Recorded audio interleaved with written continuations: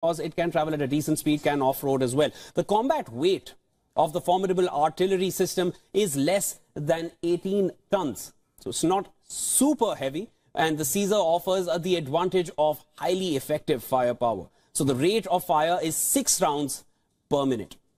Now, range varies between 4.5 kilometers uh, to more than 40 kilometers. It will obviously depend upon the trajectory in which it is fired. Additionally, the range using rocket-assisted ammunition is over 50 kilometers. The onboard ammunition consists of 18 complete rounds and it's all onboard, it's all mobile, it can be moved where and when they want. Importantly, the out action time is less than 40 seconds. That's how quickly it can be installed and fired from. Lastly, the Caesar artillery system requires a crew of four to five personnel. Ukraine's army has made modest advances. A counter-offensive that began in early June shows a little sign of breaking through Russian lines in force in any time soon. Now, the progress of Ukraine's operation has made some Western officials rather nervous. Remember, Russia also banks on similar shoot and scoot tactics and swears by the Msta-S self-propelled howitzers. Now, who's it going to be first, the Msta-S or these howitzers coming in from France? Of course, Ukraine needs all the all the effort and all the impact that it can get from the collective West. We will be tracking all the developments right here on World DNA. The Russia-Ukraine war is well into its 19th month. As the conflict drags on, there are stories of the human cost of this war buried deep under conflicting narratives from both nations. Thousands have died on both sides, many more have been injured. But today, we will tell you about Russia's punishment battalions and the people of these troops on the front lines.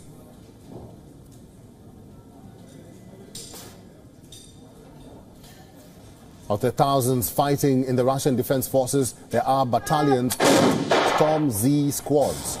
They fought on the front lines for the Battle of Bakhmut. Most of them have been killed. They fight with regular Russian soldiers, but nobody considers them ordinary citizens. The storm fighters, as they are called, are convicts from Russia's prisons. They are drunk recruits with a criminal past, recruits who were promised a clean record if they fought the war in Ukraine.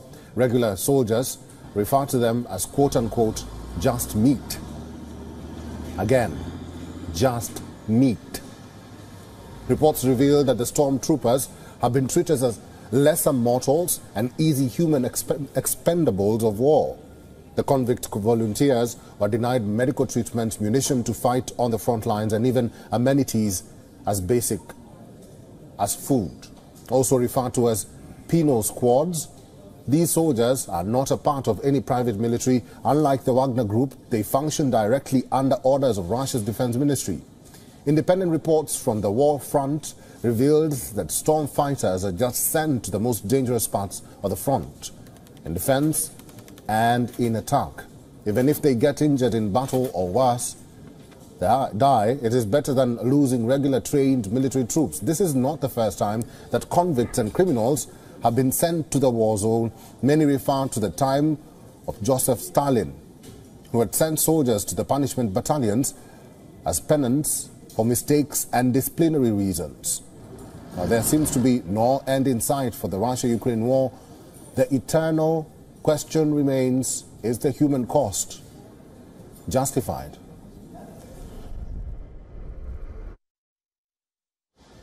It downed over two dozen Iranian made drones. Kiev claims Moscow launched these aerial attacks from the Crimean Peninsula. Earlier, Ukraine claimed that Russia is again planning to attack the energy infrastructure, pointing to the same pattern Moscow used last year. It left millions of Ukrainians without heating and water for long periods. On the other hand, Russia claims it destroyed Ukrainian fuel and aircraft ammunition depots, while adding it destroyed Ukraine's four armoured vehicles and one US made Bradley infantry fighting vehicle. Meanwhile, NATO member France is sending additional howitzers to boost Ukraine's defences. Moscow has been accusing the West of leading a war against Russia by proxy. French state owned firm Nexter will deliver six additional Caesar truck mounted howitzers to Ukraine.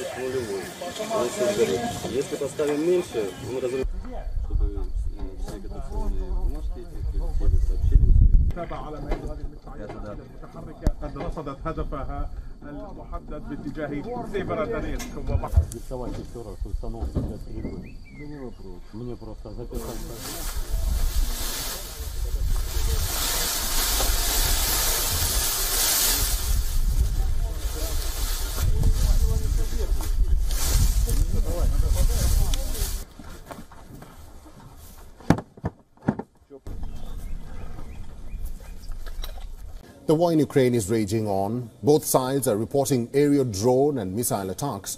But a new report has once again reignited the debate of use of nuclear weapons in Ukraine. A satellite imagery and aviation data suggests that Russia may be preparing to test an experimental nuclear-powered cruise missile. An analysis by New York Times notices movements of aircraft and vehicles near a Russian base in the Arctic region. The remote base is known for conducting tests of nuclear-powered missiles. Similarly, over the last two weeks, U.S. surveillance planes have also been tracked in that area. According to a report by Nuclear Threat Initiative, earlier, between 2017 to 2019, Russia conducted 13 known tests. However, these tests were unsuccessful. U.S. also claims in 2019 an unsuccessful launch killed seven people. The missile is known as the Burevestnik or SSC X-9 Skyfall. Experts have warned if used during wartime, the missile may destroy large urban areas and military targets. Putin claims these missiles can overpower and outmaneuver existing U.S. defense systems. Russia has shared little about the design of the missile. However, Putin claims the weapon is nuclear powered, while adding that it can carry a warhead.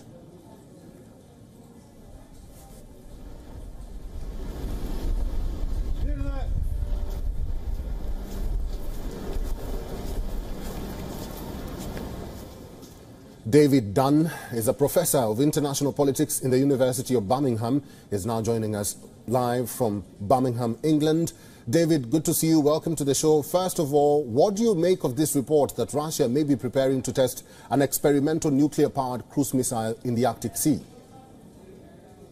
Well, as you say, there's nothing particularly new with this system. They've actually been trying to uh, perfect a whole range of exotic new nuclear weapon systems since uh, about 1917. Uh, so this is part of their so far unsuccessful attempt to try and prove what is an exotic technology. The, the thing that makes this interesting is the idea that it would be powered by a secondary nuclear uh, engine inside the missile. It would be launched by a solid state rocket, and then once uh, it, it was in the air, it would be powered by this nuclear, the small nuclear reactor. And what that would do was give it a very long endurance. It could fly a very long distance, 14,000 miles, uh, and possibly stay aloft uh, indefinitely due to that technology involved in there. What, what that gives is really uh, nothing very novel. Uh, in that actually Russia has thousands of long-range ballistic missiles that have a much shorter and quicker and more direct flight time. But it adds one piece of exotic technology to their arsenal. So in the event that they, all their weapons are destroyed, they have a second strike capability with this missile. David, U.S. claims that the unsuccessful launch in 2019 killed seven people. How big of a threat are these nuclear missiles or even tests? Well, the tests themselves uh, of a system that is clearly proven difficult to make work are a problem and that whenever you use radiation, there is a risk of, of that uh, being uh, a, a, a, having an effect in killing people. In this case, the seven crew that trying to rescue it, or falling on people's heads if it should actually be flown over land or even sea areas where there are shipping. So it's it's never a, a, a great thing to actually use nuclear technology in such a small form and unproved technology. But ultimately, in terms of the threat of, as a missile, it's no more of a threat than the other systems that Russia has in its arsenal. It's just Russia trying to be experimental and prove other ways of killing people. David, finally, and I want your brief uh, response to this one. So, if the tests are proven, what impact would that have, and what sort of reaction could Russia get from the nuclear agency? Well, the, the concern is that it adds further to their arsenal. But actually, in terms of the overall threat that Russia poses, there's nothing really new here. It's just an exotic way of making the, the warheads fly, and that's no, of no real concern above uh, Russia's nuclear arsenal as it stands. David Dunn, thank you very much for all your inputs and for talking to WION World is One today. Ukraine is now developing new unmanned vehicles and phasing out existing models. This as the war-ravaged country fights to retake territory from Russia in the ongoing war, which we've been closely tracking here on WION. Now, as both Moscow and Kiev exchange drone attacks, Ukraine has taken a step forward in developing drones which has been fueled by public and private cooperation. Let's tell you more about what these drones are and how they will help Kiev win the war against Russia. Well, talking about the Ratel ground drones. Now, it is a land-based self-destructive drone and is 0.3 meter tall and 0.8 meter long. Well, the Ratel drone can carry out 40 kg of anti-tank mines and also mortar shells. Apart from this, the drone can travel about 20 kilometers per hour. That's the speed of the Ratel ground drone here. Apart from this, it can also drive on uneven surfaces. Well, drone production in Ukraine is uh, booming with aerial drones being manufactured at a pace 120 to 140 times faster as compared to last year. An aerial drone called Aerial Drone Backfire was developed jointly with between uh, the Ukrainian military and the private sector in the country. And this backfire drone we're talking about here, it is mainly used in the southern front during the ongoing war between Ukraine and Russia. While the backfire drone is immune to jamming, which can help in disabling other drones in the ongoing battle. Meanwhile, Backfire's flight is automated and interestingly, it has never been shot down till now. It also has a range of 35 kilometers and also speed of 84 kilometers per hour. Ukraine's National Agency on Corruption Prevention added China's three biggest oil and gas producers to its international sponsors of war list. Now, according to the agency's press service, China National Offshore Oil Corporation, China Petrochemical Corporation, and China National Petroleum Corporation, these are the three firms, and are added to the NACP list. The agency adds that the three companies continue to develop joint projects with Russia and even funded Russia's strategic industry by paying substantial taxes. Now, Ukraine uses the list as a way to pressure businesses into limiting their activity with Russia, which invaded Ukraine in February 2022. While China has refused to openly condemn Russia's war in Ukraine, it has repeatedly expressed disquiet over the economic consequences of the conflict and even backed a United Nations resolution in May that criticized Moscow's aggression. Right now, as Ukraine steps up its enforcement against Chinese businesses and state entities collaborating with Russia, previously the NACP listed the China State Construction Engineering Corporation online marketplace Alibaba and also telecommunications uh, company Xiaomi to the international sponsors of war list. Well, Russia has looked to China as a growing export market for oil and gas. Hence, in March, Russian President Vladimir Putin announced a new pipeline dubbed as Power of Siberia 2, which would carry 50 billion cubic meters of gas to China through Mongolia.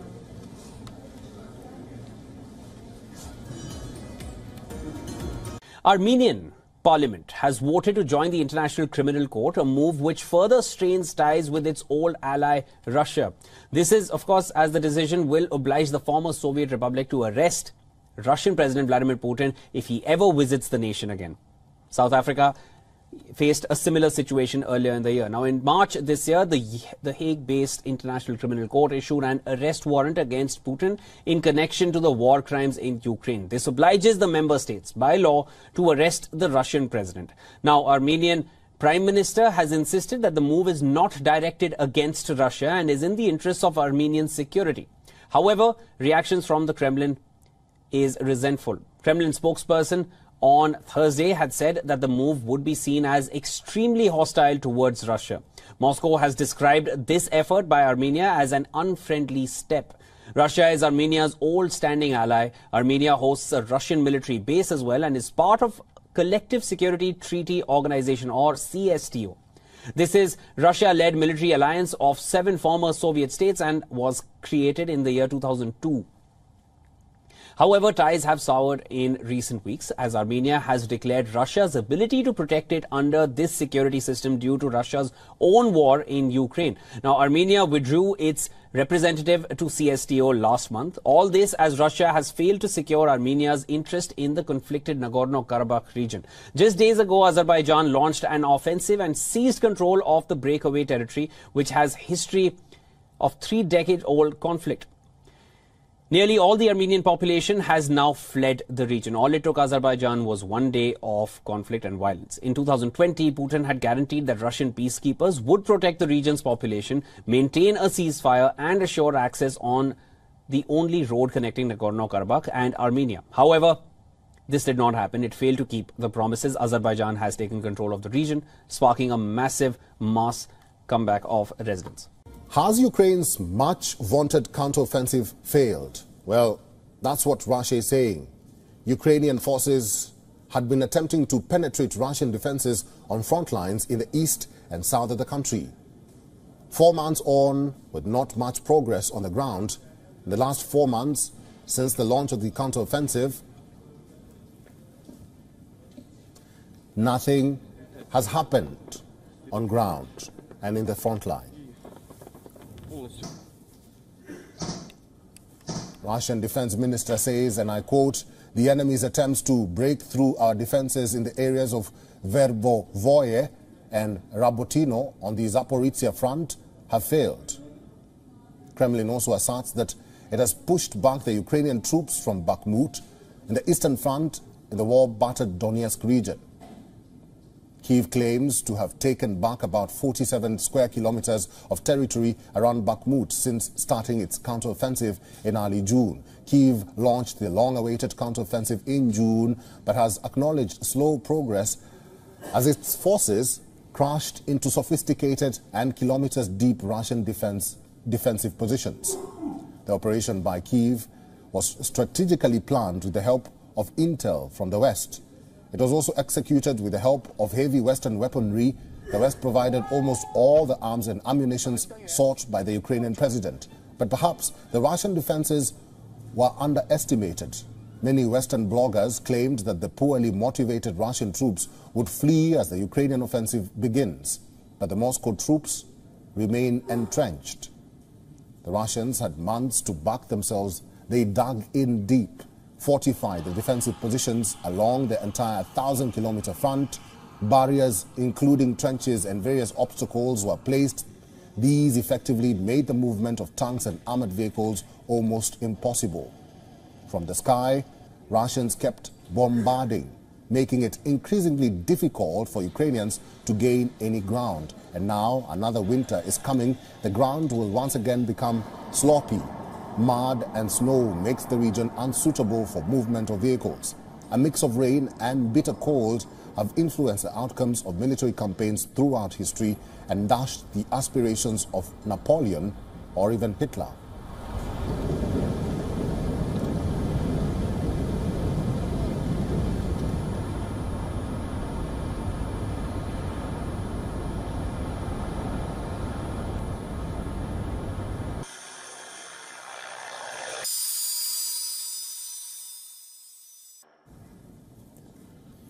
Retired Colonel Daniel L. Davis is a military expert and senior fellow for defense priorities. He's now joining us from Sterling, Virginia. Colonel Daniel, welcome to the show. Russia says it has proof that the counteroffensive is failing. But I want your own assessment of this counteroffensive so far. Let's start from there and then give us your thoughts about Russia's claims. Well, I, I mean, look, you just have to look at the at the map, and it it doesn't take much of an examination uh, to be able to see that the lines have virtually remained unchanged since this uh, since this offensive began. The, the New York Times, I believe it was last week, in fact, had a graphic where it showed the map of Ukraine and to the the uh, part that was controlled by Russia, the part that was controlled by Kiev, and you, you, and they showed the changes that have occurred since January 1st of this year to include all the nearly four months of the offensive, and you can see very clearly that virtually nothing has changed. In fact, uh, there was a, a, military organization called the Drive here, magazine, that actually produced a, a graphic that showed that overall this year, Russia has actually gained somewhat more territory than Ukraine has. So there, there's by any stre- uh, assessment, by any kind of an analysis, the offensive has not succeeded. Their their goal was to cut through to the Azov coast, to go through the Robotyne area from uh, the Zaporizhia, to cut through Tokmak, and then down to Melitopol, and then to the coast. And uh, nothing close to that has even happened. They, after four months, they got what they probably would have had to have gotten at the end of the first week with Robotyne, but they haven't even been able to go to Verbova, which is the next little village over since August when they first r- arrived at it. So that kind of tells you all you need to know mm-hmm. about what this offensive has not accomplished. Colonel Daniel, now another winter is coming. The ground will once again become sloppy, like I said. What do you anticipate in the coming months? Yeah, that's that's a real important issue because the the only way that uh, Ukraine has had even moderate success in, in, the tactical fight here has been that they've used armored vehicles to get their infantry close to the line of contact, get them out, and then return back to pick them up later. But if you can't get those armored vehicles up there, and of course, when it gets really muddy, it gets very difficult for armored vehicles to make it through mud because those tracks or wheels, either one, can get mired in there. Anytime a vehicle gets struck in mud, it's going to be an immediate target for artillery or for uh, kamikaze drones. And that, if Ukraine therefore can't even get to the front line with enough troops, then they can't make progress. So I think the best thing they're going to be able to do is probably either still try to inch forward, but at very, very high cost in infantry, or what they should do, probably the most, what makes the most sense, is to convert to the defense to make sure they don't lose any more ground. Colonel Daniel, finally, and besides this or what is happening in Ukraine, there are claims that Russia is now testing missiles or nuclear missile tests. What do you make of these claims? You know, I mean, there, has been the risk of nuclear escalation from day one, and, and uh, as long as Russia is not any threat to, to actually lose the war or being driven out of Ukraine or, or especially any kind of a movement military into Russia proper, then the, the risk of nuclear escalation is quite high. But in the meantime, I think that these are probably just saber rattling kinds of uh, moves by, by Russia. They want to keep everybody up at the front that we have nuclear weapons, so don't push us too far. But I don't think we're at any risk of nuclear use at the moment but getting this war over will be the best way to ensure that doesn't happen. All right, I've been talking to a military expert and senior fellow for defense priorities. His name is retired Colonel Daniel L. Davis. Daniel, thank you for talking to us today. Russia uses artillery as its primary form of lethality in the deep and close battles. Its combined arms elements are charged with positioning themselves so that the artillery can deliver destructive effects against their opponents. Now, NATO member France is sending additional howitzers to boost Ukraine's defenses. Of course, it's all part of the counter-offensive, which has not gone as planned, but Ukraine needs all the help it can get at the moment. Moscow has been accusing the West of leading a war against Russia by proxy. Here's all you need to know about what Ukraine is gaining in the latest. French state-owned firm Nexter uh, will deliver six additional Caesar truck-mounted howitzers to Ukraine. Now, as per the French Defense Ministry, Ukraine has already received 30 Caesar howitzers since uh, last year, 18 from France and 12 from manufacturer Nexter.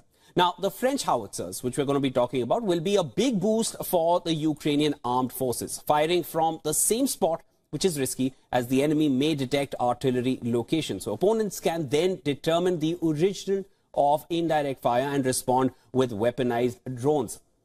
Now, shoot and scoot.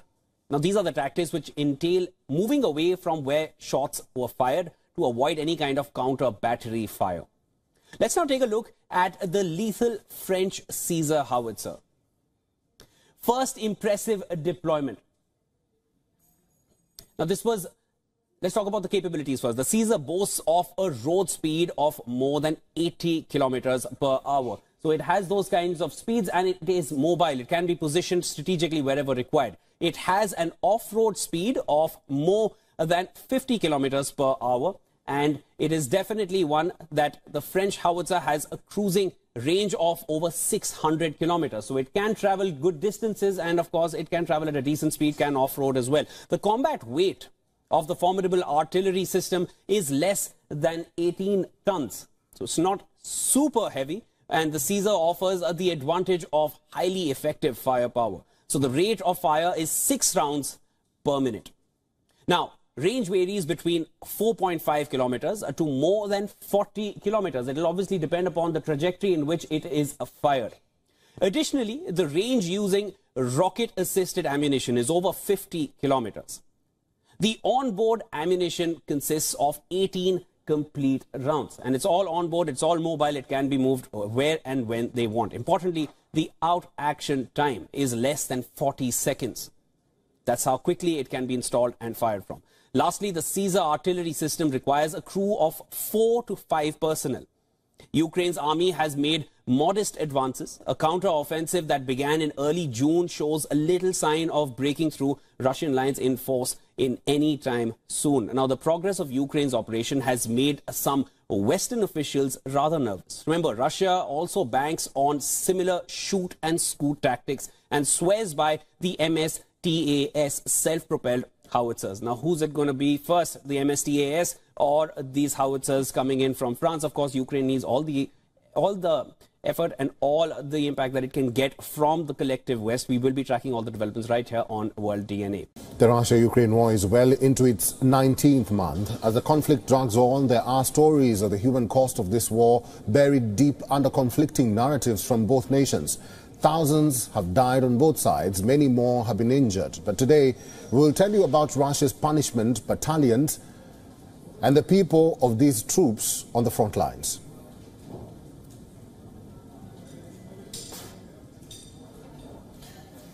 Of the thousands fighting in the Russian Defense Forces, there are battalions called Storm Z squads. They fought on the front lines for the Battle of Bakhmut. Most of them have been killed. They fight with regular Russian soldiers, but nobody considers them ordinary citizens. The storm fighters, as they are called, are convicts from Russia's prisons. They are drunk recruits with a criminal past, recruits who were promised a clean record if they fought the war in Ukraine. Regular soldiers refer to them as quote-unquote just meat. Again, just meat. Reports reveal that the stormtroopers have been treated as lesser mortals and easy human exp expendables of war. The convict volunteers were denied medical treatment, munition to fight on the front lines, and even amenities as basic as food. Also referred to as penal squads, these soldiers are not a part of any private military. Unlike the Wagner Group, they function directly under orders of Russia's defense ministry.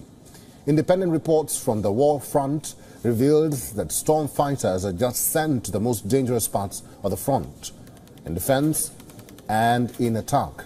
Even if they get injured in battle or worse, they die, it is better than losing regular trained military troops. This is not the first time that convicts and criminals have been sent to the war zone. Many refer to the time of Joseph Stalin, who had sent soldiers to the punishment battalions as penance for mistakes and disciplinary reasons.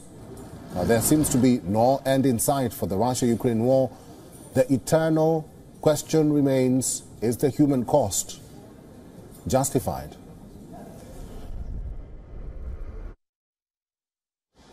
It downed over two dozen Iranian-made drones. Kiev claims Moscow launched these aerial attacks from the Crimean Peninsula. Earlier, Ukraine claimed that Russia is again planning to attack the energy infrastructure, pointing to the same pattern Moscow used last year. It left millions of Ukrainians without heating and water for long periods. On the other hand, Russia claims it destroyed Ukrainian fuel and aircraft ammunition depots, while adding it destroyed Ukraine's four armoured vehicles and one US made Bradley infantry fighting vehicle. Meanwhile, NATO member France is sending additional howitzers to boost Ukraine's defences. Moscow has been accusing the West of leading a war against Russia by proxy. French state owned firm Nexter will deliver six additional Caesar truck mounted howitzers to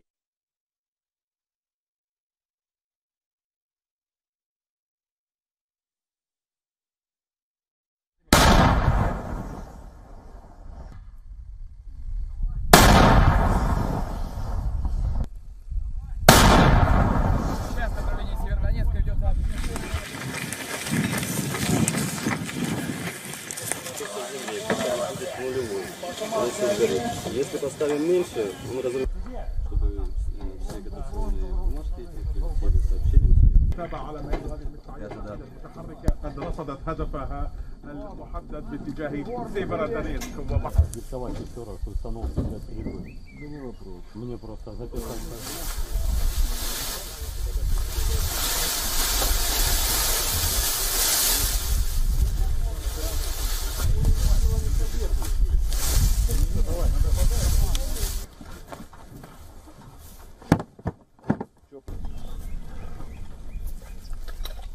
The war in Ukraine is raging on. Both sides are reporting aerial drone and missile attacks.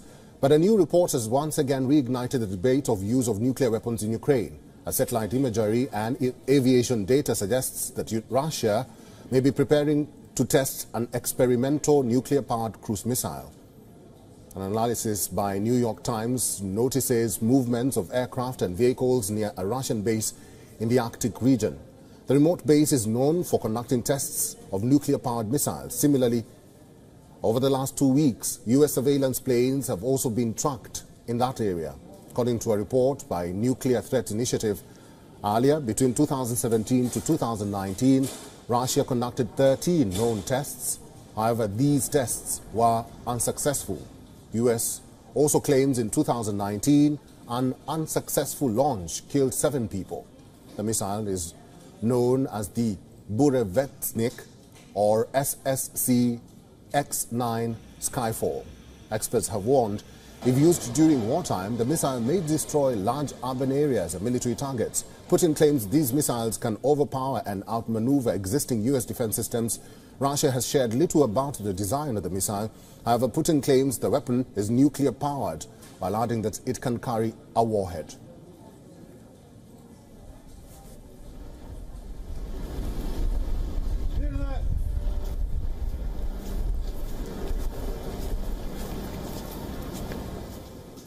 David Dunn is a professor of international politics in the University of Birmingham. He is now joining us live from Birmingham, England.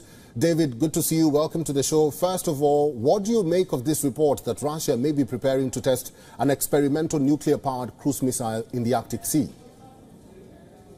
Well, as you say, there's nothing particularly new with this system. They've actually been trying to uh, perfect a whole range of exotic new nuclear weapon systems since uh, about 1917. Uh, so this is part of their so far unsuccessful attempt to try and prove what is an exotic technology. The, the thing that makes this interesting is the idea that it would be powered by a secondary nuclear uh, engine inside the missile. It would be launched by a solid state rocket, and then once uh, it, it was in the air, it would be powered by this nuclear, the small nuclear reactor. And what that would do was give it a very long endurance. It could fly a very long distance, 14,000 miles, uh, and possibly stay aloft uh, indefinitely due to that technology involved in there. What, what that gives is really uh, nothing very novel.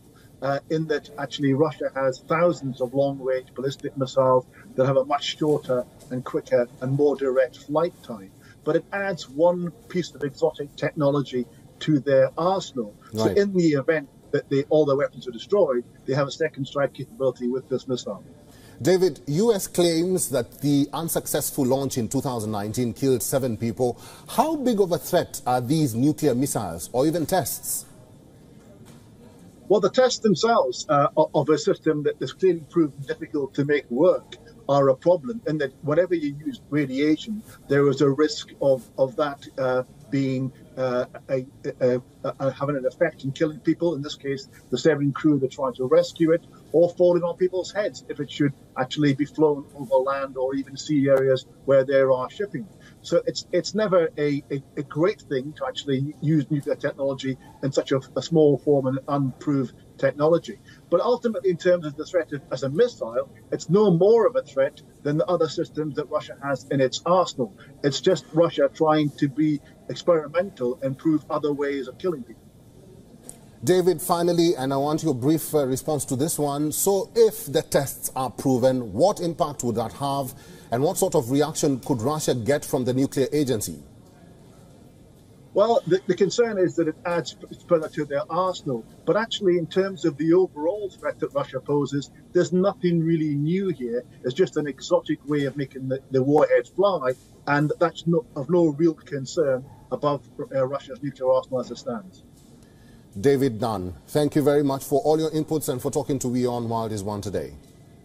Ukraine is now developing new unmanned vehicles and phasing out existing models. This as the war-ravaged country fights to retake territory from Russia in the ongoing war, which we've been closely tracking here on WION. Now, as both Moscow and Kiev exchange drone attacks, Ukraine has taken a step forward in developing drones which has been fueled by public and private cooperation. Let's tell you more about what these drones are and how they will help Kiev win the war against Russia. Well, talking about the Ratel ground drones. Now, it is a land-based self-destructive drone and is 0.3 meter tall and 0.8 meter long. Well, the Ratel drone can carry out 40 kg of anti-tank mines and also mortar shells. Apart from this, the drone can travel about 20 kilometers per hour. That's the speed of the Ratel ground drone here. Apart from this, it can also drive on uneven surfaces. Well, drone production in Ukraine is uh, booming with aerial drones being manufactured at a pace 120 to 140 times faster as compared to last year. An aerial drone called Aerial Drone Backfire was developed jointly with between uh, the Ukrainian military and the private sector in the country. And this backfire drone we're talking about here, it is mainly used in the southern front during the ongoing war between Ukraine and Russia. While the backfire drone is immune to jamming, which can help in disabling other drones in the ongoing battle. Meanwhile, Backfire's flight is automated and interestingly, it has never been shot down till now. It also has a range of 35 kilometers and also speed of 84 kilometers per hour. Ukraine's National Agency on Corruption Prevention added China's three biggest oil and gas producers to its international sponsors of war list. Now, according to the agency's press service, China National Offshore Oil Corporation, China Petrochemical Corporation, and China National Petroleum Corporation, these are the three firms, and are added to the NACP list. The agency adds that the three companies continue to develop joint projects with Russia and even funded Russia's strategic industry by paying substantial taxes. Now, Ukraine uses the list as a way to pressure businesses into limiting their activity with Russia, which invaded Ukraine in February 2022.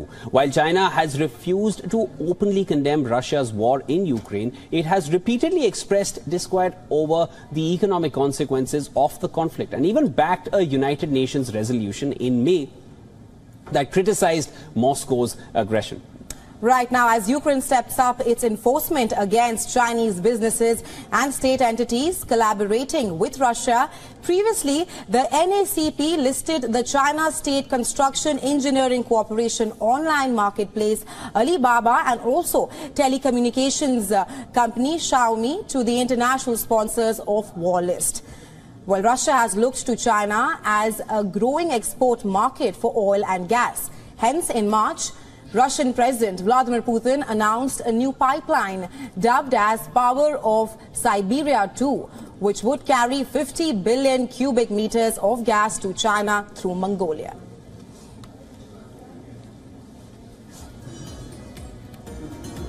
Armenian Parliament has voted to join the International Criminal Court, a move which further strains ties with its old ally Russia. This is, of course, as the decision will oblige the former Soviet Republic to arrest Russian President Vladimir Putin if he ever visits the nation again. South Africa faced a similar situation earlier in the year. Now, in March this year, the, the Hague-based International Criminal Court issued an arrest warrant against Putin in connection to the war crimes in Ukraine. This obliges the member states by law to arrest the Russian president. Now, Armenian Prime Minister has insisted that the move is not directed against Russia and is in the interests of Armenian security. However, reactions from the Kremlin is resentful. Kremlin spokesperson on Thursday had said that the move would be seen as extremely hostile towards Russia. Moscow has described this effort by Armenia as an unfriendly step. Russia is Armenia's old standing ally. Armenia hosts a Russian military base as well and is part of Collective Security Treaty Organization or CSTO. This is Russia-led military alliance of seven former Soviet states and was created in the year 2002. However, ties have soured in recent weeks as Armenia has declared Russia's ability to protect it under this security system due to Russia's own war in Ukraine. Now, Armenia withdrew its representative to CSTO last month. All this as Russia has failed to secure Armenia's interest in the conflicted Nagorno-Karabakh region. Just days ago, Azerbaijan launched an offensive and seized control of the breakaway territory, which has history of three-decade-old conflict. Nearly all the Armenian population has now fled the region. All it took Azerbaijan was one day of conflict and violence. In 2020, Putin had guaranteed that Russian peacekeepers would protect the region's population, maintain a ceasefire, and assure access on the only road connecting Nagorno-Karabakh and Armenia. However, this did not happen. It failed to keep the promises. Azerbaijan has taken control of the region, sparking a massive mass comeback of residents. Has Ukraine's much vaunted counteroffensive failed? Well, that's what Russia is saying. Ukrainian forces had been attempting to penetrate Russian defenses on front lines in the east and south of the country. Four months on, with not much progress on the ground, in the last four months since the launch of the counteroffensive, nothing has happened on ground and in the front line. Russian defense minister says, and I quote, the enemy's attempts to break through our defenses in the areas of Verbovoye and Rabotino on the Zaporizhia front have failed. Kremlin also asserts that it has pushed back the Ukrainian troops from Bakhmut in the eastern front in the war-battered Donetsk region. Kiev claims to have taken back about 47 square kilometers of territory around Bakhmut since starting its counteroffensive in early June. Kiev launched the long-awaited counteroffensive in June, but has acknowledged slow progress as its forces crashed into sophisticated and kilometers-deep Russian defense, defensive positions. The operation by Kiev was strategically planned with the help of intel from the West. It was also executed with the help of heavy Western weaponry. The West provided almost all the arms and ammunition sought by the Ukrainian president. But perhaps the Russian defenses were underestimated. Many Western bloggers claimed that the poorly motivated Russian troops would flee as the Ukrainian offensive begins. But the Moscow troops remain entrenched. The Russians had months to back themselves. They dug in deep fortify the defensive positions along the entire 1,000 kilometer front. Barriers, including trenches and various obstacles, were placed. These effectively made the movement of tanks and armored vehicles almost impossible. From the sky, Russians kept bombarding, making it increasingly difficult for Ukrainians to gain any ground. And now another winter is coming. The ground will once again become sloppy Mud and snow makes the region unsuitable for movement of vehicles. A mix of rain and bitter cold have influenced the outcomes of military campaigns throughout history and dashed the aspirations of Napoleon or even Hitler.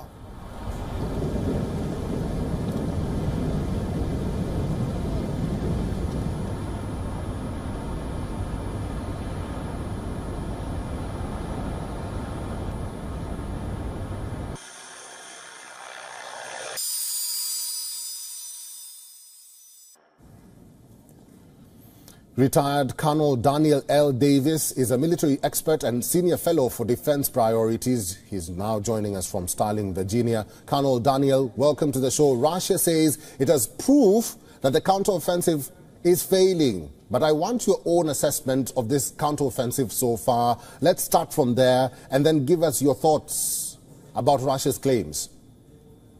Well, I, I mean, look, you just have to look at the at the map, and it it doesn't take much of an examination uh, to be able to see that the lines have virtually remained unchanged since this uh, since this offensive began. The, the New York Times, I believe it was last week, in fact, had a graphic where it showed the map of Ukraine and, to the the uh, part that was controlled by Russia, the part that was controlled by Kiev, and you, you, and they showed the changes that have occurred since January 1st of this year, to include all the nearly four months of the offensive, and you can see very clearly that virtually nothing has changed. In fact, uh, there was a, a, military organization called the Drive here, magazine that actually produced a, a graphic that showed that overall this year, Russia has actually gained somewhat more territory than Ukraine has. So that there's by any stre- or uh, assessment, by any kind of an analysis, the offensive has not succeeded. Their their goal was to cut through to the Azov coast, to go through the Robotyne area from uh, the Zaporizhia to cut through Tokmak and then down to Melitopol and then to the coast. And uh, nothing close to that has even happened. They, after four months, they got what they probably would have had to have gotten at the end of the first week with Robotyne, but they haven't even been able to go to Verbova, which is the next little village over since August when they first arrived at it. So that kind of tells you all you need to know mm-hmm. about what this offensive has not accomplished. Colonel Daniel, now another winter is coming. The ground will once again become sloppy, like I said. What do you anticipate in the coming months? Yeah, that's that's a real important issue because the the only way that uh, Ukraine has had even moderate success in, in, the tactical fight here has been that they've used armored vehicles to get their infantry close to the line of contact get them out and then return back to pick them up later. But if you can't get those armored vehicles up there, and of course, when it gets really muddy, it gets very difficult for armored vehicles to make it through mud because those tracks or wheels, either one, can get mired in there. Anytime a vehicle gets struck in mud, it's going to be an immediate target for artillery or for uh, kamikaze drones. And that, if Ukraine therefore can't even get to the front line with enough troops, then they can't make progress. So I think the best thing they're going to be able to do is probably either still try to inch forward, but at very, very high cost in infantry, or what they should do, probably the most, what makes the most sense, is to convert to the defense to make sure they don't lose any more ground. Colonel Daniel, finally, and besides this or what is happening in Ukraine, there are claims that Russia is now testing missiles or nuclear missile tests. What do you make of these claims?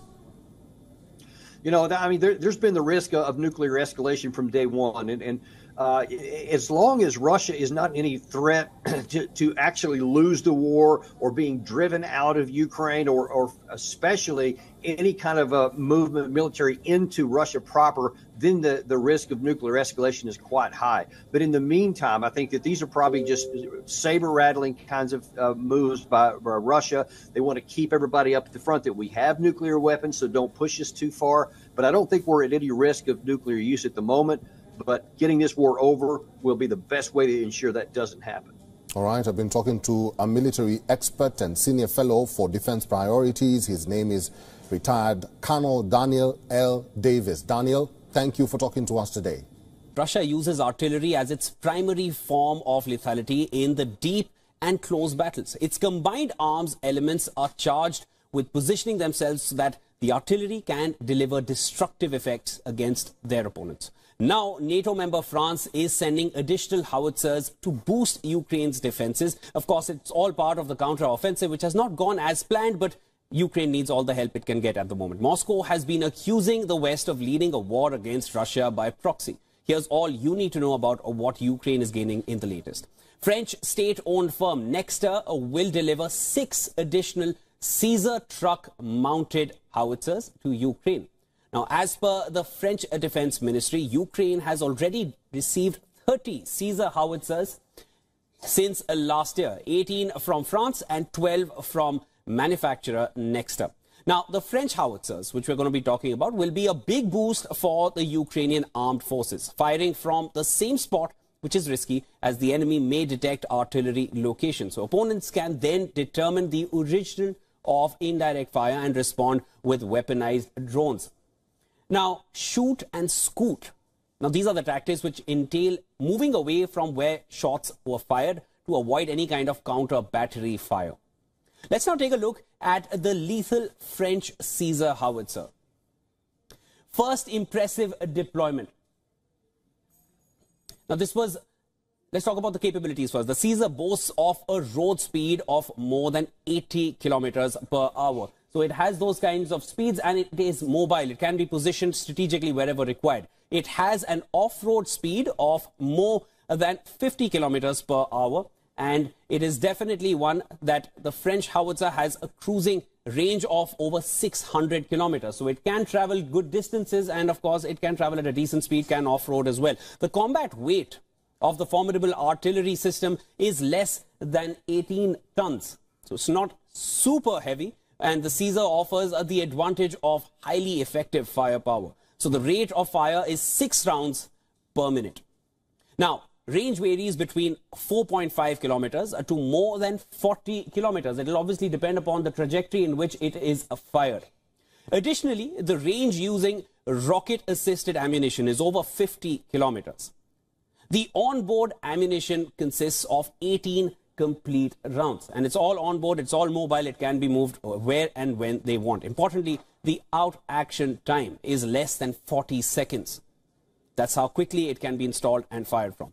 Lastly, the Caesar artillery system requires a crew of four to five personnel.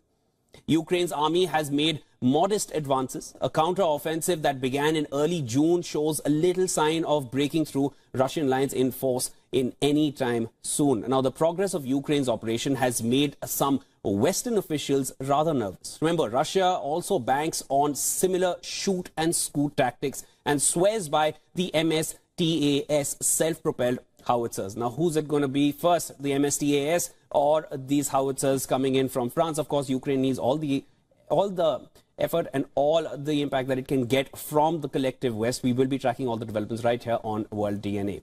The Russia-Ukraine war is well into its 19th month. As the conflict drags on, there are stories of the human cost of this war buried deep under conflicting narratives from both nations. Thousands have died on both sides, many more have been injured. But today, we will tell you about Russia's punishment battalions and the people of these troops on the front lines.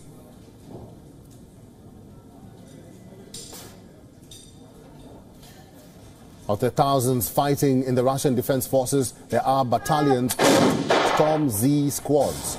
They fought on the front lines for the Battle of Bakhmut. Most of them have been killed. They fight with regular Russian soldiers, but nobody considers them ordinary citizens. The storm fighters, as they are called, are convicts from Russia's prisons. They are drunk recruits with a criminal past, recruits who were promised a clean record if they fought the war in Ukraine. Regular soldiers refer to them as quote-unquote just meat. Again, just meat. Reports reveal that the stormtroopers have been treated as lesser mortals and easy human exp expendables of war. The convict volunteers were denied medical treatment, munition to fight on the front lines, and even amenities as basic as food. Also referred to as penal squads, these soldiers are not a part of any private military. Unlike the Wagner Group, they function directly under orders of Russia's defense ministry.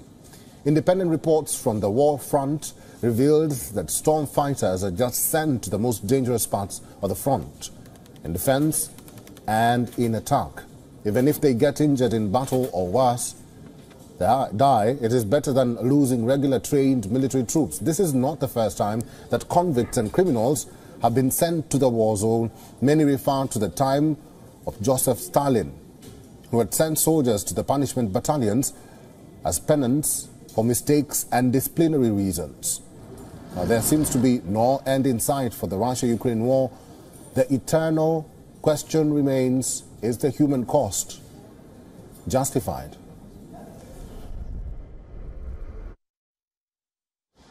It downed over two dozen Iranian-made drones. Kiev claims Moscow launched these aerial attacks from the Crimean Peninsula. Earlier, Ukraine claimed that Russia is again planning to attack the energy infrastructure, pointing to the same pattern Moscow used last year. It left millions of Ukrainians without heating and water for long periods. On the other hand, Russia claims it destroyed Ukrainian fuel and aircraft ammunition depots, while adding it destroyed Ukraine's four armoured vehicles and one US made Bradley infantry fighting vehicle. Meanwhile, NATO member France is sending additional howitzers to boost Ukraine's defences. Moscow has been accusing the West of leading a war against Russia by proxy. French state owned firm Nexter will deliver six additional Caesar truck mounted howitzers to Ukraine.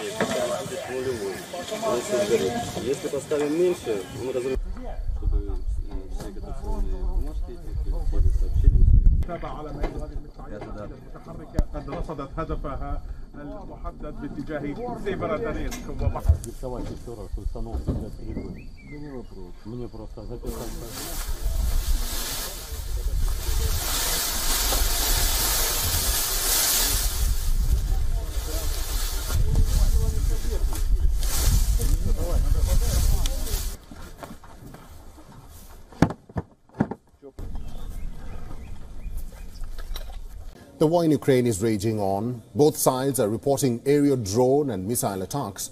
But a new report has once again reignited the debate of use of nuclear weapons in Ukraine. A satellite imagery and aviation data suggests that Russia may be preparing to test an experimental nuclear-powered cruise missile. An analysis by New York Times notices movements of aircraft and vehicles near a Russian base in the Arctic region. The remote base is known for conducting tests of nuclear-powered missiles. Similarly, over the last two weeks, U.S. surveillance planes have also been tracked in that area. According to a report by Nuclear Threat Initiative, earlier, between 2017 to 2019, Russia conducted 13 known tests. However, these tests were unsuccessful. U.S. also claims in 2019 an unsuccessful launch killed seven people. The missile is known as the Burevestnik or SSC X-9 Skyfall. Experts have warned if used during wartime, the missile may destroy large urban areas and military targets. Putin claims these missiles can overpower and outmaneuver existing U.S. defense systems. Russia has shared little about the design of the missile. However, Putin claims the weapon is nuclear powered, while adding that it can carry a warhead.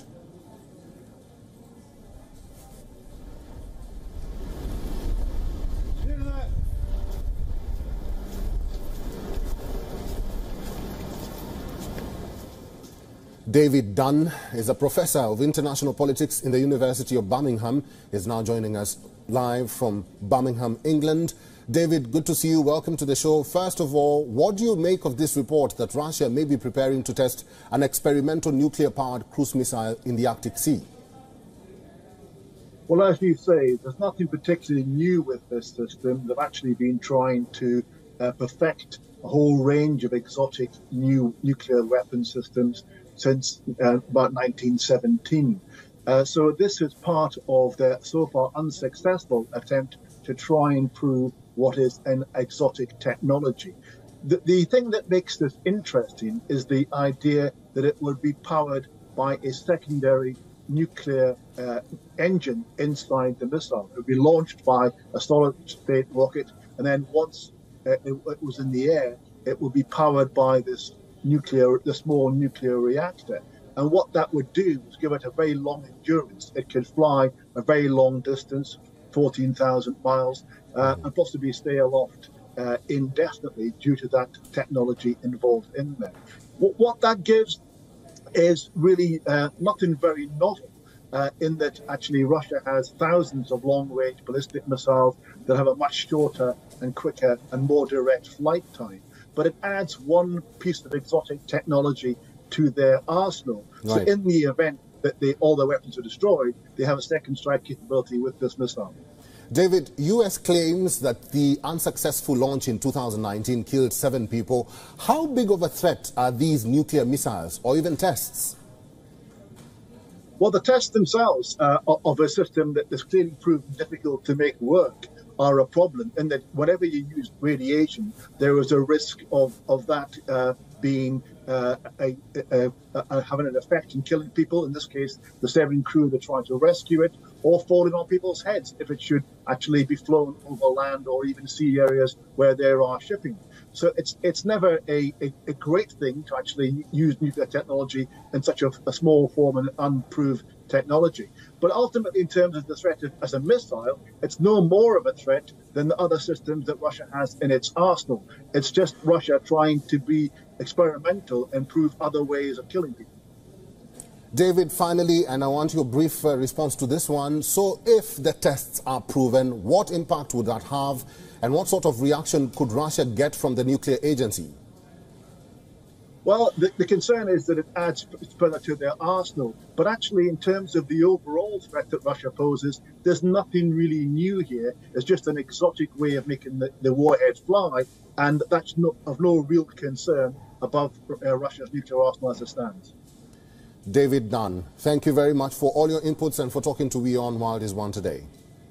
Ukraine is now developing new unmanned vehicles and phasing out existing models. This as the war-ravaged country fights to retake territory from Russia in the ongoing war, which we've been closely tracking here on WION. Now, as both Moscow and Kiev exchange drone attacks, Ukraine has taken a step forward in developing drones which has been fueled by public and private cooperation. Let's tell you more about what these drones are and how they will help Kiev win the war against Russia. Well, talking about the Ratel ground drones. Now, it is a land-based self-destructive drone and is 0.3 meter tall and 0.8 meter long. Well, the Ratel drone can carry out 40 kg of anti-tank mines and also mortar shells. Apart from this, the drone can travel about 20 kilometers per hour. That's the speed of the Ratel ground drone here. Apart from this, it can also drive on uneven surfaces. Well, drone production in Ukraine is uh, booming with aerial drones being manufactured at a pace 120 to 140 times faster as compared to last year. An aerial drone called Aerial Drone Backfire was developed jointly with between uh, the Ukrainian military and the private sector in the country. And this backfire drone we're talking about here, it is mainly used in the southern front during the ongoing war between Ukraine and Russia. While the backfire drone is immune to jamming, which can help in disabling other drones in the ongoing battle. Meanwhile, Backfire's flight is automated and interestingly, it has never been shot down till now. It also has a range of 35 kilometers and also speed of 84 kilometers per hour. Ukraine's National Agency on Corruption Prevention added China's three biggest oil and gas producers to its international sponsors of war list. Now, according to the agency's press service, China National Offshore Oil Corporation, China Petrochemical Corporation, and China National Petroleum Corporation, these are the three firms, and are added to the NACP list. The agency adds that the three companies continue to develop joint projects with Russia and even funded Russia's strategic industry by paying substantial taxes. Now, Ukraine uses the list as a way to pressure businesses into limiting their activity with Russia, which invaded Ukraine in February 2022. While China has refused to openly condemn Russia's war in Ukraine, it has repeatedly expressed disquiet over the economic consequences of the conflict and even backed a United Nations resolution in May that criticized Moscow's aggression. Right now, as Ukraine steps up its enforcement against Chinese businesses and state entities collaborating with Russia, previously the NACP listed the China State Construction Engineering Corporation online marketplace Alibaba and also telecommunications uh, company Xiaomi to the international sponsors of war list. Well, Russia has looked to China as a growing export market for oil and gas. Hence, in March, Russian President Vladimir Putin announced a new pipeline dubbed as Power of Siberia 2, which would carry 50 billion cubic meters of gas to China through Mongolia.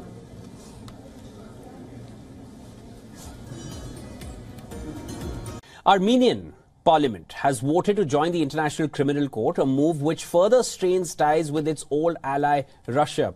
This is, of course, as the decision will oblige the former Soviet Republic to arrest Russian President Vladimir Putin if he ever visits the nation again.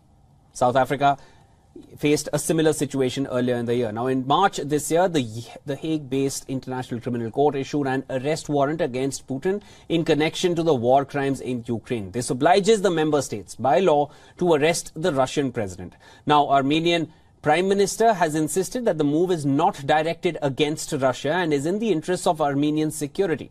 However, reactions from the Kremlin is resentful. Kremlin spokesperson on Thursday had said that the move would be seen as extremely hostile towards Russia. Moscow has described this effort by Armenia as an unfriendly step. Russia is Armenia's old standing ally. Armenia hosts a Russian military base as well and is part of Collective Security Treaty Organization or CSTO. This is Russia-led military alliance of seven former Soviet states and was created in the year 2002. However, ties have soured in recent weeks as Armenia has declared Russia's ability to protect it under this security system due to Russia's own war in Ukraine. Now, Armenia withdrew its representative to CSTO last month. All this as Russia has failed to secure Armenia's interest in the conflicted Nagorno-Karabakh region. Just days ago, Azerbaijan launched an offensive and seized control of the breakaway territory, which has history of three-decade-old conflict. Nearly all the Armenian population has now fled the region. All it took Azerbaijan was one day of conflict and violence. In 2020, Putin had guaranteed that Russian peacekeepers would protect the region's population, maintain a ceasefire, and assure access on the only road connecting Nagorno-Karabakh and Armenia. However, this did not happen. It failed to keep the promises. Azerbaijan has taken control of the region, sparking a massive mass comeback of residents. Has Ukraine's much vaunted counteroffensive failed? Well, that's what Russia is saying. Ukrainian forces had been attempting to penetrate Russian defenses on front lines in the east and south of the country. Four months on, with not much progress on the ground, in the last four months since the launch of the counteroffensive, nothing has happened on ground and in the front line. Russian defense minister says, and I quote, the enemy's attempts to break through our defenses in the areas of Verbovoye and Rabotino on the Zaporizhia front have failed. Kremlin also asserts that it has pushed back the Ukrainian troops from Bakhmut in the eastern front in the war-battered Donetsk region. Kiev claims to have taken back about 47 square kilometers of territory around Bakhmut since starting its counteroffensive in early June. Kiev launched the long-awaited counteroffensive in June, but has acknowledged slow progress as its forces crashed into sophisticated and kilometers-deep Russian defense, defensive positions. The operation by Kiev was strategically planned with the help of intel from the West. It was also executed with the help of heavy Western weaponry. The West provided almost all the arms and ammunition sought by the Ukrainian president. But perhaps the Russian defenses were underestimated. Many Western bloggers claimed that the poorly motivated Russian troops would flee as the Ukrainian offensive begins. But the Moscow troops remain entrenched. The Russians had months to back themselves. They dug in deep fortify the defensive positions along the entire 1,000 kilometer front. Barriers, including trenches and various obstacles, were placed. These effectively made the movement of tanks and armored vehicles almost impossible. From the sky, Russians kept bombarding, making it increasingly difficult for Ukrainians to gain any ground. And now another winter is coming. The ground will once again become sloppy Mud and snow makes the region unsuitable for movement of vehicles. A mix of rain and bitter cold have influenced the outcomes of military campaigns throughout history and dashed the aspirations of Napoleon or even Hitler.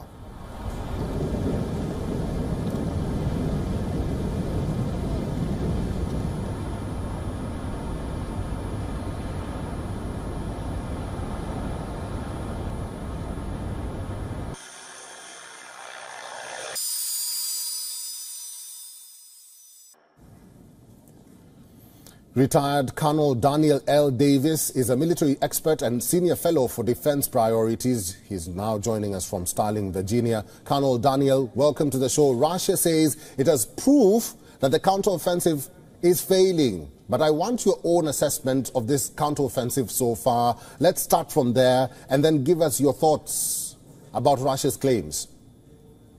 Well, I, I mean, look, you just have to look at the at the map, and it it doesn't take much of an examination uh, to be able to see that the lines have virtually remained unchanged since this uh, since this offensive began. The, the New York Times, I believe it was last week, in fact, had a graphic where it showed the map of Ukraine and to the the uh, part that was controlled by Russia, the part that was controlled by Kiev, and you, you, and they showed the changes that have occurred since January 1st of this year to include all the nearly four months of the offensive, and you can see very clearly that virtually nothing has changed. In fact, uh, there was a, a, military organization called the Drive here, magazine that actually produced a, a graphic that showed that overall this year, Russia has actually gained somewhat more territory than Ukraine has. So there's by any stre- or uh, assessment, by any kind of an analysis, the offensive has not succeeded. Their their goal was to cut through to the Azov coast, to go through the Robotyne area from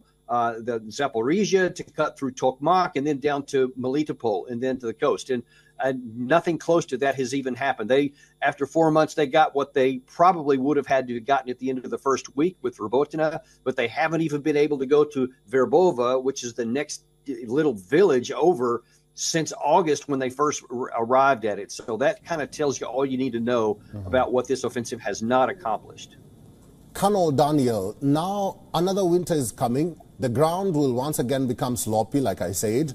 What do you anticipate in the coming months? Yeah, that's that's a real important issue because the the only way that uh, Ukraine has had even moderate success in, in, the tactical fight here has been that they've used armored vehicles to get their infantry close to the line of contact get them out and then return back to pick them up later. But if you can't get those armored vehicles up there, and of course, when it gets really muddy, it gets very difficult for armored vehicles to make it through mud because those tracks or wheels, either one, can get mired in there. Anytime a vehicle gets struck in mud, it's going to be an immediate target for artillery or for uh, kamikaze drones. And that, if Ukraine therefore can't even get to the front line with enough troops, then they can't make progress. So I think the best thing they're going to be able to do is probably either still try to inch forward, but at very, very high cost in infantry, or what they should do, probably the most, what makes the most sense is to convert to the defense to make sure they don't lose any more ground. Colonel Daniel, finally, and besides this or what is happening in Ukraine, there are claims that Russia is now testing missiles or nuclear missile tests. What do you make of these claims? You know, I mean, there, has been the risk of nuclear escalation from day one, and, and uh, as long as Russia is not any threat to, to actually lose the war or being driven out of Ukraine, or, or especially any kind of a movement military into Russia proper, then the, the risk of nuclear escalation is quite high. But in the meantime, I think that these are probably just saber rattling kinds of uh, moves by, by, Russia. They want to keep everybody up at the front that we have nuclear weapons, so don't push us too far. But I don't think we're at any risk of nuclear use at the moment. But getting this war over will be the best way to ensure that doesn't happen. All right, I've been talking to a military expert and senior fellow for defense priorities. His name is retired Colonel Daniel L. Davis. Daniel, thank you for talking to us today. Russia uses artillery as its primary form of lethality in the deep and close battles. Its combined arms elements are charged with positioning themselves so that the artillery can deliver destructive effects against their opponents. Now, NATO member France is sending additional howitzers to boost Ukraine's defenses. Of course, it's all part of the counter-offensive, which has not gone as planned, but Ukraine needs all the help it can get at the moment. Moscow has been accusing the West of leading a war against Russia by proxy. Here's all you need to know about what Ukraine is gaining in the latest. French state-owned firm Nexter uh, will deliver six additional Caesar truck-mounted howitzers to Ukraine. Now, as per the French Defense Ministry, Ukraine has already received 30 Caesar howitzers since uh, last year, 18 from France and 12 from manufacturer Nexter. Now, the French howitzers, which we're going to be talking about, will be a big boost for the Ukrainian armed forces, firing from the same spot, which is risky, as the enemy may detect artillery location. So opponents can then determine the origin of indirect fire and respond with weaponized drones. Now, shoot and scoot. Now, these are the tactics which entail moving away from where shots were fired to avoid any kind of counter battery fire. Let's now take a look at the lethal French Caesar howitzer. First impressive deployment.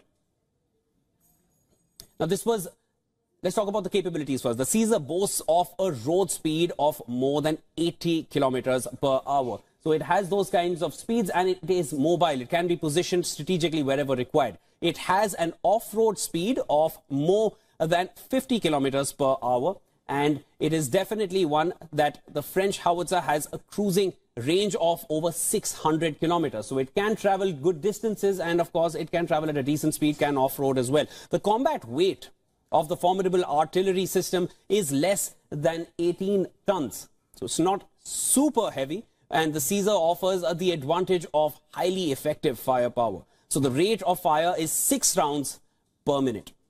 Now, range varies between 4.5 kilometers uh, to more than 40 kilometers. It will obviously depend upon the trajectory in which it is fired. Additionally, the range using rocket-assisted ammunition is over 50 kilometers.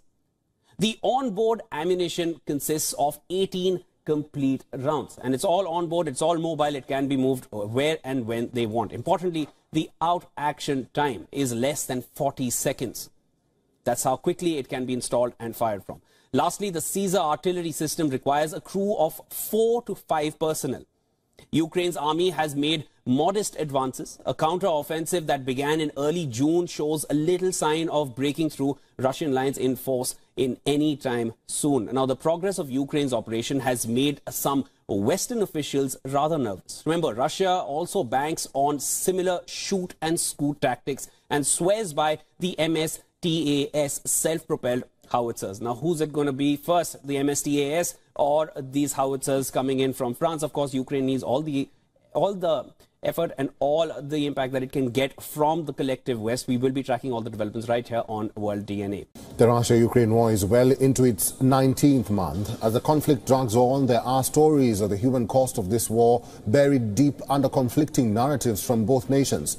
Thousands have died on both sides, many more have been injured. But today, we will tell you about Russia's punishment battalions and the people of these troops on the front lines.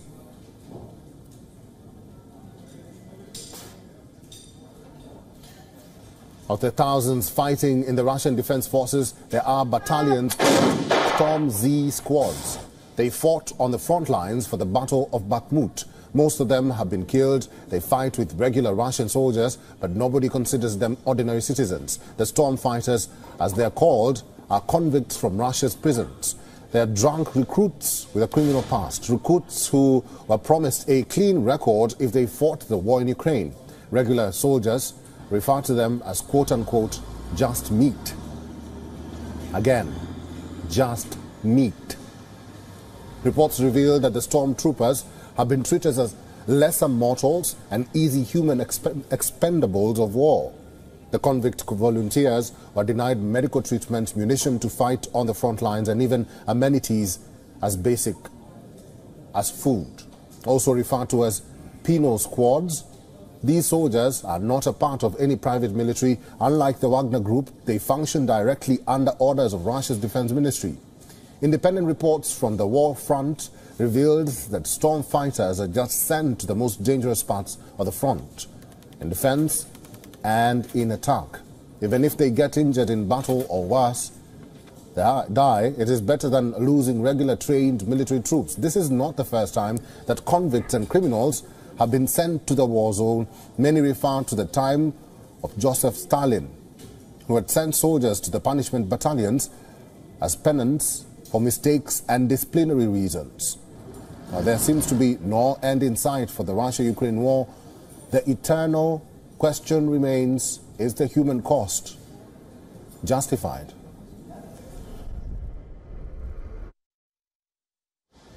It downed over two dozen Iranian made drones. Kiev claims Moscow launched these aerial attacks from the Crimean Peninsula. Earlier, Ukraine claimed that Russia is again planning to attack the energy infrastructure, pointing to the same pattern Moscow used last year. It left millions of Ukrainians without heating and water for long periods.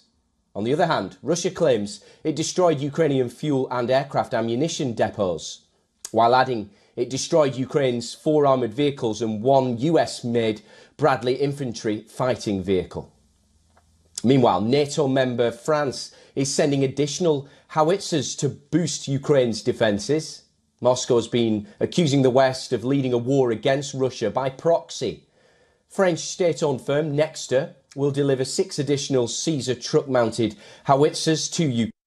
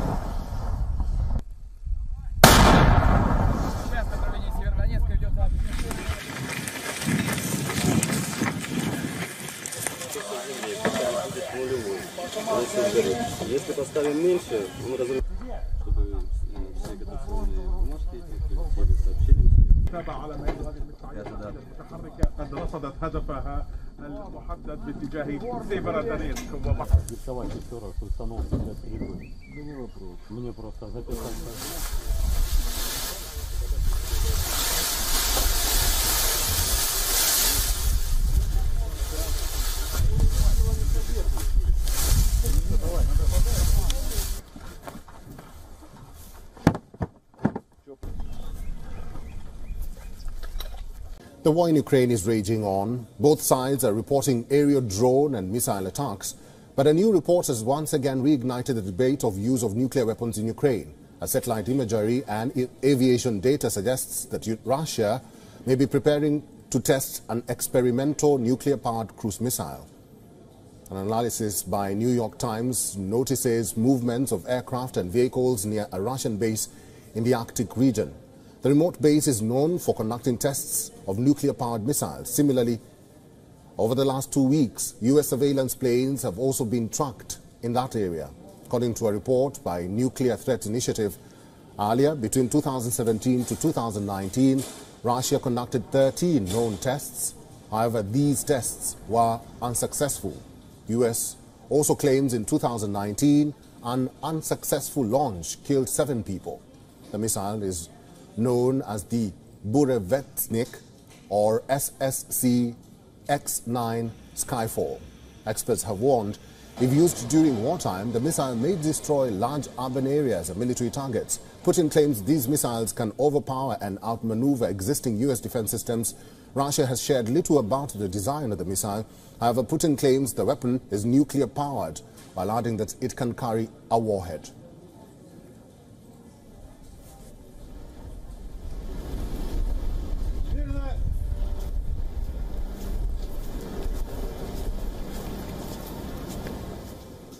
David Dunn is a professor of international politics in the University of Birmingham. Is now joining us live from Birmingham, England. David, good to see you. Welcome to the show. First of all, what do you make of this report that Russia may be preparing to test an experimental nuclear-powered cruise missile in the Arctic Sea? Well, as you say, there's nothing particularly new with this system. They've actually been trying to uh, perfect a whole range of exotic new nuclear weapon systems since uh, about 1917. Uh, so this is part of their so far unsuccessful attempt to try and prove what is an exotic technology. The, the thing that makes this interesting is the idea that it would be powered by a secondary nuclear uh, engine inside the missile. It would be launched by a solid state rocket, and then once uh, it, it was in the air, it would be powered by this nuclear, the small nuclear reactor. And what that would do was give it a very long endurance. It could fly a very long distance, 14,000 miles, uh, and possibly stay aloft uh, indefinitely due to that technology involved in there. What, what that gives is really uh, nothing very novel. Uh, in that actually Russia has thousands of long-range ballistic missiles that have a much shorter and quicker and more direct flight time. But it adds one piece of exotic technology to their arsenal. So in the event that they, all their weapons are destroyed, they have a second strike capability with this missile. David, U.S. claims that the unsuccessful launch in 2019 killed seven people. How big of a threat are these nuclear missiles or even tests? Well, the tests themselves uh, of a system that is clearly proven difficult to make work are a problem and that whenever you use radiation, there is a risk of, of that uh, being uh, a, a, a, having an effect in killing people. In this case, the seven crew that try to rescue it, or falling on people's heads if it should actually be flown over land or even sea areas where there are shipping. So it's it's never a, a, a great thing to actually use nuclear technology in such a, a small form and unproved technology. But ultimately, in terms of the threat of, as a missile, it's no more of a threat than the other systems that Russia has in its arsenal. It's just Russia trying to be experimental and prove other ways of killing people. David, finally, and I want your brief uh, response to this one. So, if the tests are proven, what impact would that have, and what sort of reaction could Russia get from the nuclear agency? Well, the, the concern is that it adds further to their arsenal. But actually, in terms of the overall threat that Russia poses, there's nothing really new here. It's just an exotic way of making the, the warheads fly, and that's no, of no real concern above uh, Russia's nuclear arsenal as it stands. David Dunn, thank you very much for all your inputs and for talking to WION World is One today. Ukraine is now developing new unmanned vehicles and phasing out existing models. This as the war-ravaged country fights to retake territory from Russia in the ongoing war, which we've been closely tracking here on WION. Now, as both Moscow and Kiev exchange drone attacks, Ukraine has taken a step forward in developing drones which has been fueled by public and private cooperation. Let's tell you more about what these drones are and how they will help Kiev win the war against Russia. Well, talking about the Ratel ground drones. Now, it is a land-based self-destructive drone and is 0.3 meter tall and 0.8 meter long. Well, the Ratel drone can carry out 40 kg of anti-tank mines and also mortar shells. Apart from this, the drone can travel about 20 kilometers per hour. That's the speed of the Ratel ground drone here. Apart from this, it can also drive on uneven surfaces. Well, drone production in Ukraine is uh, booming with aerial drones being manufactured at a pace 120 to 140 times faster as compared to last year. An aerial drone called Aerial Drone Backfire was developed jointly with between uh, the Ukrainian military and the private sector in the country. And this backfire drone we're talking about here, it is mainly used in the southern front during the ongoing war between Ukraine and Russia. While the backfire drone is immune to jamming, which can help in disabling other drones in the ongoing battle. Meanwhile, Backfire's flight is automated and interestingly, it has never been shot down till now. It also has a range of 35 kilometers and also speed of 84 kilometers per hour. Ukraine's National Agency on Corruption Prevention added China's three biggest oil and gas producers to its international sponsors of war list. Now, according to the agency's press service, China National Offshore Oil Corporation, China Petrochemical Corporation, and China National Petroleum Corporation, these are the three firms, and are added to the NACP list. The agency adds that the three companies continue to develop joint projects with Russia and even funded Russia's strategic industry by paying substantial taxes. Now, Ukraine uses the list as a way to pressure businesses into limiting their activity with Russia, which invaded Ukraine in February 2022. While China has refused to openly condemn Russia's war in Ukraine, it has repeatedly expressed disquiet over the economic consequences of the conflict and even backed a United Nations resolution in May that criticized Moscow's aggression. Right now, as Ukraine steps up its enforcement against Chinese businesses and state entities collaborating with Russia, previously the NACP listed the China State Construction Engineering Corporation online marketplace Alibaba and also telecommunications uh, company Xiaomi to the international sponsors of war list. Well, Russia has looked to China as a growing export market for oil and gas. Hence, in March, Russian President Vladimir Putin announced a new pipeline dubbed as Power of Siberia 2, which would carry 50 billion cubic meters of gas to China through Mongolia.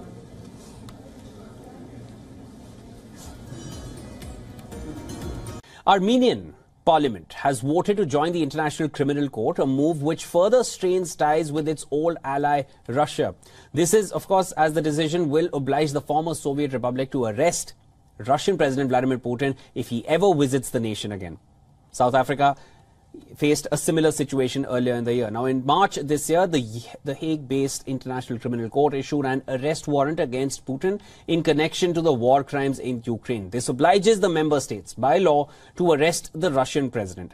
Now, Armenian Prime Minister has insisted that the move is not directed against Russia and is in the interests of Armenian security.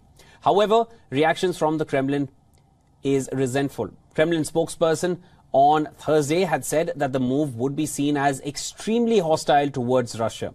Moscow has described this effort by Armenia as an unfriendly step. Russia is Armenia's old standing ally. Armenia hosts a Russian military base as well and is part of Collective Security Treaty Organization or CSTO. This is Russia-led military alliance of seven former Soviet states and was created in the year 2002. However, ties have soured in recent weeks as Armenia has declared Russia's ability to protect it under this security system due to Russia's own war in Ukraine. Now, Armenia withdrew its representative to CSTO last month. All this as Russia has failed to secure Armenia's interest in the conflicted Nagorno-Karabakh region. Just days ago, Azerbaijan launched an offensive and seized control of the breakaway territory, which has history of three-decade-old conflict. Nearly all the Armenian population has now fled the region. All it took Azerbaijan was one day of conflict and violence. In 2020, Putin had guaranteed that Russian peacekeepers would protect the region's population, maintain a ceasefire, and assure access on the only road connecting Nagorno-Karabakh and Armenia. However, this did not happen. It failed to keep the promises. Azerbaijan has taken control of the region, sparking a massive mass comeback of residents. Has Ukraine's much vaunted counteroffensive failed? Well, that's what Russia is saying. Ukrainian forces had been attempting to penetrate Russian defenses on front lines in the east and south of the country. Four months on, with not much progress on the ground, in the last four months since the launch of the counteroffensive, nothing has happened on ground and in the front line. Russian defense minister says, and I quote, the enemy's attempts to break through our defenses in the areas of Verbovoye and Rabotino on the Zaporizhia front have failed. Kremlin also asserts that it has pushed back the Ukrainian troops from Bakhmut in the eastern front in the war-battered Donetsk region. Kiev claims to have taken back about 47 square kilometers of territory around Bakhmut since starting its counteroffensive in early June. Kiev launched the long-awaited counteroffensive in June, but has acknowledged slow progress as its forces crashed into sophisticated and kilometers-deep Russian defense, defensive positions. The operation by Kiev was strategically planned with the help of intel from the West. It was also executed with the help of heavy Western weaponry.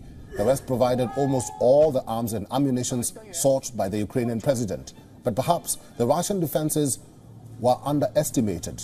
Many Western bloggers claimed that the poorly motivated Russian troops would flee as the Ukrainian offensive begins. But the Moscow troops remain entrenched. The Russians had months to back themselves. They dug in deep fortified the defensive positions along the entire 1,000 kilometer front. Barriers, including trenches and various obstacles, were placed. These effectively made the movement of tanks and armored vehicles almost impossible. From the sky, Russians kept bombarding, making it increasingly difficult for Ukrainians to gain any ground. And now another winter is coming. The ground will once again become sloppy Mud and snow makes the region unsuitable for movement of vehicles. A mix of rain and bitter cold have influenced the outcomes of military campaigns throughout history and dashed the aspirations of Napoleon or even Hitler.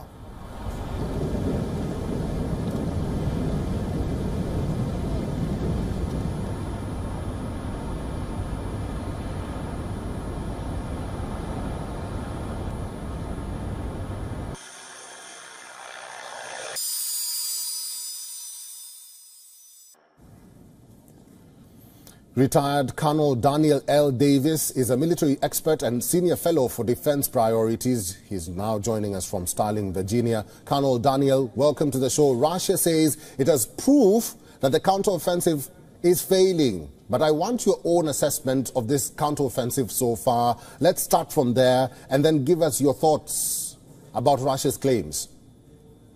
Well, I, I mean, look, you just have to look at the at the map, and it it doesn't take much of an examination uh, to be able to see that the lines have virtually remained unchanged since this uh, since this offensive began. The, the New York Times, I believe it was last week, in fact, had a graphic where it showed the map of Ukraine and, to the the uh, part that was controlled by Russia, the part that was controlled by Kiev, and you, you, and they showed the changes that have occurred since January 1st of this year to include all the nearly four months of the offensive, and you can see very clearly that virtually nothing has changed. In fact, uh, there was a, a, military organization called the Drive here, magazine, that actually produced a, a graphic that showed that overall this year, Russia has actually gained somewhat more territory than Ukraine has. So there, there's by any stre- uh, assessment, by any kind of an analysis, the offensive has not succeeded. Their their goal was to cut through to the Azov coast, to go through the Robotyne area from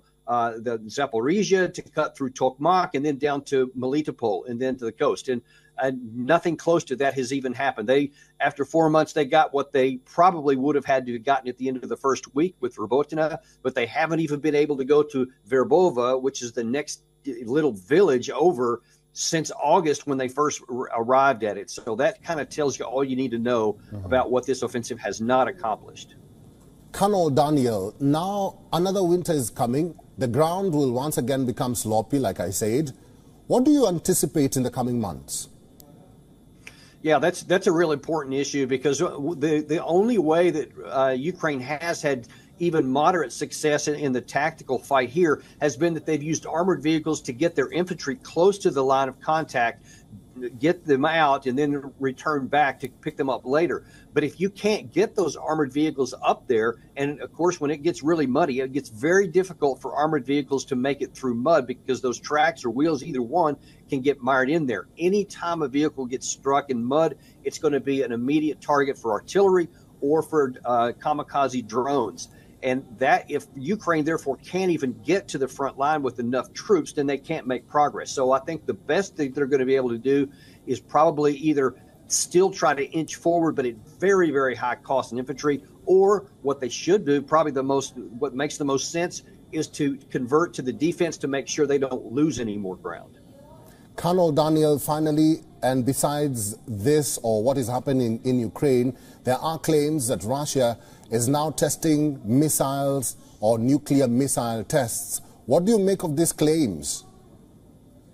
You know, I mean, there, has been the risk of nuclear escalation from day one, and, and uh, as long as Russia is not any threat to, to actually lose the war or being driven out of Ukraine or, or especially any kind of a movement military into Russia proper, then the, the risk of nuclear escalation is quite high. But in the meantime, I think that these are probably just saber rattling kinds of uh, moves by, by Russia. They want to keep everybody up at the front that we have nuclear weapons, so don't push us too far. But I don't think we're at any risk of nuclear use at the moment but getting this war over will be the best way to ensure that doesn't happen. All right, I've been talking to a military expert and senior fellow for defense priorities. His name is retired Colonel Daniel L. Davis. Daniel, thank you for talking to us today. Russia uses artillery as its primary form of lethality in the deep and close battles. Its combined arms elements are charged with positioning themselves so that the artillery can deliver destructive effects against their opponents. Now, NATO member France is sending additional howitzers to boost Ukraine's defenses. Of course, it's all part of the counter-offensive, which has not gone as planned, but Ukraine needs all the help it can get at the moment. Moscow has been accusing the West of leading a war against Russia by proxy. Here's all you need to know about what Ukraine is gaining in the latest. French state-owned firm Nexter uh, will deliver six additional Caesar truck-mounted howitzers to Ukraine. Now, as per the French Defense Ministry, Ukraine has already received 30 Caesar howitzers since uh, last year, 18 from France and 12 from manufacturer Nexter. Now, the French howitzers, which we're going to be talking about, will be a big boost for the Ukrainian armed forces, firing from the same spot, which is risky, as the enemy may detect artillery locations. So opponents can then determine the origin of indirect fire and respond with weaponized drones. Now, shoot and scoot. Now, these are the tactics which entail moving away from where shots were fired to avoid any kind of counter battery fire. Let's now take a look at the lethal French Caesar howitzer. First impressive deployment. Now, this was, let's talk about the capabilities first. The Caesar boasts of a road speed of more than 80 kilometers per hour. So it has those kinds of speeds and it is mobile. It can be positioned strategically wherever required. It has an off-road speed of more than 50 kilometers per hour and it is definitely one that the French howitzer has a cruising range of over 600 kilometers. So it can travel good distances and of course it can travel at a decent speed, can off-road as well. The combat weight of the formidable artillery system is less than 18 tons. So it's not super heavy and the Caesar offers the advantage of highly effective firepower. So the rate of fire is 6 rounds per minute. Now, range varies between 4.5 kilometers to more than 40 kilometers. It will obviously depend upon the trajectory in which it is fired. Additionally, the range using rocket-assisted ammunition is over 50 kilometers.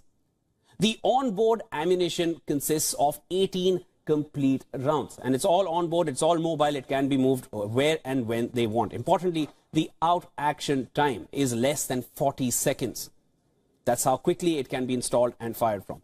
Lastly, the Caesar artillery system requires a crew of four to five personnel. Ukraine's army has made modest advances. A counter-offensive that began in early June shows a little sign of breaking through Russian lines in force in any time soon. Now, the progress of Ukraine's operation has made some Western officials rather nervous. Remember, Russia also banks on similar shoot and scoot tactics and swears by the Msta-S self-propelled howitzers. Now, who's it going to be first, the Msta-S or these howitzers coming in from France? Of course, Ukraine needs all the all the effort and all the impact that it can get from the collective West. We will be tracking all the developments right here on World DNA. The Russia-Ukraine war is well into its 19th month. As the conflict drags on, there are stories of the human cost of this war buried deep under conflicting narratives from both nations. Thousands have died on both sides, many more have been injured. But today, we'll tell you about Russia's punishment battalions and the people of these troops on the front lines.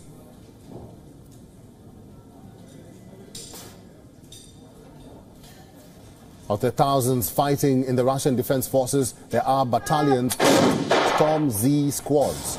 They fought on the front lines for the Battle of Bakhmut. Most of them have been killed. They fight with regular Russian soldiers, but nobody considers them ordinary citizens. The storm fighters, as they are called, are convicts from Russia's prisons.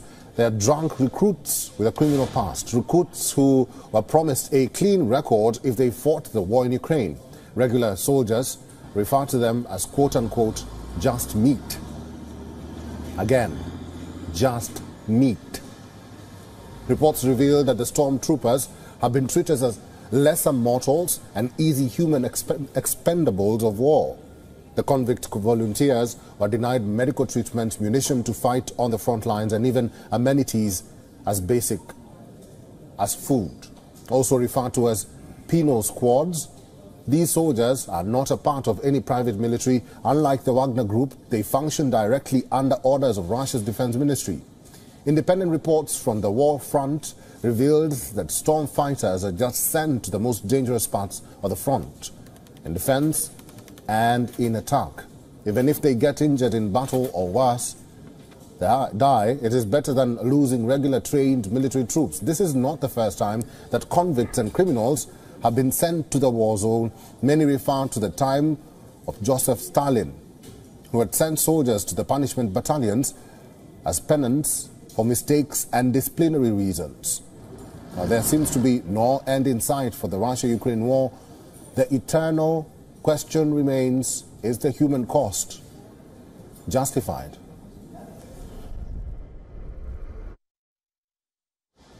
It downed over two dozen Iranian-made drones. Kiev claims Moscow launched these aerial attacks from the Crimean Peninsula. Earlier, Ukraine claimed that Russia is again planning to attack the energy infrastructure, pointing to the same pattern Moscow used last year. It left millions of Ukrainians without heating and water for long periods. On the other hand, Russia claims it destroyed Ukrainian fuel and aircraft ammunition depots, while adding it destroyed Ukraine's four armoured vehicles and one US made Bradley infantry fighting vehicle. Meanwhile, NATO member France is sending additional howitzers to boost Ukraine's defences. Moscow's been accusing the West of leading a war against Russia by proxy. French state owned firm Nexter will deliver six additional Caesar truck mounted howitzers to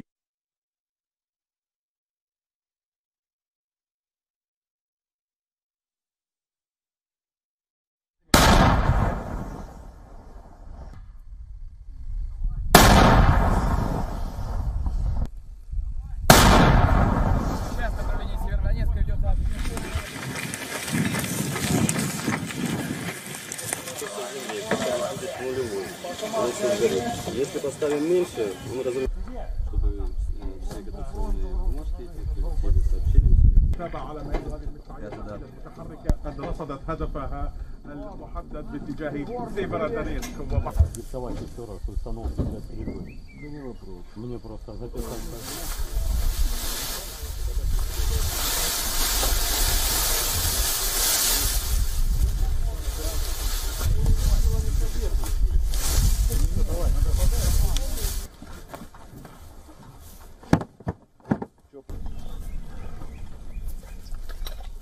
The war in Ukraine is raging on. Both sides are reporting aerial drone and missile attacks.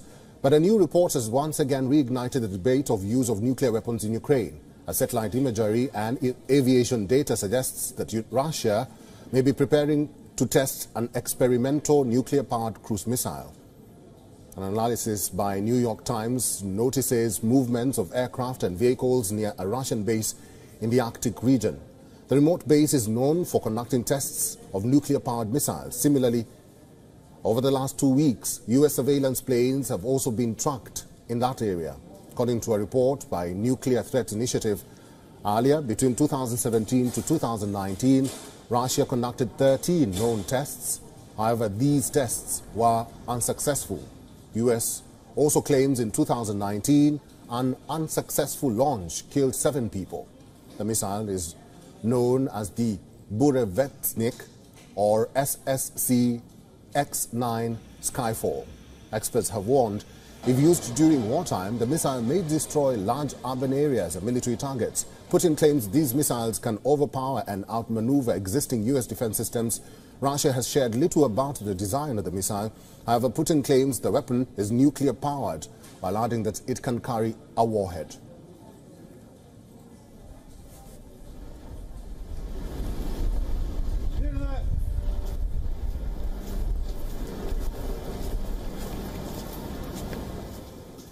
David Dunn is a professor of international politics in the University of Birmingham. Is now joining us live from Birmingham, England.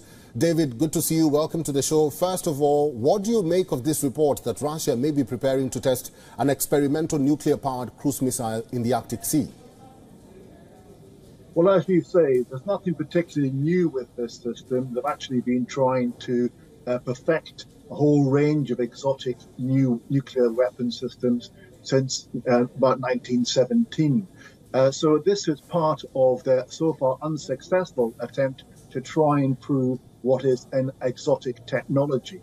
The, the thing that makes this interesting is the idea that it would be powered by a secondary nuclear uh, engine inside the missile. It would be launched by a solid state rocket, and then once uh, it, it was in the air, it would be powered by this nuclear, the small nuclear reactor.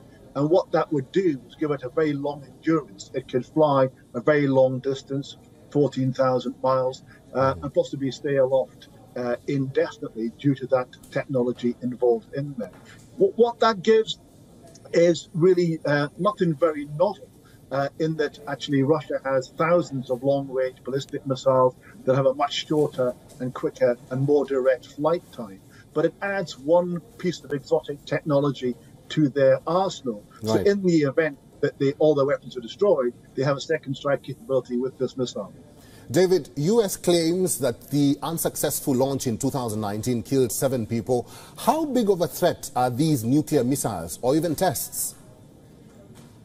Well, the tests themselves uh, of a system that is clearly proven difficult to make work are a problem and that whenever you use radiation, there is a risk of, of that uh, being uh, a, a, a, having an effect in killing people. In this case, the seven crew that tried to rescue it, or falling on people's heads if it should actually be flown over land or even sea areas where there are shipping.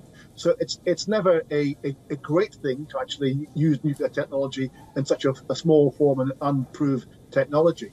But ultimately, in terms of the threat of, as a missile, it's no more of a threat than the other systems that Russia has in its arsenal. It's just Russia trying to be experimental and prove other ways of killing people. David, finally, and I want your brief uh, response to this one. So, if the tests are proven, what impact would that have, and what sort of reaction could Russia get from the nuclear agency? Well, the, the, concern is that it adds further to their arsenal. But actually, in terms of the overall threat that Russia poses, there's nothing really new here. It's just an exotic way of making the, the warheads fly, and that's not, of no real concern above uh, Russia's nuclear arsenal as it stands. David Dunn, thank you very much for all your inputs and for talking to WION World is One today. Ukraine is now developing new unmanned vehicles and phasing out existing models. This as the war-ravaged country fights to retake territory from Russia in the ongoing war, which we've been closely tracking here on WION. Now, as both Moscow and Kiev exchange drone attacks, Ukraine has taken a step forward in developing drones which has been fueled by public and private cooperation. Let's tell you more about what these drones are and how they will help Kiev win the war against Russia. Well, talking about the Ratel ground drones. Now, it is a land-based self-destructive drone and is 0.3 meter tall and 0.8 meter long. Well, the Ratel drone can carry out 40 kg of anti-tank mines and also mortar shells. Apart from this, the drone can travel about 20 kilometers per hour. That's the speed of the Ratel ground drone here. Apart from this, it can also drive on uneven surfaces. Well, drone production in Ukraine is uh, booming with aerial drones being manufactured at a pace 120 to 140 times faster as compared to last year. An aerial drone called Aerial Drone Backfire was developed jointly with between uh, the Ukrainian military and the private sector in the country. And this backfire drone we're talking about here, it is mainly used in the southern front during the ongoing war between Ukraine and Russia. While the backfire drone is immune to jamming, which can help in disabling other drones in the ongoing battle. Meanwhile, Backfire's flight is automated and interestingly, it has never been shot down till now. It also has a range of 35 kilometers and also speed of 84 kilometers per hour. Ukraine's National Agency on Corruption Prevention added China's three biggest oil and gas producers to its international sponsors of war list. Now, according to the agency's press service, China National Offshore Oil Corporation, China Petrochemical Corporation, and China National Petroleum Corporation. These are the three firms and are added to the NACP list. The agency adds that the three companies continue to develop joint projects with Russia and even funded Russia's strategic industry by paying substantial taxes. Now, Ukraine uses the list as a way to pressure businesses into limiting their activity with Russia, which invaded Ukraine in February 2022. While China has refused to openly condemn Russia's war in Ukraine, it has repeatedly expressed disquiet over the economic consequences of the conflict and even backed a United Nations resolution in May that criticized Moscow's aggression. Right now, as Ukraine steps up its enforcement against Chinese businesses and state entities collaborating with Russia, previously the NACP listed the China State Construction Engineering Corporation online marketplace Alibaba and also telecommunications uh, company Xiaomi to the international sponsors of war list. Well, Russia has looked to China as a growing export market for oil and gas. Hence, in March, Russian President Vladimir Putin announced a new pipeline dubbed as Power of Siberia 2, which would carry 50 billion cubic meters of gas to China through Mongolia.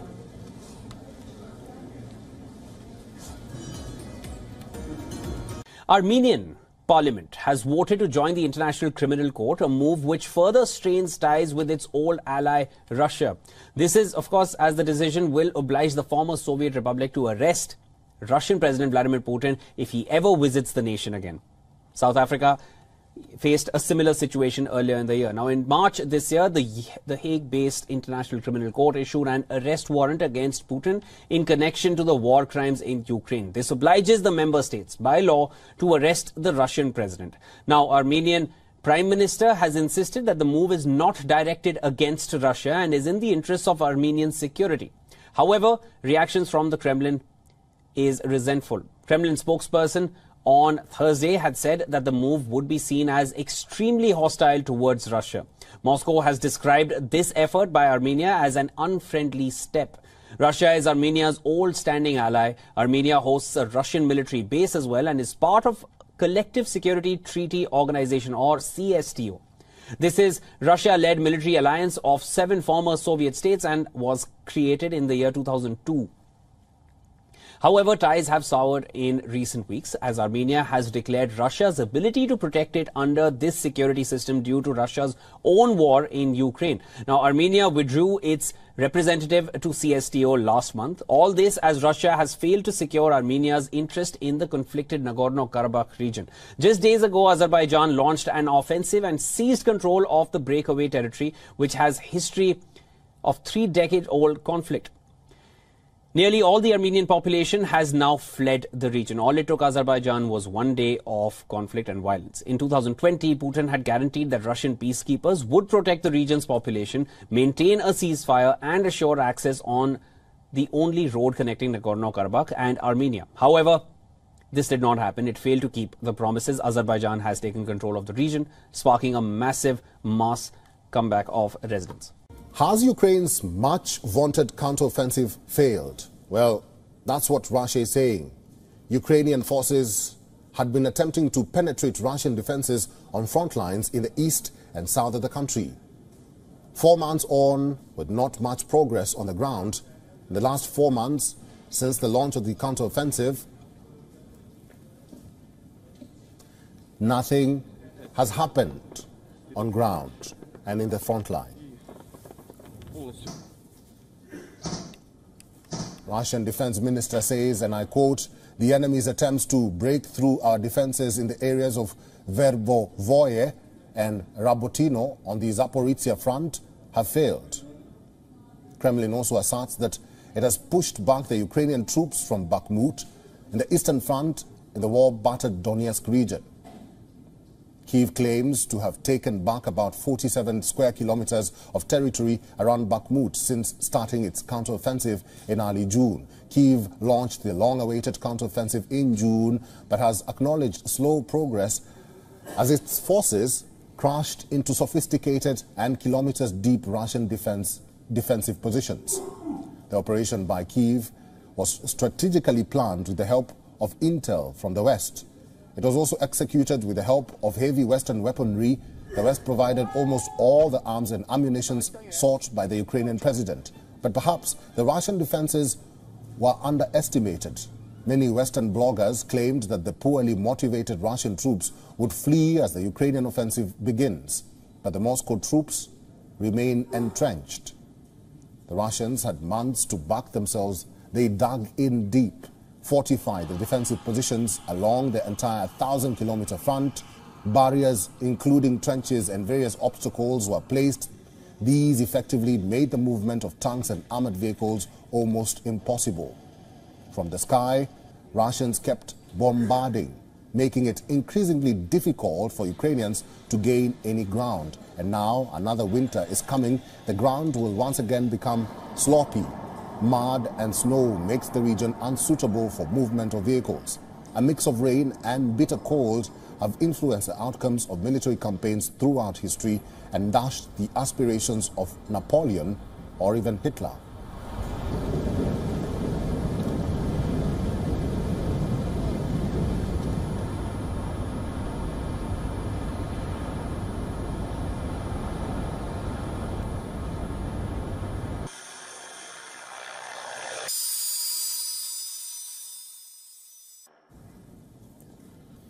Retired Colonel Daniel L. Davis is a military expert and senior fellow for defense priorities. He's now joining us from Sterling, Virginia. Colonel Daniel, welcome to the show. Russia says it has proof that the counteroffensive is failing. But I want your own assessment of this counteroffensive so far. Let's start from there and then give us your thoughts about Russia's claims.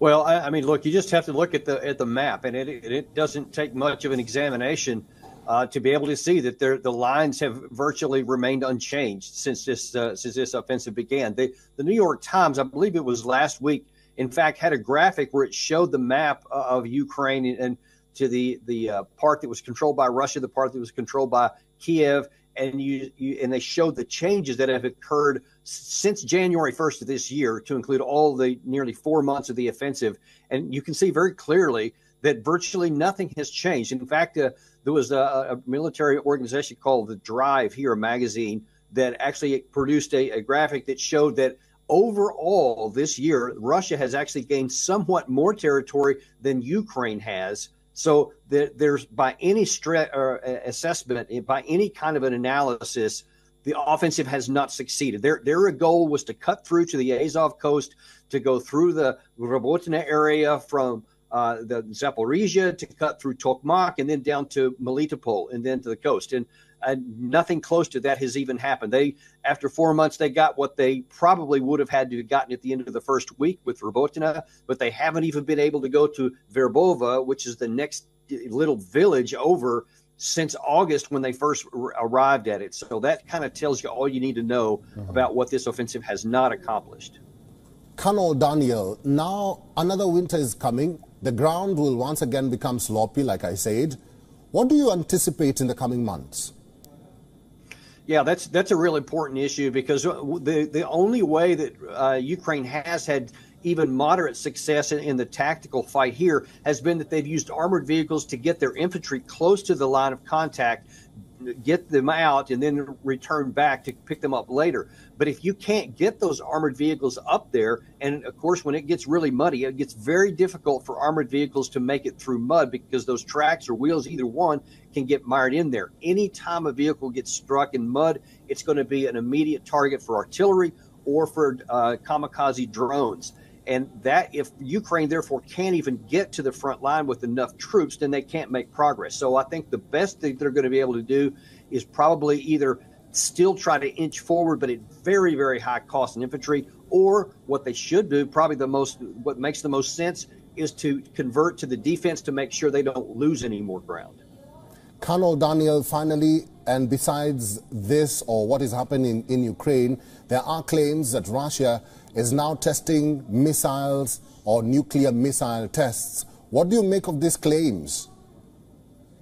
You know, I mean, there, has been the risk of nuclear escalation from day one, and, and uh, as long as Russia is not any threat to, to, actually lose the war or being driven out of Ukraine or, or especially any kind of a movement military into Russia proper, then the, the risk of nuclear escalation is quite high. But in the meantime, I think that these are probably just saber rattling kinds of uh, moves by, by Russia. They want to keep everybody up at the front that we have nuclear weapons, so don't push us too far. But I don't think we're at any risk of nuclear use at the moment. But getting this war over will be the best way to ensure that doesn't happen. All right, I've been talking to a military expert and senior fellow for defense priorities. His name is retired Colonel Daniel L. Davis. Daniel, thank you for talking to us today. Russia uses artillery as its primary form of lethality in the deep and close battles. Its combined arms elements are charged with positioning themselves so that the artillery can deliver destructive effects against their opponents. Now, NATO member France is sending additional howitzers to boost Ukraine's defenses. Of course, it's all part of the counter-offensive, which has not gone as planned, but Ukraine needs all the help it can get at the moment. Moscow has been accusing the West of leading a war against Russia by proxy. Here's all you need to know about what Ukraine is gaining in the latest. French state-owned firm Nexter uh, will deliver six additional Caesar truck-mounted howitzers to Ukraine.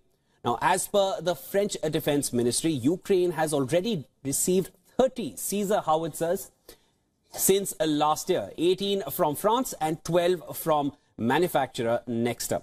Now, the French howitzers, which we're going to be talking about, will be a big boost for the Ukrainian armed forces. Firing from the same spot, which is risky, as the enemy may detect artillery locations. So opponents can then determine the origin of indirect fire and respond with weaponized drones. Now, shoot and scoot. Now, these are the tactics which entail moving away from where shots were fired to avoid any kind of counter battery fire. Let's now take a look at the lethal French Caesar howitzer. First impressive deployment. Now this was, let's talk about the capabilities first. The Caesar boasts of a road speed of more than 80 kilometers per hour. So it has those kinds of speeds and it is mobile. It can be positioned strategically wherever required. It has an off-road speed of more than 50 kilometers per hour and it is definitely one that the French howitzer has a cruising range of over 600 kilometers. So it can travel good distances and of course it can travel at a decent speed, can off-road as well. The combat weight of the formidable artillery system is less than 18 tons. So it's not super heavy and the Caesar offers uh, the advantage of highly effective firepower. So the rate of fire is six rounds per minute. Now, range varies between 4.5 kilometers uh, to more than 40 kilometers. It will obviously depend upon the trajectory in which it is fired. Additionally, the range using rocket-assisted ammunition is over 50 kilometers. The onboard ammunition consists of 18 complete rounds. And it's all on board it's all mobile it can be moved where and when they want. Importantly the out action time is less than 40 seconds. That's how quickly it can be installed and fired from. Lastly, the Caesar artillery system requires a crew of four to five personnel.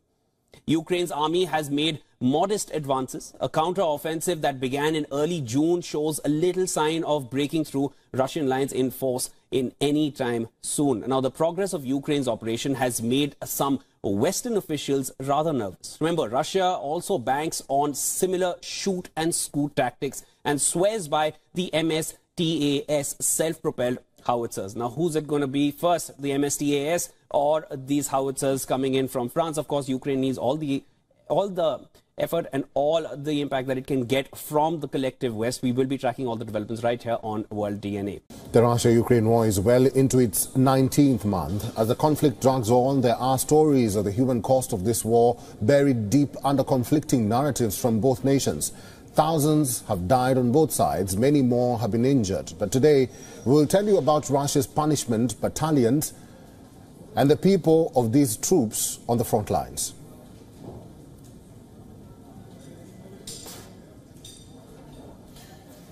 Of the thousands fighting in the Russian Defense Forces, there are battalions called Storm Z squads.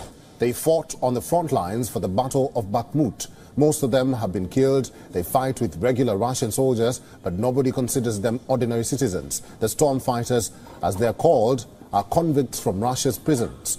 They are drunk recruits with a criminal past, recruits who were promised a clean record if they fought the war in Ukraine.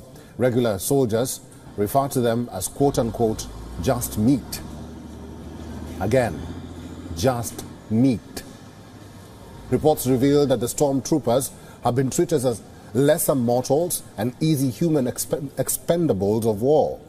The convict volunteers were denied medical treatment, munition to fight on the front lines, and even amenities as basic as food. Also referred to as penal squads, these soldiers are not a part of any private military. Unlike the Wagner Group, they function directly under orders of Russia's defense ministry. Independent reports from the war front revealed that storm fighters are just sent to the most dangerous parts of the front, in defense and in attack.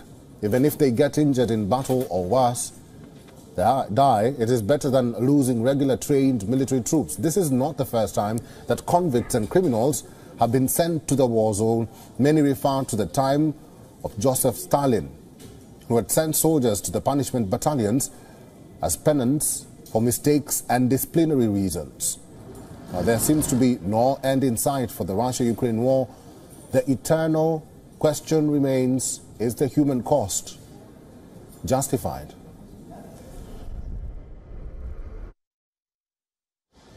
It downed over two dozen Iranian-made drones. Kiev claims Moscow launched these aerial attacks from the Crimean Peninsula. Earlier, Ukraine claimed that Russia is again planning to attack the energy infrastructure pointing to the same pattern Moscow used last year.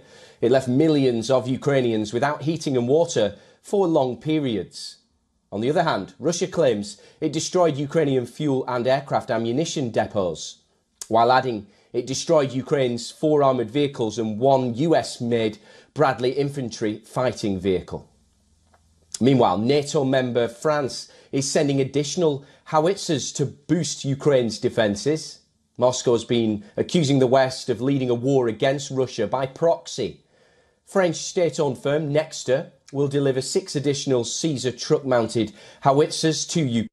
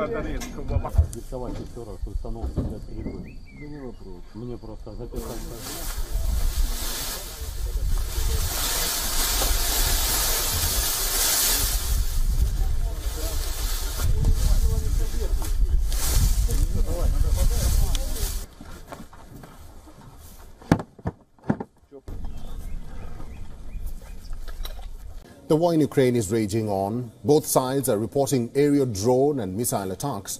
But a new report has once again reignited the debate of use of nuclear weapons in Ukraine. A satellite imagery and aviation data suggests that Russia may be preparing to test an experimental nuclear-powered cruise missile.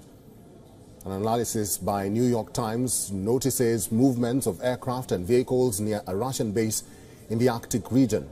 The remote base is known for conducting tests of nuclear-powered missiles. Similarly, over the last two weeks, U.S. surveillance planes have also been tracked in that area.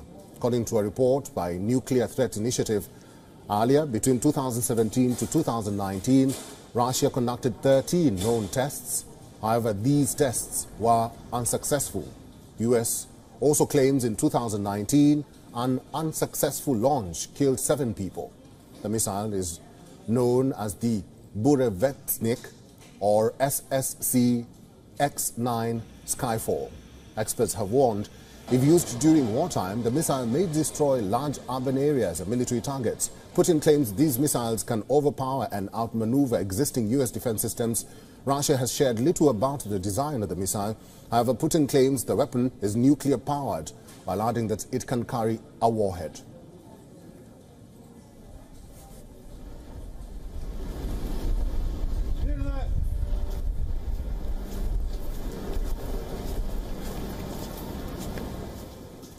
David Dunn is a professor of international politics in the University of Birmingham. He is now joining us live from Birmingham, England.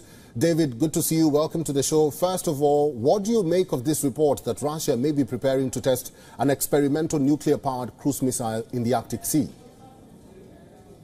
Well, as you say, there's nothing particularly new with this system. They've actually been trying to uh, perfect a whole range of exotic new nuclear weapon systems since uh, about 1917.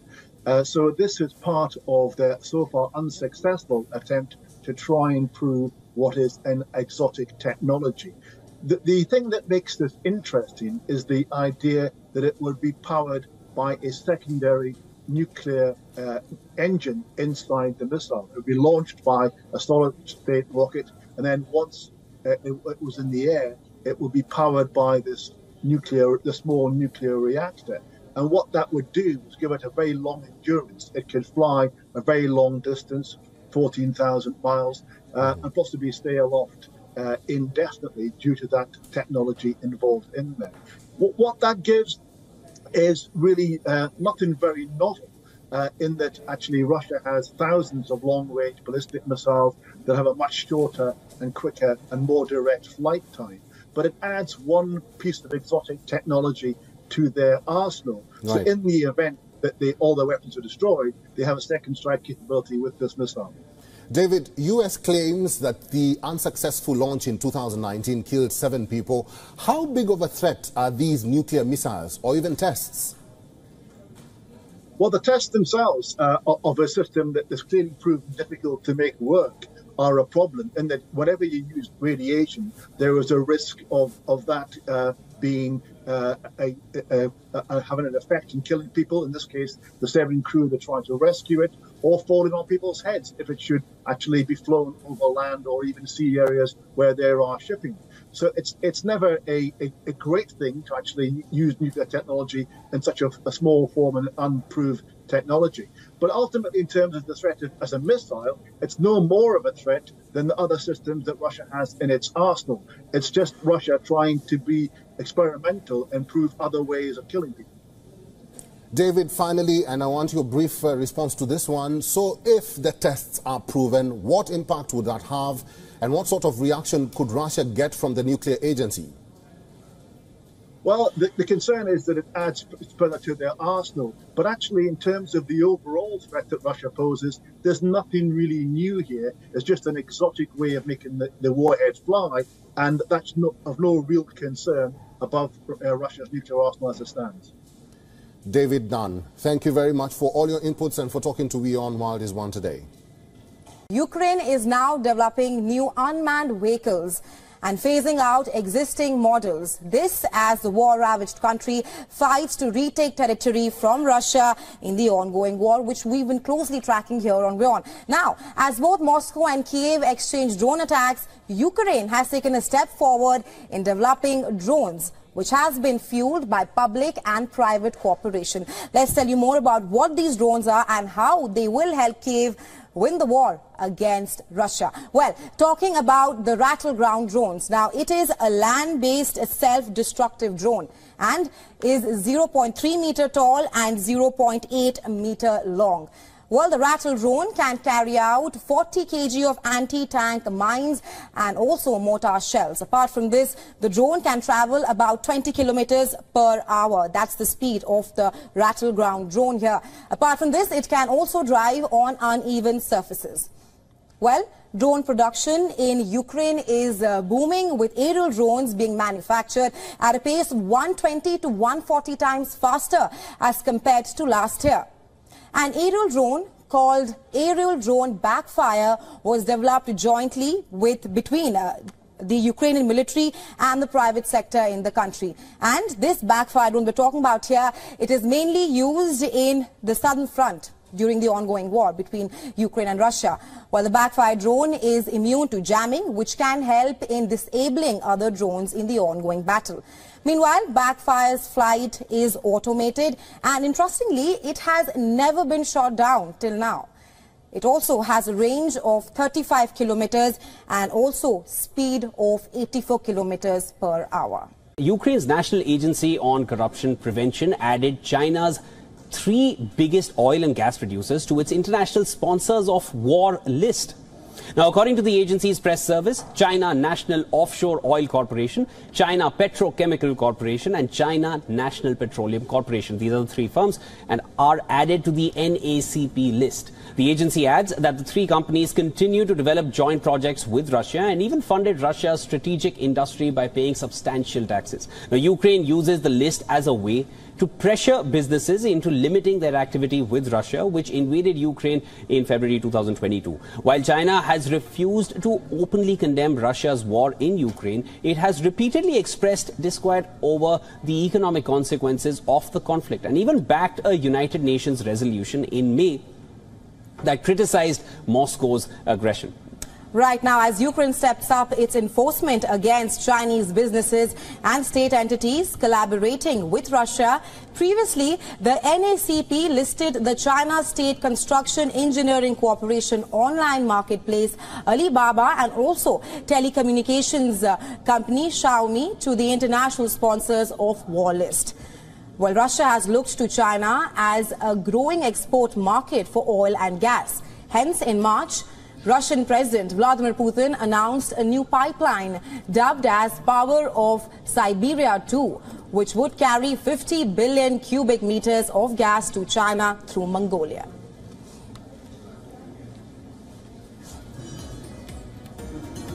Armenian Parliament has voted to join the International Criminal Court, a move which further strains ties with its old ally Russia. This is, of course, as the decision will oblige the former Soviet Republic to arrest Russian President Vladimir Putin if he ever visits the nation again. South Africa faced a similar situation earlier in the year. Now, in March this year, the, the Hague-based International Criminal Court issued an arrest warrant against Putin in connection to the war crimes in Ukraine. This obliges the member states by law to arrest the Russian president. Now, Armenian Prime Minister has insisted that the move is not directed against Russia and is in the interests of Armenian security. However, reactions from the Kremlin is resentful. Kremlin spokesperson on Thursday had said that the move would be seen as extremely hostile towards Russia. Moscow has described this effort by Armenia as an unfriendly step. Russia is Armenia's old standing ally. Armenia hosts a Russian military base as well and is part of Collective Security Treaty Organization or CSTO. This is Russia-led military alliance of seven former Soviet states and was created in the year 2002. However, ties have soured in recent weeks as Armenia has declared Russia's ability to protect it under this security system due to Russia's own war in Ukraine. Now, Armenia withdrew its representative to CSTO last month. All this as Russia has failed to secure Armenia's interest in the conflicted Nagorno-Karabakh region. Just days ago, Azerbaijan launched an offensive and seized control of the breakaway territory, which has history of three-decade-old conflict. Nearly all the Armenian population has now fled the region. All it took Azerbaijan was one day of conflict and violence. In 2020, Putin had guaranteed that Russian peacekeepers would protect the region's population, maintain a ceasefire, and assure access on the only road connecting Nagorno-Karabakh and Armenia. However, this did not happen. It failed to keep the promises. Azerbaijan has taken control of the region, sparking a massive mass comeback of residents. Has Ukraine's much vaunted counteroffensive failed? Well, that's what Russia is saying. Ukrainian forces had been attempting to penetrate Russian defenses on front lines in the east and south of the country. Four months on, with not much progress on the ground, in the last four months since the launch of the counteroffensive, nothing has happened on ground and in the front line. Russian defense minister says, and I quote, the enemy's attempts to break through our defenses in the areas of Verbovoye and Rabotino on the Zaporizhia front have failed. Kremlin also asserts that it has pushed back the Ukrainian troops from Bakhmut in the eastern front in the war-battered Donetsk region. Kiev claims to have taken back about 47 square kilometers of territory around Bakhmut since starting its counteroffensive in early June. Kiev launched the long-awaited counteroffensive in June, but has acknowledged slow progress as its forces crashed into sophisticated and kilometers deep Russian defense, defensive positions. The operation by Kiev was strategically planned with the help of intel from the West. It was also executed with the help of heavy Western weaponry. The West provided almost all the arms and ammunition sought by the Ukrainian president. But perhaps the Russian defenses were underestimated. Many Western bloggers claimed that the poorly motivated Russian troops would flee as the Ukrainian offensive begins. But the Moscow troops remain entrenched. The Russians had months to back themselves. They dug in deep fortify the defensive positions along the entire 1,000 kilometer front. Barriers, including trenches and various obstacles, were placed. These effectively made the movement of tanks and armored vehicles almost impossible. From the sky, Russians kept bombarding, making it increasingly difficult for Ukrainians to gain any ground. And now another winter is coming. The ground will once again become sloppy Mud and snow makes the region unsuitable for movement of vehicles. A mix of rain and bitter cold have influenced the outcomes of military campaigns throughout history and dashed the aspirations of Napoleon or even Hitler.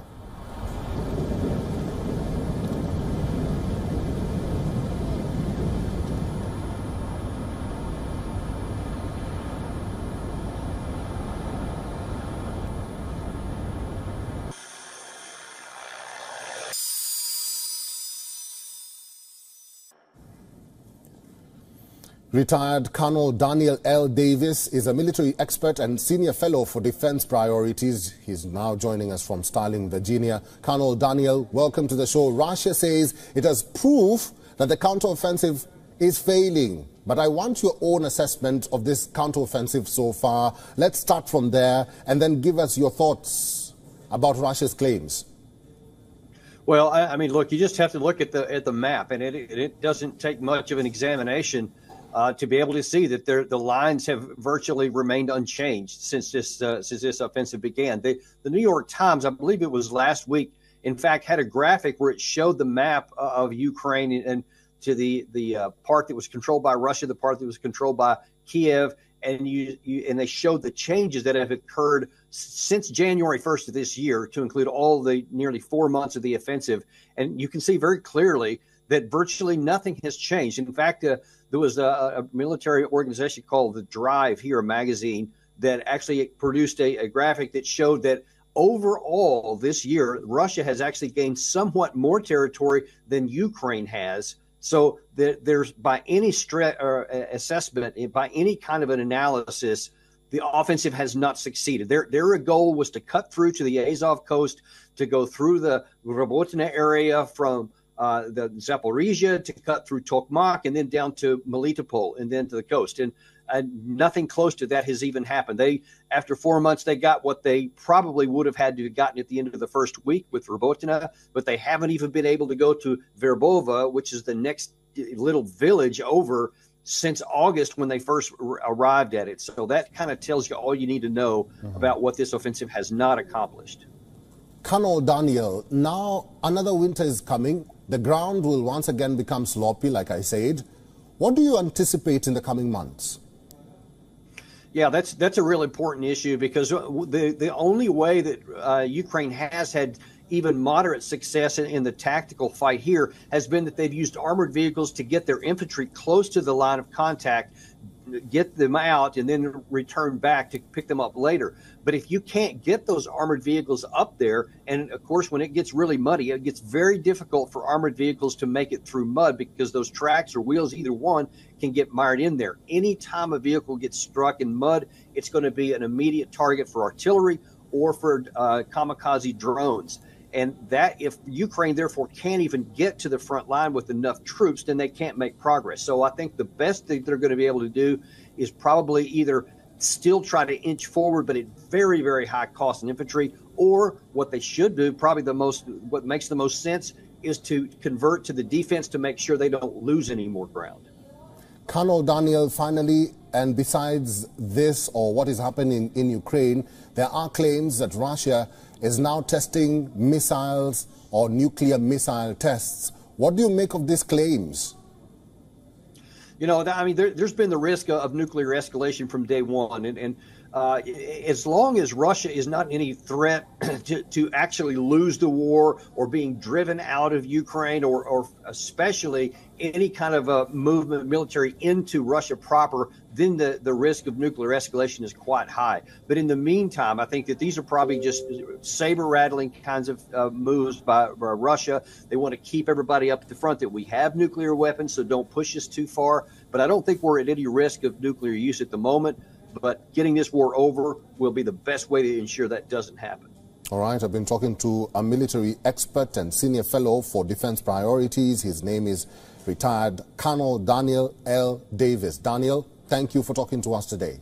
Russia uses artillery as its primary form of lethality in the deep and close battles. Its combined arms elements are charged with positioning themselves so that the artillery can deliver destructive effects against their opponents. Now, NATO member France is sending additional howitzers to boost Ukraine's defenses. Of course, it's all part of the counter-offensive, which has not gone as planned, but Ukraine needs all the help it can get at the moment. Moscow has been accusing the West of leading a war against Russia by proxy. Here's all you need to know about what Ukraine is gaining in the latest. French state-owned firm Nexter uh, will deliver six additional Caesar truck-mounted howitzers to Ukraine. Now, as per the French Defense Ministry, Ukraine has already received 30 Caesar howitzers since uh, last year, 18 from France and 12 from manufacturer Nexter. Now, the French howitzers, which we're going to be talking about, will be a big boost for the Ukrainian armed forces, firing from the same spot, which is risky, as the enemy may detect artillery location. So opponents can then determine the origin of indirect fire and respond with weaponized drones. Now, shoot and scoot. Now, these are the tactics which entail moving away from where shots were fired to avoid any kind of counter battery fire. Let's now take a look at the lethal French Caesar howitzer. First impressive deployment.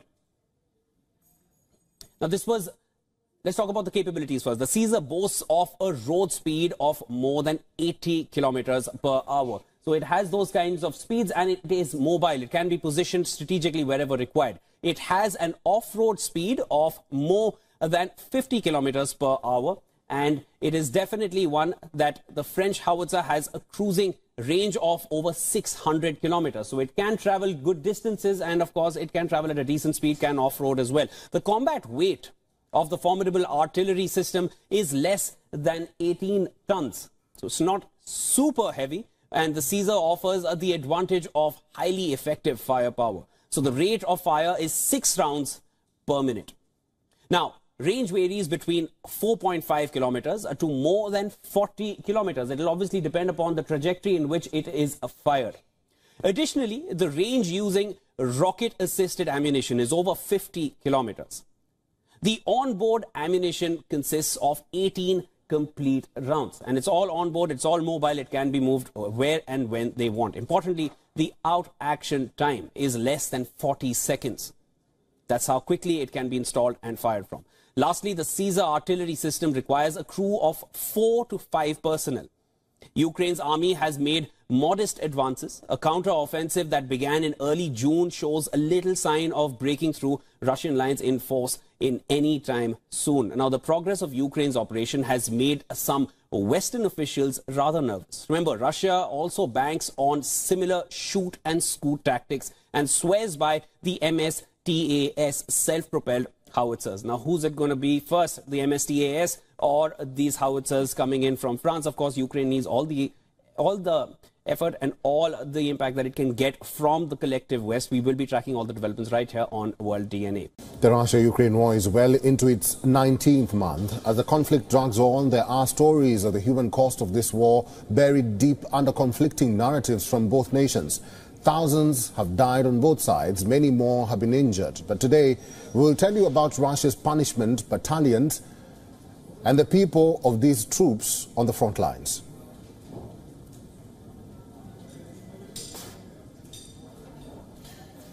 Of the thousands fighting in the Russian Defense Forces, there are battalions Storm Z squads. They fought on the front lines for the Battle of Bakhmut. Most of them have been killed. They fight with regular Russian soldiers, but nobody considers them ordinary citizens. The storm fighters, as they are called, are convicts from Russia's prisons. They are drunk recruits with a criminal past, recruits who were promised a clean record if they fought the war in Ukraine. Regular soldiers refer to them as quote-unquote just meat. Again, just meat. Reports reveal that the stormtroopers have been treated as lesser mortals and easy human exp expendables of war. The convict volunteers were denied medical treatment, munition to fight on the front lines, and even amenities as basic as food.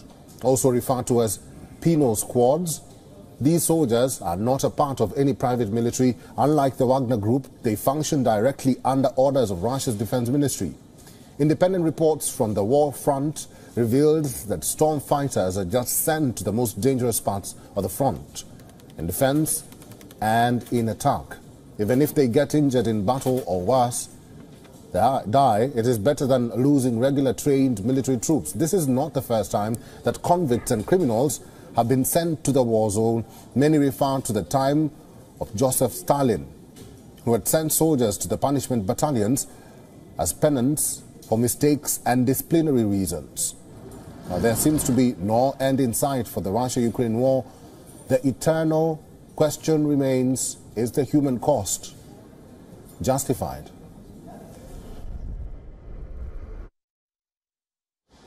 It downed over two dozen Iranian made drones. Kiev claims Moscow launched these aerial attacks from the Crimean Peninsula. Earlier, Ukraine claimed that Russia is again planning to attack the energy infrastructure, pointing to the same pattern Moscow used last year. It left millions of Ukrainians without heating and water for long periods. On the other hand, Russia claims it destroyed Ukrainian fuel and aircraft ammunition depots, while adding it destroyed Ukraine's four armoured vehicles and one US made Bradley infantry fighting vehicle. Meanwhile, NATO member France is sending additional howitzers to boost Ukraine's defences. Moscow has been accusing the West of leading a war against Russia by proxy. French state owned firm Nexter will deliver six additional Caesar truck mounted howitzers to Ukraine.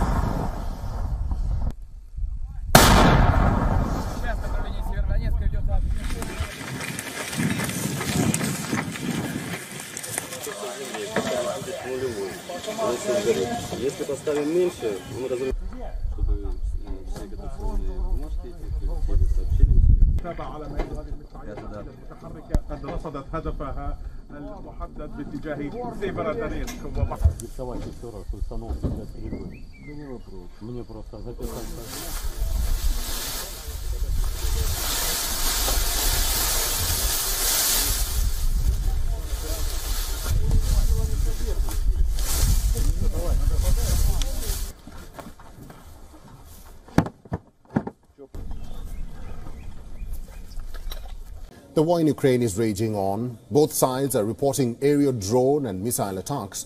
But a new report has once again reignited the debate of use of nuclear weapons in Ukraine. A satellite imagery and aviation data suggests that Russia may be preparing to test an experimental nuclear-powered cruise missile. An analysis by New York Times notices movements of aircraft and vehicles near a Russian base in the Arctic region. The remote base is known for conducting tests of nuclear-powered missiles. Similarly, over the last two weeks, U.S. surveillance planes have also been tracked in that area. According to a report by Nuclear Threat Initiative, earlier between 2017 to 2019, Russia conducted 13 known tests. However, these tests were unsuccessful. U.S. also claims in 2019 an unsuccessful launch killed seven people. The missile is known as the Burevestnik or SSC X-9 Skyfall. Experts have warned if used during wartime, the missile may destroy large urban areas and military targets. Putin claims these missiles can overpower and outmaneuver existing U.S. defense systems. Russia has shared little about the design of the missile. However, Putin claims the weapon is nuclear powered, while adding that it can carry a warhead.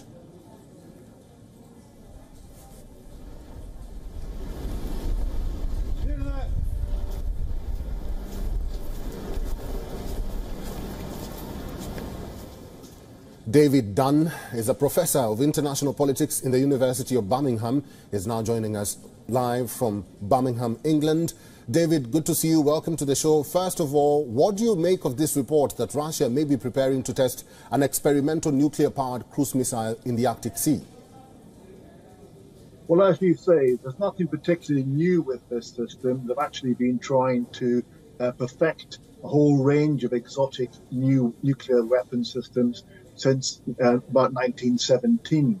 Uh, so this is part of their so far unsuccessful attempt to try and prove what is an exotic technology.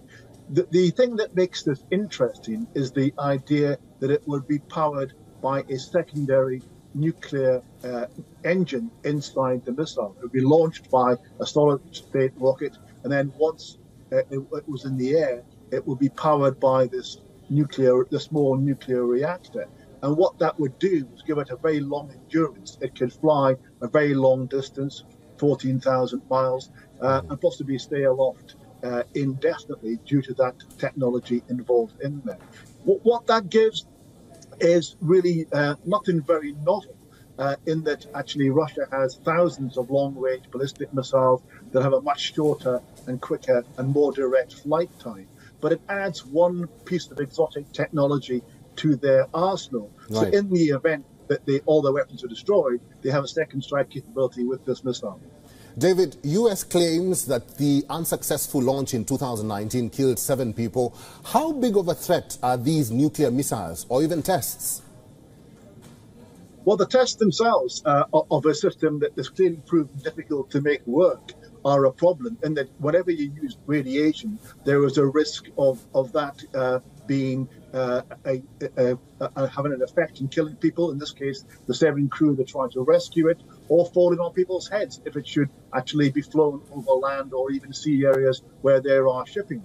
So it's it's never a, a, a great thing to actually use nuclear technology in such a, a small form and unproved technology. But ultimately, in terms of the threat of, as a missile, it's no more of a threat than the other systems that Russia has in its arsenal. It's just Russia trying to be experimental and prove other ways of killing people. David, finally, and I want your brief uh, response to this one. So, if the tests are proven, what impact would that have, and what sort of reaction could Russia get from the nuclear agency?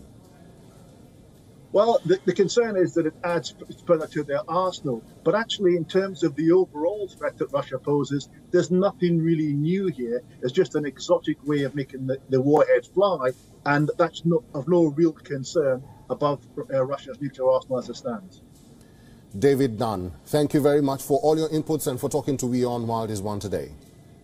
Ukraine is now developing new unmanned vehicles and phasing out existing models. This as the war-ravaged country fights to retake territory from Russia in the ongoing war, which we've been closely tracking here on WION. Now, as both Moscow and Kiev exchange drone attacks, Ukraine has taken a step forward in developing drones which has been fueled by public and private cooperation. Let's tell you more about what these drones are and how they will help Kiev win the war against Russia. Well, talking about the Ratel ground drones. Now, it is a land-based self-destructive drone and is 0.3 meter tall and 0.8 meter long. Well, the Ratel drone can carry out 40 kg of anti-tank mines and also mortar shells. Apart from this, the drone can travel about 20 kilometers per hour. That's the speed of the Ratel ground drone here. Apart from this, it can also drive on uneven surfaces. Well, drone production in Ukraine is uh, booming with aerial drones being manufactured at a pace 120 to 140 times faster as compared to last year. An aerial drone called Aerial Drone Backfire was developed jointly with between uh, the Ukrainian military and the private sector in the country. And this backfire drone we're talking about here, it is mainly used in the southern front during the ongoing war between Ukraine and Russia. While the backfire drone is immune to jamming, which can help in disabling other drones in the ongoing battle. Meanwhile, Backfire's flight is automated and interestingly, it has never been shot down till now. It also has a range of 35 kilometers and also speed of 84 kilometers per hour. Ukraine's National Agency on Corruption Prevention added China's three biggest oil and gas producers to its international sponsors of war list. Now, according to the agency's press service, China National Offshore Oil Corporation, China Petrochemical Corporation, and China National Petroleum Corporation. These are the three firms and are added to the NACP list. The agency adds that the three companies continue to develop joint projects with Russia and even funded Russia's strategic industry by paying substantial taxes. Now, Ukraine uses the list as a way to pressure businesses into limiting their activity with Russia, which invaded Ukraine in February 2022. While China has refused to openly condemn Russia's war in Ukraine, it has repeatedly expressed disquiet over the economic consequences of the conflict and even backed a United Nations resolution in May that criticized Moscow's aggression.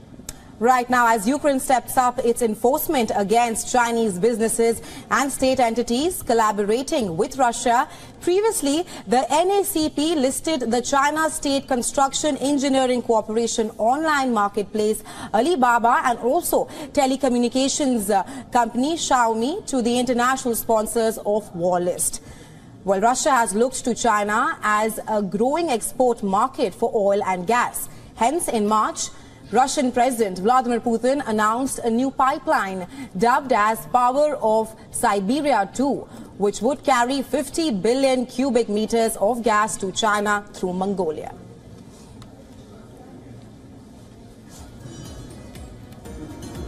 Armenian Parliament has voted to join the International Criminal Court, a move which further strains ties with its old ally Russia.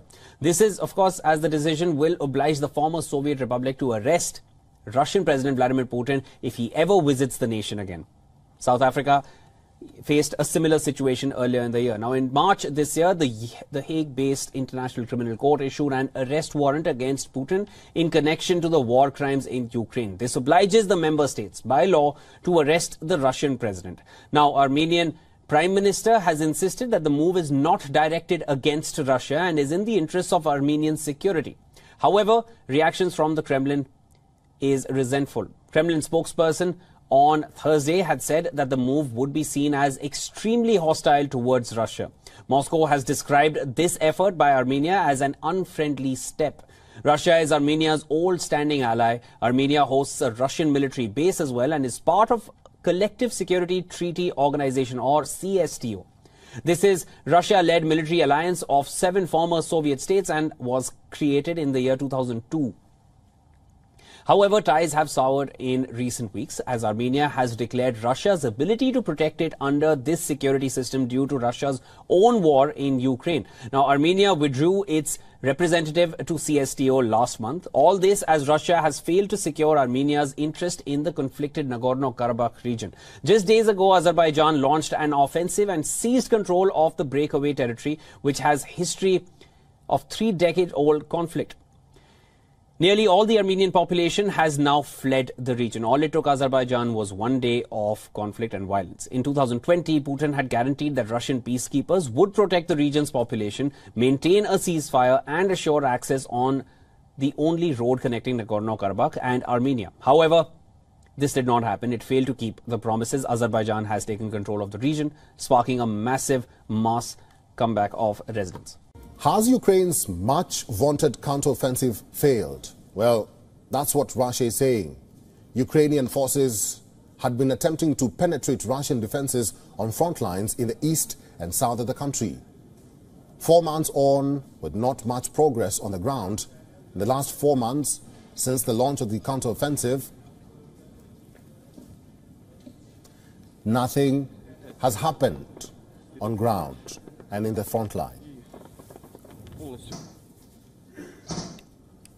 Russian defense minister says, and I quote, the enemy's attempts to break through our defenses in the areas of Verbovoye and Rabotino on the Zaporizhia front have failed. Kremlin also asserts that it has pushed back the Ukrainian troops from Bakhmut in the eastern front in the war-battered Donetsk region. Kiev claims to have taken back about 47 square kilometers of territory around Bakhmut since starting its counteroffensive in early June. Kiev launched the long-awaited counteroffensive in June, but has acknowledged slow progress as its forces crashed into sophisticated and kilometers-deep Russian defense, defensive positions. The operation by Kiev was strategically planned with the help of intel from the West. It was also executed with the help of heavy Western weaponry. The West provided almost all the arms and ammunition sought by the Ukrainian president. But perhaps the Russian defenses were underestimated. Many Western bloggers claimed that the poorly motivated Russian troops would flee as the Ukrainian offensive begins. But the Moscow troops remain entrenched. The Russians had months to back themselves. They dug in deep fortified the defensive positions along the entire 1,000 kilometer front. Barriers, including trenches and various obstacles, were placed. These effectively made the movement of tanks and armored vehicles almost impossible. From the sky, Russians kept bombarding, making it increasingly difficult for Ukrainians to gain any ground. And now another winter is coming. The ground will once again become sloppy Mud and snow makes the region unsuitable for movement of vehicles. A mix of rain and bitter cold have influenced the outcomes of military campaigns throughout history and dashed the aspirations of Napoleon or even Hitler.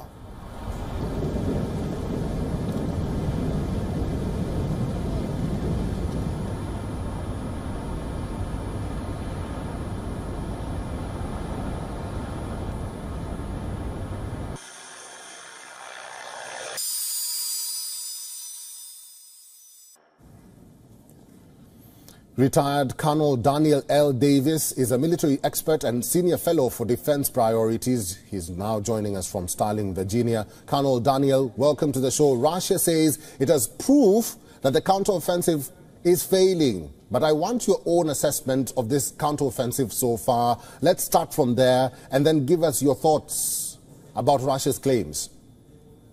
Well, I, I mean, look, you just have to look at the at the map, and it it doesn't take much of an examination uh, to be able to see that the lines have virtually remained unchanged since this uh, since this offensive began. The, the New York Times, I believe it was last week, in fact, had a graphic where it showed the map of Ukraine and to the the uh, part that was controlled by Russia, the part that was controlled by Kiev, and you, you, and they showed the changes that have occurred since January 1st of this year to include all the nearly four months of the offensive, and you can see very clearly that virtually nothing has changed. In fact, uh, there was a, a, military organization called the Drive here, magazine that actually produced a, a graphic that showed that overall this year, Russia has actually gained somewhat more territory than Ukraine has. So there, there's by any stre- uh, assessment, by any kind of an analysis, the offensive has not succeeded. Their their goal was to cut through to the Azov coast, to go through the Robotyne area from uh, the Zaporizhia to cut through Tokmak and then down to Melitopol and then to the coast. And uh, nothing close to that has even happened. They, after four months, they got what they probably would have had to have gotten at the end of the first week with Robotyne, but they haven't even been able to go to Verbova, which is the next little village over since August when they first arrived at it. So that kind of tells you all you need to know mm-hmm. about what this offensive has not accomplished. Colonel Daniel, now another winter is coming. The ground will once again become sloppy, like I said. What do you anticipate in the coming months? Yeah, that's that's a real important issue because the the only way that uh, Ukraine has had even moderate success in, in, the tactical fight here has been that they've used armored vehicles to get their infantry close to the line of contact get them out and then return back to pick them up later. But if you can't get those armored vehicles up there, and of course, when it gets really muddy, it gets very difficult for armored vehicles to make it through mud because those tracks or wheels, either one, can get mired in there. Anytime a vehicle gets struck in mud, it's going to be an immediate target for artillery or for uh, kamikaze drones.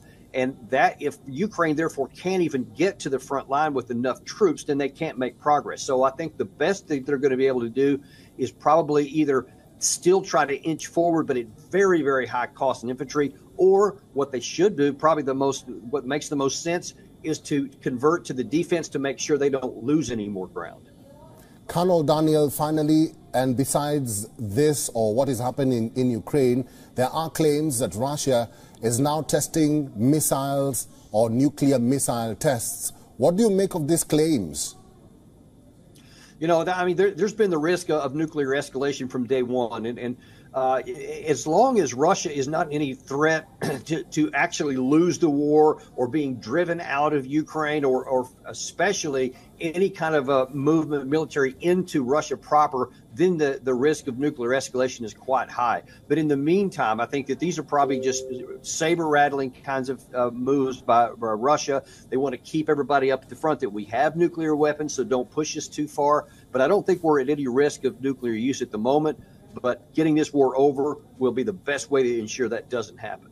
All right, I've been talking to a military expert and senior fellow for defense priorities. His name is retired Colonel Daniel L. Davis. Daniel, thank you for talking to us today. Russia uses artillery as its primary form of lethality in the deep and close battles. Its combined arms elements are charged with positioning themselves so that the artillery can deliver destructive effects against their opponents. Now, NATO member France is sending additional howitzers to boost Ukraine's defenses. Of course, it's all part of the counter-offensive, which has not gone as planned, but Ukraine needs all the help it can get at the moment. Moscow has been accusing the West of leading a war against Russia by proxy. Here's all you need to know about what Ukraine is gaining in the latest. French state-owned firm Nexter uh, will deliver six additional Caesar truck-mounted howitzers to Ukraine. Now, as per the French Defense Ministry, Ukraine has already received 30 Caesar howitzers since uh, last year, 18 from France and 12 from manufacturer Nexter. Now, the French howitzers, which we're going to be talking about, will be a big boost for the Ukrainian armed forces, firing from the same spot, which is risky, as the enemy may detect artillery locations. So opponents can then determine the origin of indirect fire and respond with weaponized drones. Now, shoot and scoot. Now, these are the tactics which entail moving away from where shots were fired to avoid any kind of counter battery fire. Let's now take a look at the lethal French Caesar howitzer. First impressive deployment. Now, this was, let's talk about the capabilities first. The Caesar boasts of a road speed of more than 80 kilometers per hour. So it has those kinds of speeds and it is mobile. It can be positioned strategically wherever required. It has an off-road speed of more than 50 kilometers per hour and it is definitely one that the French howitzer has a cruising range of over 600 kilometers. So it can travel good distances and of course it can travel at a decent speed, can off-road as well. The combat weight of the formidable artillery system is less than 18 tons. So it's not super heavy and the Caesar offers the advantage of highly effective firepower. So the rate of fire is 6 rounds per minute. Now, range varies between 4.5 kilometers to more than 40 kilometers. It will obviously depend upon the trajectory in which it is fired. Additionally, the range using rocket-assisted ammunition is over 50 kilometers. The onboard ammunition consists of 18 complete rounds. And it's all on board, it's all mobile, it can be moved where and when they want. Importantly, the out action time is less than 40 seconds. That's how quickly it can be installed and fired from. Lastly, the Caesar artillery system requires a crew of four to five personnel. Ukraine's army has made modest advances. A counter-offensive that began in early June shows a little sign of breaking through Russian lines in force in any time soon. Now, the progress of Ukraine's operation has made some Western officials rather nervous. Remember, Russia also banks on similar shoot and scoot tactics and swears by the Msta-S self-propelled howitzers. Now, who's it going to be first, the Msta-S or these howitzers coming in from France? Of course, Ukraine needs all the all the effort and all the impact that it can get from the collective West. We will be tracking all the developments right here on World DNA. The Russia-Ukraine war is well into its 19th month. As the conflict drags on, there are stories of the human cost of this war buried deep under conflicting narratives from both nations. Thousands have died on both sides, many more have been injured. But today, we will tell you about Russia's punishment battalions and the people of these troops on the front lines.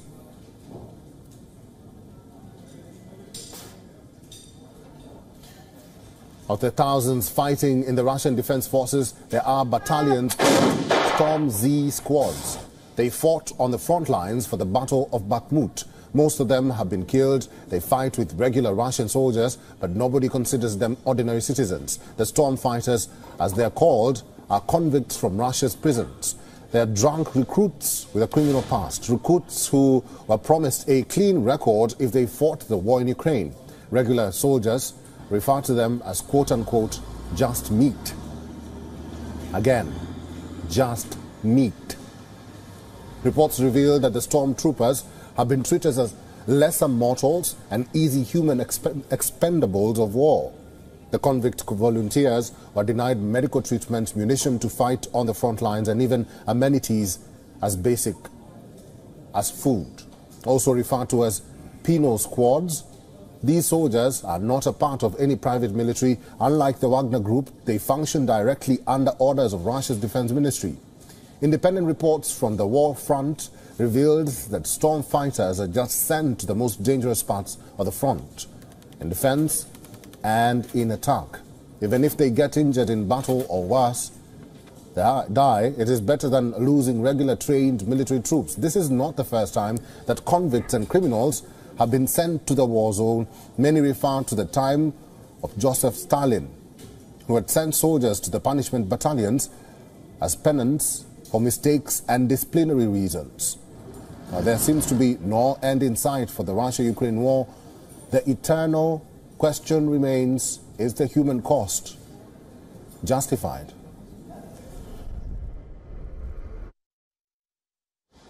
It downed over two dozen Iranian-made drones. Kiev claims Moscow launched these aerial attacks from the Crimean Peninsula. Earlier, Ukraine claimed that Russia is again planning to attack the energy infrastructure, pointing to the same pattern Moscow used last year. It left millions of Ukrainians without heating and water for long periods. On the other hand, Russia claims it destroyed Ukrainian fuel and aircraft ammunition depots, while adding it destroyed Ukraine's four armoured vehicles and one US made Bradley infantry fighting vehicle.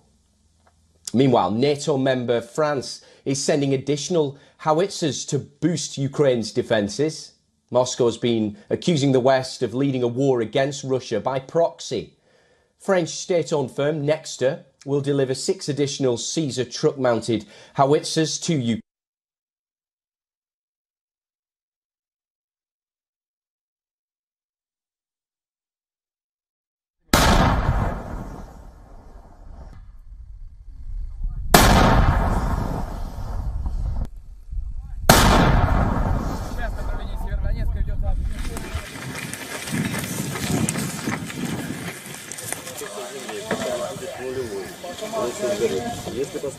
对，我们。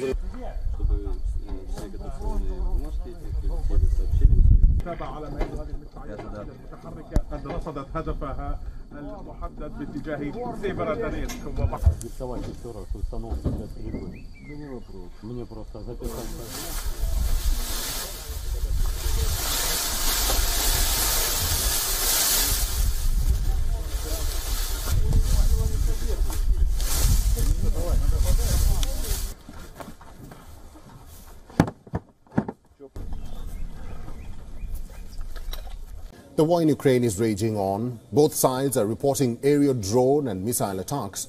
But a new report has once again reignited the debate of use of nuclear weapons in Ukraine. A satellite imagery and aviation data suggests that Russia may be preparing to test an experimental nuclear-powered cruise missile.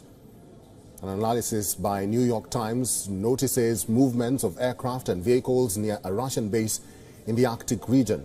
The remote base is known for conducting tests of nuclear-powered missiles. Similarly, over the last two weeks, U.S. surveillance planes have also been tracked in that area. According to a report by Nuclear Threat Initiative, earlier, between 2017 to 2019, Russia conducted 13 known tests. However, these tests were unsuccessful. U.S. also claims in 2019 an unsuccessful launch killed seven people. The missile is known as the Burevestnik or SSC X-9 Skyfall. Experts have warned if used during wartime, the missile may destroy large urban areas and military targets. Putin claims these missiles can overpower and outmaneuver existing U.S. defense systems. Russia has shared little about the design of the missile. However, Putin claims the weapon is nuclear powered, while adding that it can carry a warhead.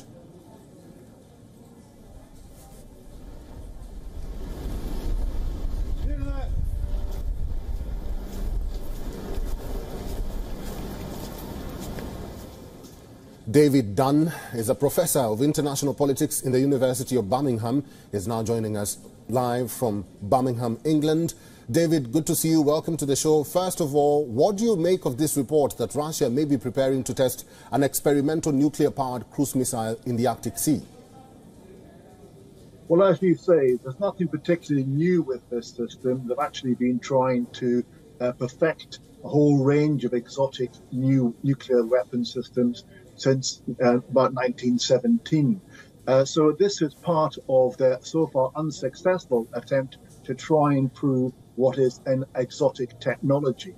The, the thing that makes this interesting is the idea that it would be powered by a secondary nuclear uh, engine inside the missile. It would be launched by a solid state rocket, and then once uh, it, it was in the air, it would be powered by this nuclear, the small nuclear reactor.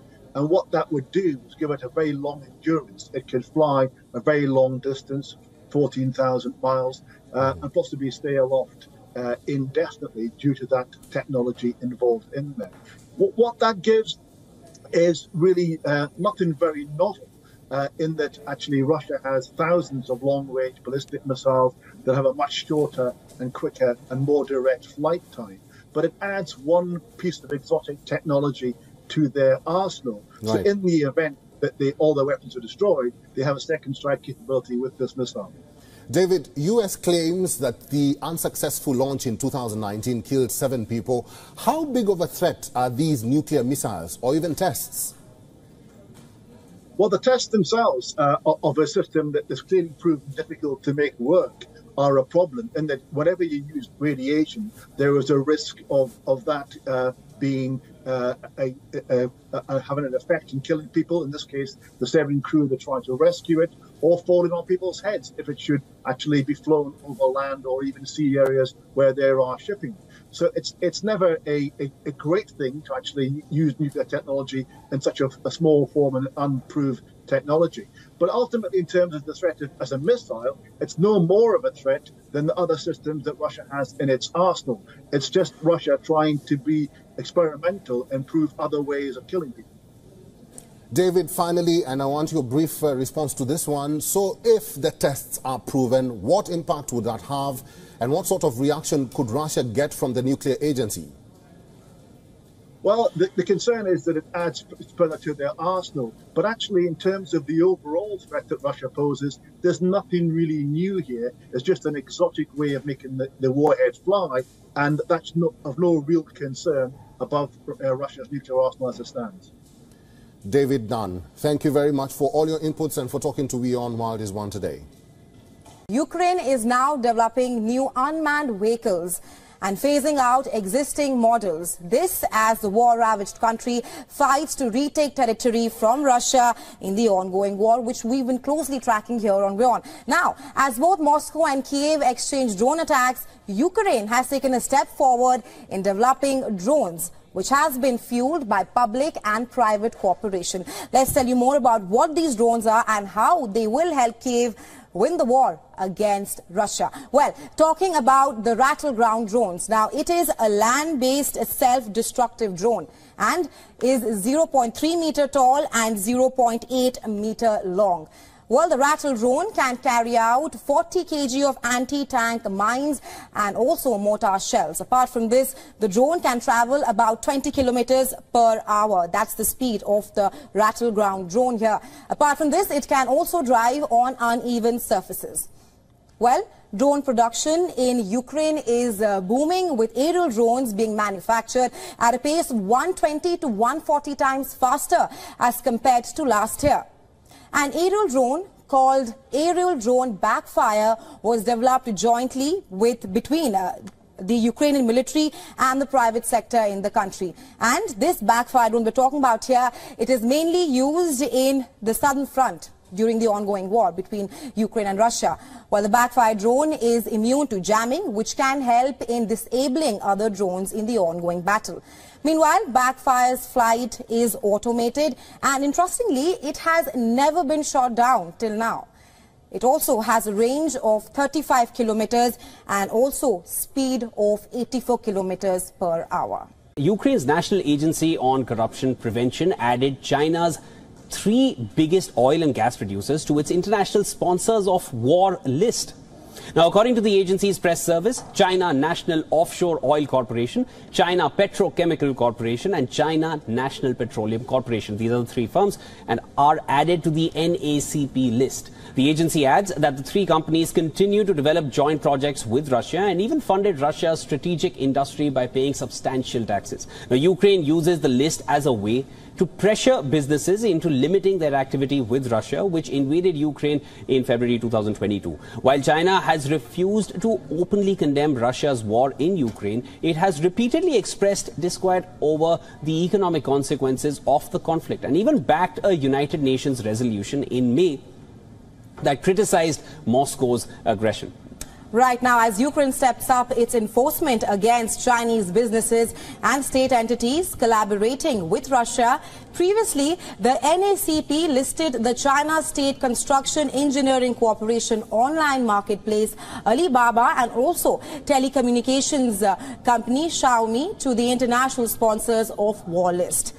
Well, Russia has looked to China as a growing export market for oil and gas. Hence, in March, Russian President Vladimir Putin announced a new pipeline dubbed as Power of Siberia 2, which would carry 50 billion cubic meters of gas to China through Mongolia.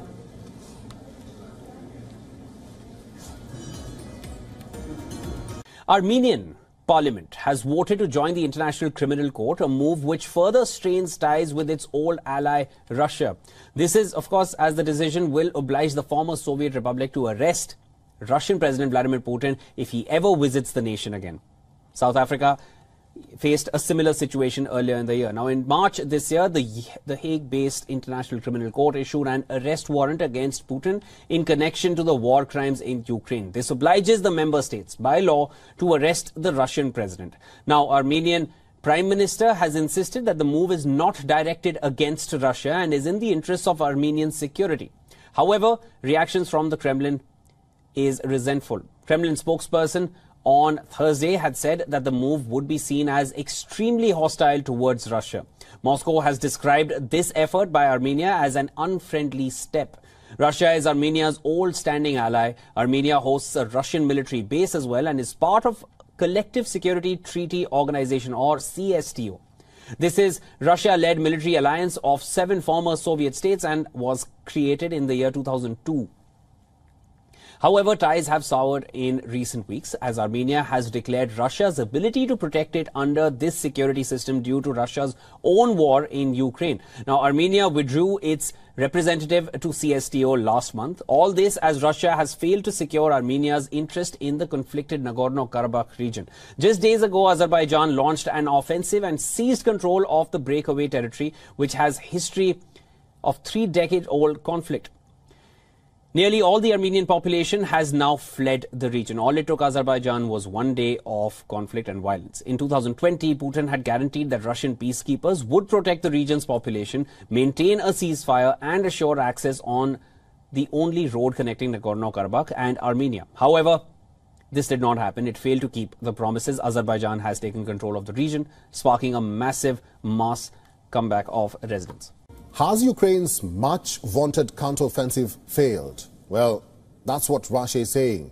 Ukrainian forces had been attempting to penetrate Russian defenses on front lines in the east and south of the country.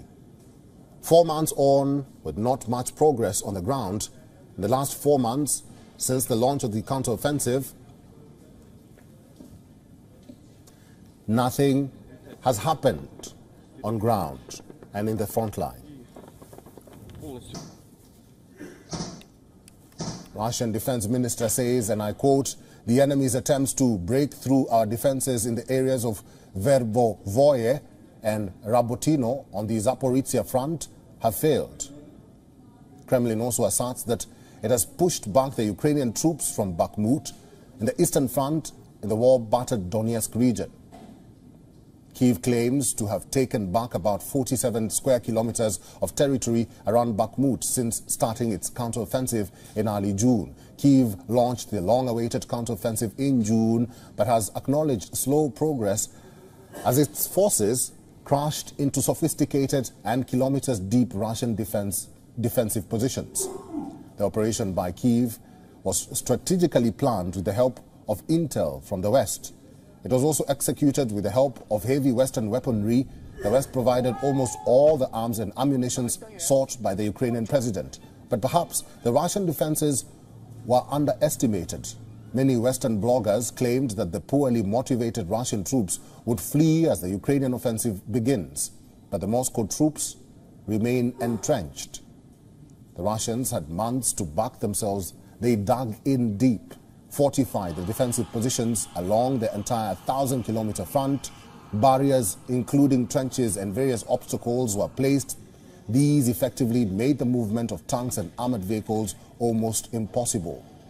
From the sky, Russians kept bombarding, making it increasingly difficult for Ukrainians to gain any ground. And now another winter is coming. The ground will once again become sloppy Mud and snow makes the region unsuitable for movement of vehicles. A mix of rain and bitter cold have influenced the outcomes of military campaigns throughout history and dashed the aspirations of Napoleon or even Hitler.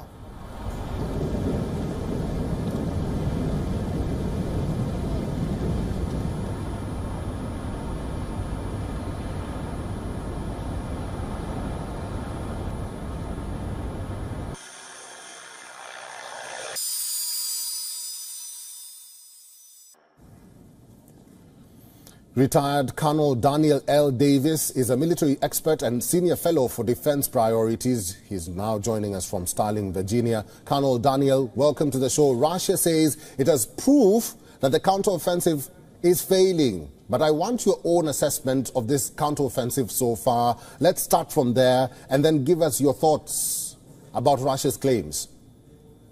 Well, I, I mean, look, you just have to look at the at the map, and it it doesn't take much of an examination uh, to be able to see that the lines have virtually remained unchanged since this uh, since this offensive began. The, the New York Times, I believe it was last week, in fact, had a graphic where it showed the map of Ukraine and, and to the the uh, part that was controlled by Russia, the part that was controlled by Kiev, and you, you, and they showed the changes that have occurred since January 1st of this year, to include all the nearly four months of the offensive, and you can see very clearly that virtually nothing has changed. In fact, uh, there was a, a, military organization called the Drive here, magazine that actually produced a, a graphic that showed that overall this year, Russia has actually gained somewhat more territory than Ukraine has. So that there's by any stre- or uh, assessment, by any kind of an analysis, the offensive has not succeeded. Their their goal was to cut through to the Azov coast, to go through the Robotyne area from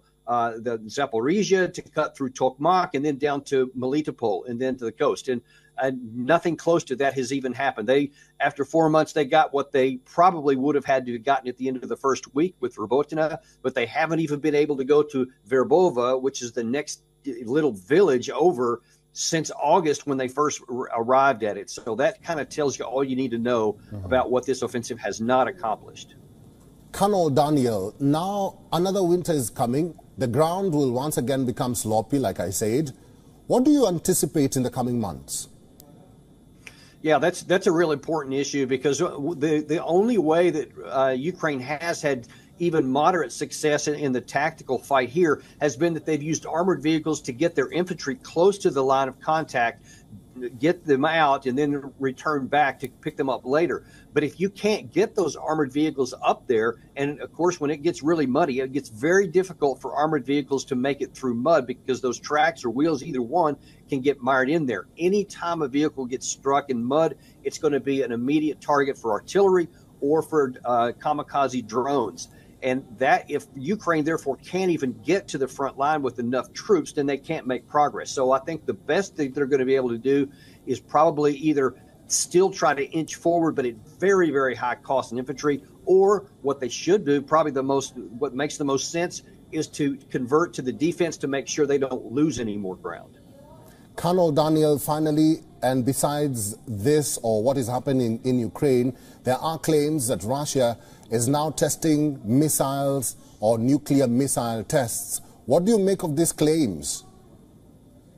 You know, I mean, there, has been the risk of nuclear escalation from day one, and, and uh, as long as Russia is not any threat to, to, actually lose the war or being driven out of Ukraine or, or especially any kind of a movement military into Russia proper, then the, the risk of nuclear escalation is quite high. But in the meantime, I think that these are probably just saber rattling kinds of uh, moves by, by Russia. They want to keep everybody up at the front that we have nuclear weapons, so don't push us too far. But I don't think we're at any risk of nuclear use at the moment. But getting this war over will be the best way to ensure that doesn't happen. All right, I've been talking to a military expert and senior fellow for defense priorities. His name is retired Colonel Daniel L. Davis. Daniel, thank you for talking to us today. Russia uses artillery as its primary form of lethality in the deep and close battles. Its combined arms elements are charged with positioning themselves so that the artillery can deliver destructive effects against their opponents. Now, NATO member France is sending additional howitzers to boost Ukraine's defenses. Of course, it's all part of the counter-offensive, which has not gone as planned, but Ukraine needs all the help it can get at the moment. Moscow has been accusing the West of leading a war against Russia by proxy. Here's all you need to know about what Ukraine is gaining in the latest. French state-owned firm Nexter uh, will deliver six additional Caesar truck-mounted howitzers to Ukraine. Now, as per the French Defense Ministry, Ukraine has already received 30 Caesar howitzers since uh, last year, 18 from France and 12 from manufacturer Nexter. Now, the French howitzers, which we're going to be talking about, will be a big boost for the Ukrainian armed forces, firing from the same spot, which is risky, as the enemy may detect artillery locations. So opponents can then determine the origin of indirect fire and respond with weaponized drones. Now, shoot and scoot. Now, these are the tactics which entail moving away from where shots were fired to avoid any kind of counter battery fire. Let's now take a look at the lethal French Caesar howitzer. First impressive deployment. Now, this was, let's talk about the capabilities first. The Caesar boasts of a road speed of more than 80 kilometers per hour. So it has those kinds of speeds and it is mobile. It can be positioned strategically wherever required. It has an off-road speed of more than 50 kilometers per hour and it is definitely one that the French howitzer has a cruising range of over 600 kilometers. So it can travel good distances and of course it can travel at a decent speed, can off-road as well. The combat weight of the formidable artillery system is less than 18 tons. So it's not super heavy and the Caesar offers the advantage of highly effective firepower. So the rate of fire is 6 rounds per minute. Now, range varies between 4.5 kilometers uh, to more than 40 kilometers. It will obviously depend upon the trajectory in which it is fired. Additionally, the range using rocket-assisted ammunition is over 50 kilometers. The onboard ammunition consists of 18 complete rounds. And it's all on board it's all mobile it can be moved where and when they want. Importantly the out action time is less than 40 seconds. That's how quickly it can be installed and fired from. Lastly the caesar artillery system requires a crew of 4 to 5 personnel ukraine's army has made modest advances a counter-offensive that began in early june shows a little sign of breaking through russian lines in force in any time soon. Now, the progress of Ukraine's operation has made some Western officials rather nervous. Remember, Russia also banks on similar shoot and scoot tactics and swears by the Msta-S self-propelled howitzers. Now, who's it going to be first, the Msta-S or these howitzers coming in from France? Of course, Ukraine needs all the all the effort and all the impact that it can get from the collective West. We will be tracking all the developments right here on World DNA. The Russia-Ukraine war is well into its 19th month. As the conflict drags on, there are stories of the human cost of this war buried deep under conflicting narratives from both nations. Thousands have died on both sides, many more have been injured. But today, we'll tell you about Russia's punishment battalions and the people of these troops on the front lines.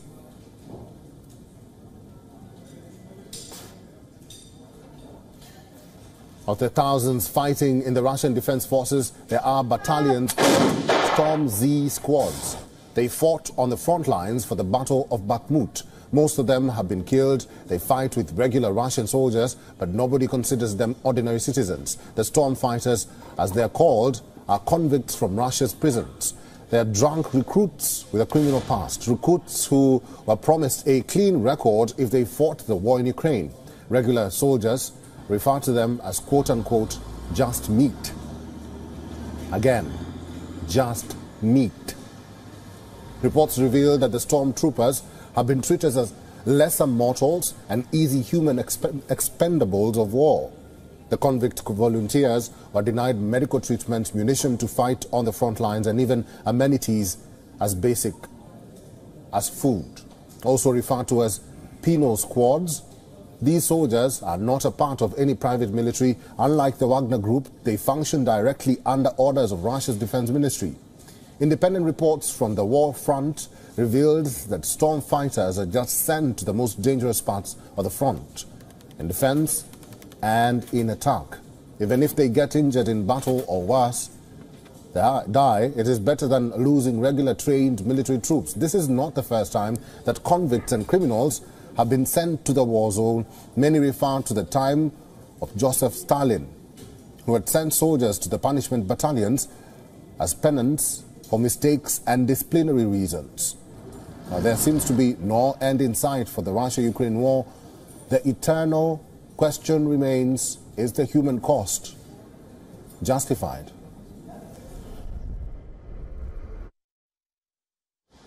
It downed over two dozen Iranian made drones. Kiev claims Moscow launched these aerial attacks from the Crimean Peninsula. Earlier, Ukraine claimed that Russia is again planning to attack the energy infrastructure, pointing to the same pattern Moscow used last year. It left millions of Ukrainians without heating and water for long periods. On the other hand, Russia claims it destroyed Ukrainian fuel and aircraft ammunition depots, while adding it destroyed Ukraine's four armoured vehicles and one US made Bradley infantry fighting vehicle. Meanwhile, NATO member France is sending additional howitzers to boost Ukraine's defences. Moscow's been accusing the West of leading a war against Russia by proxy. French state owned firm Nexter will deliver six additional Caesar truck mounted howitzers to Ukraine.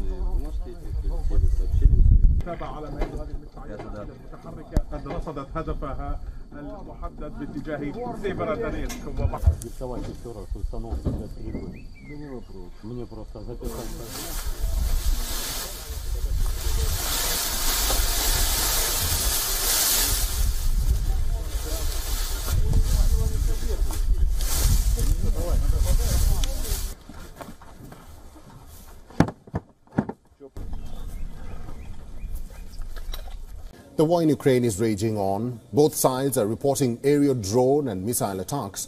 But a new report has once again reignited the debate of use of nuclear weapons in Ukraine. A satellite imagery and aviation data suggests that Russia may be preparing to test an experimental nuclear-powered cruise missile. An analysis by New York Times notices movements of aircraft and vehicles near a Russian base in the Arctic region. The remote base is known for conducting tests of nuclear-powered missiles. Similarly, over the last two weeks, U.S. surveillance planes have also been tracked in that area. According to a report by Nuclear Threat Initiative, earlier between 2017 to 2019, Russia conducted 13 known tests. However, these tests were unsuccessful. U.S. also claims in 2019 an unsuccessful launch killed seven people. The missile is known as the Burevestnik or SSC X-9 Skyfall.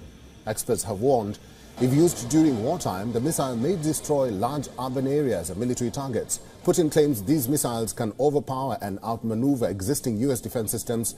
Russia has shared little about the design of the missile. However, Putin claims the weapon is nuclear powered, while adding that it can carry a warhead.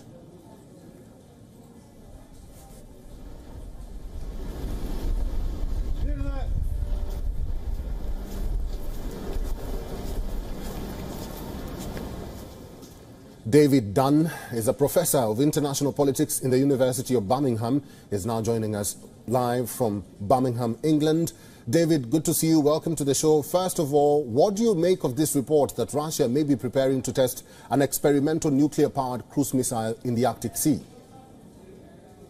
Well, as you say, there's nothing particularly new with this system. They've actually been trying to uh, perfect a whole range of exotic new nuclear weapon systems since uh, about 1917.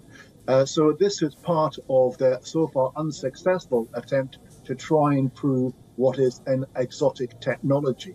The, the thing that makes this interesting is the idea that it would be powered by a secondary nuclear uh, engine inside the missile. It would be launched by a solid state rocket, and then once uh, it, it was in the air, it would be powered by this nuclear, the small nuclear reactor. And what that would do was give it a very long endurance. It could fly a very long distance, 14,000 miles, uh, and possibly stay aloft uh, indefinitely due to that technology involved in there. What, what that gives is really uh, nothing very novel. Uh, in that actually Russia has thousands of long-range ballistic missiles that have a much shorter and quicker and more direct flight time. But it adds one piece of exotic technology to their arsenal. Right. So in the event that they, all their weapons are destroyed, they have a second strike capability with this missile. David, U.S. claims that the unsuccessful launch in 2019 killed seven people. How big of a threat are these nuclear missiles or even tests?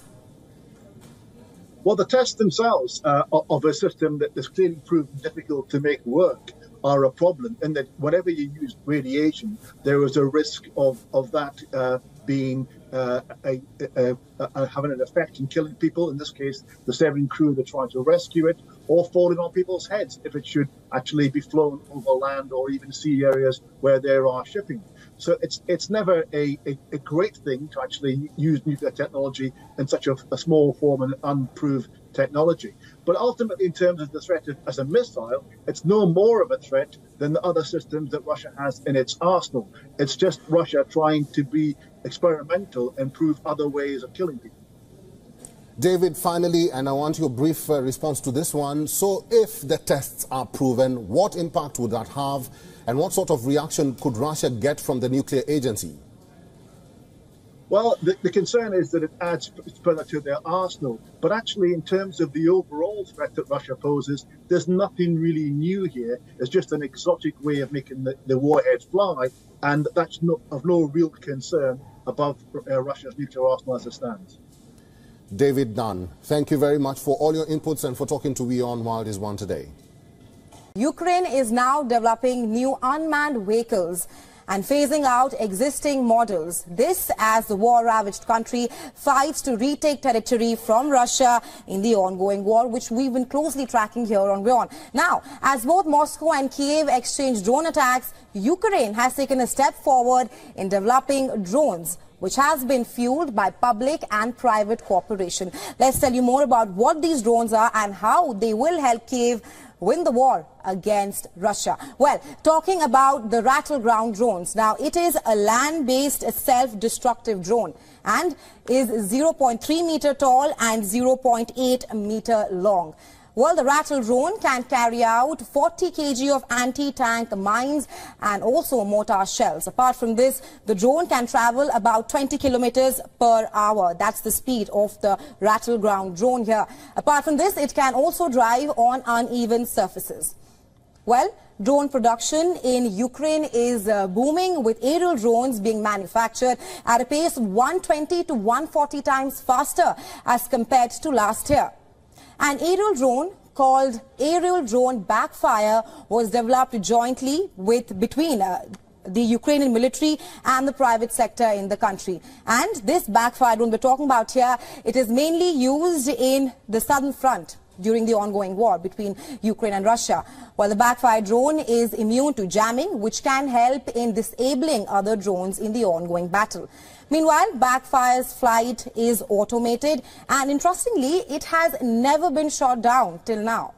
It also has a range of 35 kilometers and also speed of 84 kilometers per hour. Ukraine's National Agency on Corruption Prevention added China's three biggest oil and gas producers to its international sponsors of war list.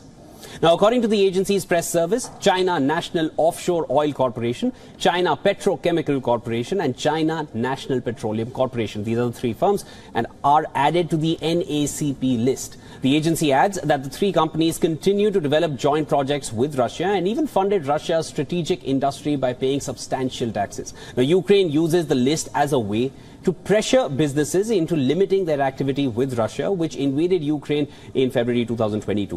While China has refused to openly condemn Russia's war in Ukraine, it has repeatedly expressed disquiet over the economic consequences of the conflict and even backed a United Nations resolution in May that criticized Moscow's aggression.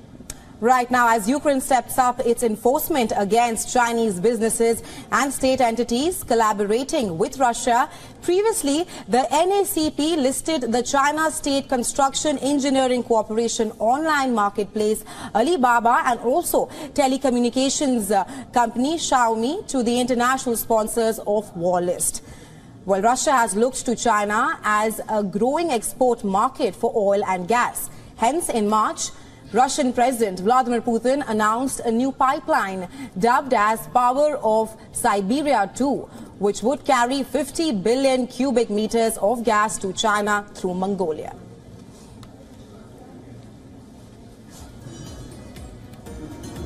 Armenian Parliament has voted to join the International Criminal Court, a move which further strains ties with its old ally Russia. This is, of course, as the decision will oblige the former Soviet Republic to arrest Russian President Vladimir Putin if he ever visits the nation again. South Africa faced a similar situation earlier in the year. Now, in March this year, the, the Hague-based International Criminal Court issued an arrest warrant against Putin in connection to the war crimes in Ukraine. This obliges the member states by law to arrest the Russian president. Now, Armenian Prime Minister has insisted that the move is not directed against Russia and is in the interests of Armenian security. However, reactions from the Kremlin is resentful. Kremlin spokesperson on Thursday had said that the move would be seen as extremely hostile towards Russia. Moscow has described this effort by Armenia as an unfriendly step. Russia is Armenia's old standing ally. Armenia hosts a Russian military base as well and is part of Collective Security Treaty Organization or CSTO. This is Russia-led military alliance of seven former Soviet states and was created in the year 2002. However, ties have soured in recent weeks as Armenia has declared Russia's ability to protect it under this security system due to Russia's own war in Ukraine. Now, Armenia withdrew its representative to CSTO last month. All this as Russia has failed to secure Armenia's interest in the conflicted Nagorno-Karabakh region. Just days ago, Azerbaijan launched an offensive and seized control of the breakaway territory, which has history of three-decade-old conflict. Nearly all the Armenian population has now fled the region. All it took Azerbaijan was one day of conflict and violence. In 2020, Putin had guaranteed that Russian peacekeepers would protect the region's population, maintain a ceasefire, and assure access on the only road connecting Nagorno-Karabakh and Armenia. However, this did not happen. It failed to keep the promises. Azerbaijan has taken control of the region, sparking a massive mass comeback of residents. Has Ukraine's much vaunted counteroffensive failed? Well, that's what Russia is saying. Ukrainian forces had been attempting to penetrate Russian defenses on front lines in the east and south of the country. Four months on, with not much progress on the ground, in the last four months since the launch of the counteroffensive, nothing has happened on ground and in the front line.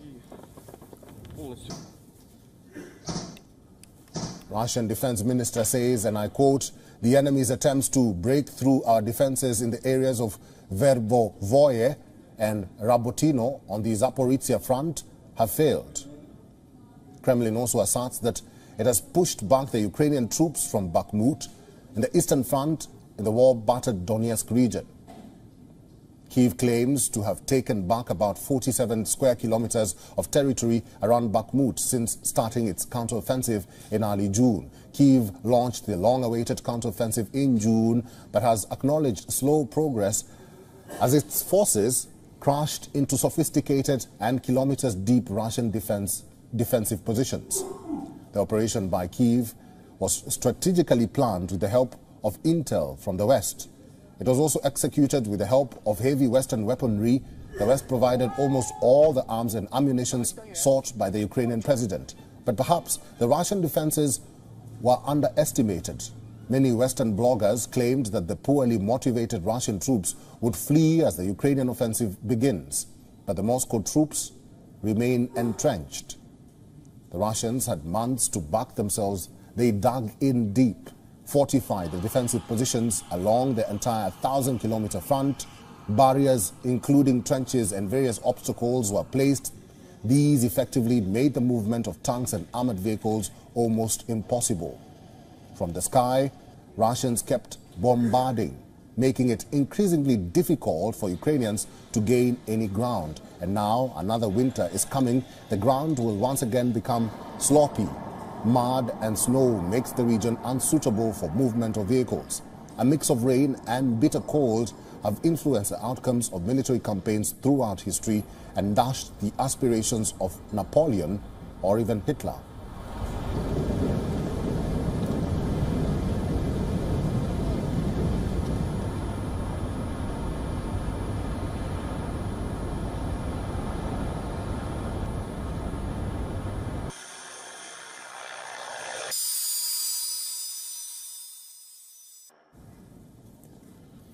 Retired Colonel Daniel L. Davis is a military expert and senior fellow for defense priorities. He's now joining us from Sterling, Virginia. Colonel Daniel, welcome to the show. Russia says it has proof that the counteroffensive is failing. But I want your own assessment of this counteroffensive so far. Let's start from there and then give us your thoughts about Russia's claims.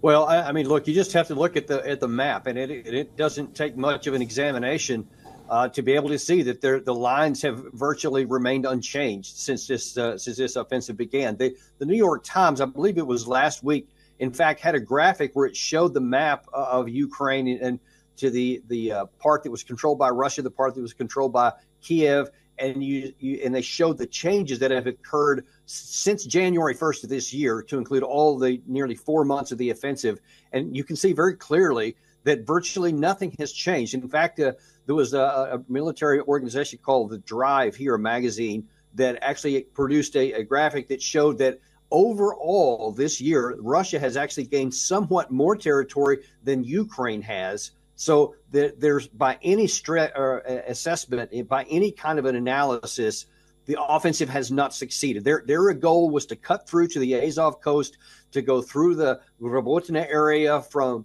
uh, the Zaporizhia to cut through Tokmak and then down to Melitopol and then to the coast. And uh, nothing close to that has even happened. They, after four months, they got what they probably would have had to have gotten at the end of the first week with Robotyne, but they haven't even been able to go to Verbova, which is the next little village over since August when they first r- arrived at it. So that kind of tells you all you need to know mm-hmm. about what this offensive has not accomplished. Colonel Daniel, now another winter is coming. The ground will once again become sloppy, like I said. What do you anticipate in the coming months? Yeah, that's that's a real important issue because the the only way that uh, Ukraine has had even moderate success in, in, the tactical fight here has been that they've used armored vehicles to get their infantry close to the line of contact, get them out, and then return back to pick them up later. But if you can't get those armored vehicles up there, and of course, when it gets really muddy, it gets very difficult for armored vehicles to make it through mud because those tracks or wheels, either one, can get mired in there. Anytime a vehicle gets struck in mud, it's going to be an immediate target for artillery or for uh, kamikaze drones. And that, if Ukraine therefore can't even get to the front line with enough troops, then they can't make progress. So I think the best thing they're going to be able to do is probably either still try to inch forward, but at very, very high cost in infantry. Or what they should do, probably the most, what makes the most sense, is to convert to the defense to make sure they don't lose any more ground. Colonel Daniel, finally, and besides this or what is happening in Ukraine, there are claims that Russia is now testing missiles or nuclear missile tests. What do you make of these claims? You know, I mean, there, has been the risk of nuclear escalation from day one, and, and uh, as long as Russia is not any threat to, to actually lose the war or being driven out of Ukraine, or, or especially any kind of a movement military into Russia proper, then the, the risk of nuclear escalation is quite high. But in the meantime, I think that these are probably just saber rattling kinds of uh, moves by, by Russia. They want to keep everybody up at the front that we have nuclear weapons, so don't push us too far. But I don't think we're at any risk of nuclear use at the moment. But getting this war over will be the best way to ensure that doesn't happen. All right, I've been talking to a military expert and senior fellow for defense priorities. His name is retired Colonel Daniel L. Davis. Daniel, thank you for talking to us today. Russia uses artillery as its primary form of lethality in the deep and close battles. Its combined arms elements are charged with positioning themselves so that the artillery can deliver destructive effects against their opponents. Now, NATO member France is sending additional howitzers to boost Ukraine's defenses. Of course, it's all part of the counter-offensive, which has not gone as planned, but Ukraine needs all the help it can get at the moment. Moscow has been accusing the West of leading a war against Russia by proxy. Here's all you need to know about what Ukraine is gaining in the latest. French state-owned firm Nexter uh, will deliver six additional Caesar truck-mounted howitzers to Ukraine. Now, as per the French Defense Ministry, Ukraine has already received 30 Caesar howitzers since uh, last year, 18 from France and 12 from manufacturer Nexter. Now, the French howitzers, which we're going to be talking about, will be a big boost for the Ukrainian armed forces, firing from the same spot, which is risky, as the enemy may detect artillery location. So opponents can then determine the origin of indirect fire and respond with weaponized drones. Now, shoot and scoot. Now, these are the tactics which entail moving away from where shots were fired to avoid any kind of counter battery fire. Let's now take a look at the lethal French Caesar howitzer. First impressive deployment. Now, this was, let's talk about the capabilities first. The Caesar boasts of a road speed of more than 80 kilometers per hour. So it has those kinds of speeds and it is mobile. It can be positioned strategically wherever required. It has an off-road speed of more than 50 kilometers per hour and it is definitely one that the French howitzer has a cruising range of over 600 kilometers. So it can travel good distances and of course it can travel at a decent speed, can off-road as well. The combat weight of the formidable artillery system is less than 18 tons. So it's not super heavy and the Caesar offers the advantage of highly effective firepower. So the rate of fire is 6 rounds per minute.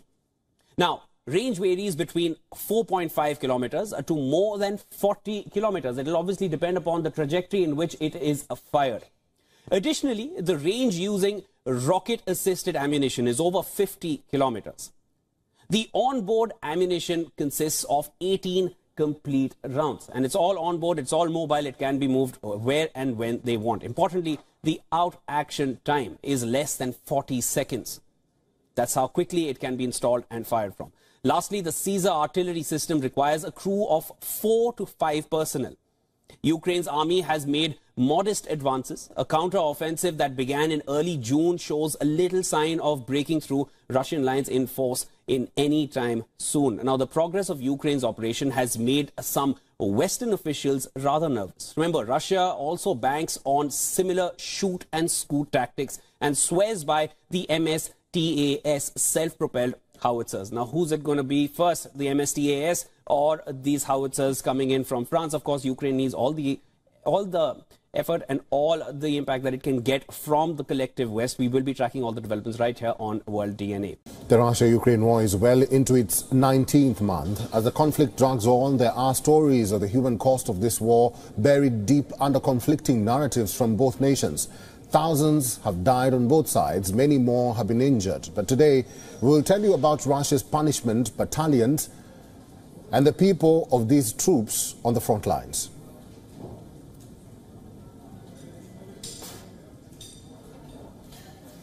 Of the thousands fighting in the Russian Defense Forces, there are battalions called Storm Z squads. They fought on the front lines for the Battle of Bakhmut. Most of them have been killed. They fight with regular Russian soldiers, but nobody considers them ordinary citizens. The storm fighters, as they are called, are convicts from Russia's prisons. They are drunk recruits with a criminal past, recruits who were promised a clean record if they fought the war in Ukraine. Regular soldiers refer to them as quote-unquote just meat. Again, just meat. Reports reveal that the stormtroopers have been treated as lesser mortals and easy human exp expendables of war. The convict volunteers were denied medical treatment, munition to fight on the front lines, and even amenities as basic as food. Also referred to as penal squads, these soldiers are not a part of any private military. Unlike the Wagner Group, they function directly under orders of Russia's defense ministry. Independent reports from the war front revealed that storm fighters are just sent to the most dangerous parts of the front, in defense and in attack. Even if they get injured in battle or worse, they die, it is better than losing regular trained military troops. This is not the first time that convicts and criminals have been sent to the war zone. Many refer to the time of Joseph Stalin, who had sent soldiers to the punishment battalions as penance for mistakes and disciplinary reasons. There seems to be no end in sight for the Russia-Ukraine war. The eternal question remains, is the human cost justified?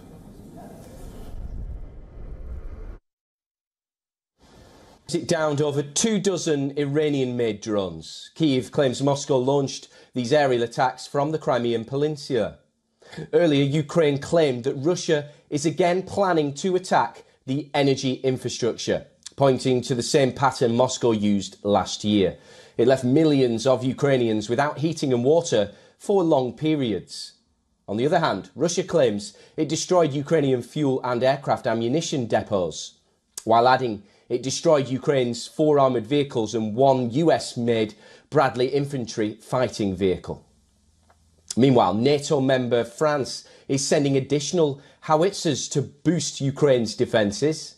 Moscow has been accusing the West of leading a war against Russia by proxy. French state owned firm Nexter will deliver six additional Caesar truck mounted howitzers to Ukraine.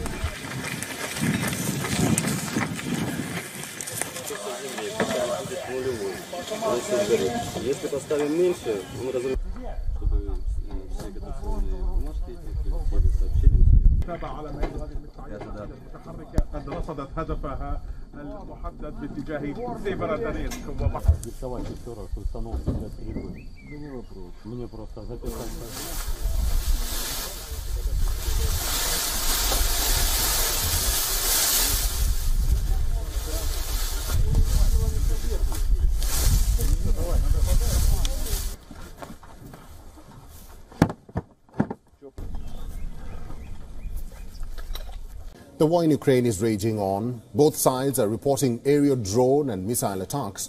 But a new report has once again reignited the debate of use of nuclear weapons in Ukraine. A satellite imagery and aviation data suggests that Russia may be preparing to test an experimental nuclear-powered cruise missile. An analysis by New York Times notices movements of aircraft and vehicles near a Russian base in the Arctic region. The remote base is known for conducting tests of nuclear-powered missiles. Similarly, over the last two weeks, U.S. surveillance planes have also been tracked in that area. According to a report by Nuclear Threat Initiative, earlier between 2017 to 2019, Russia conducted 13 known tests. However, these tests were unsuccessful. U.S. also claims in 2019 an unsuccessful launch killed seven people. The missile is known as the Burevestnik or SSC X-9 Skyfall.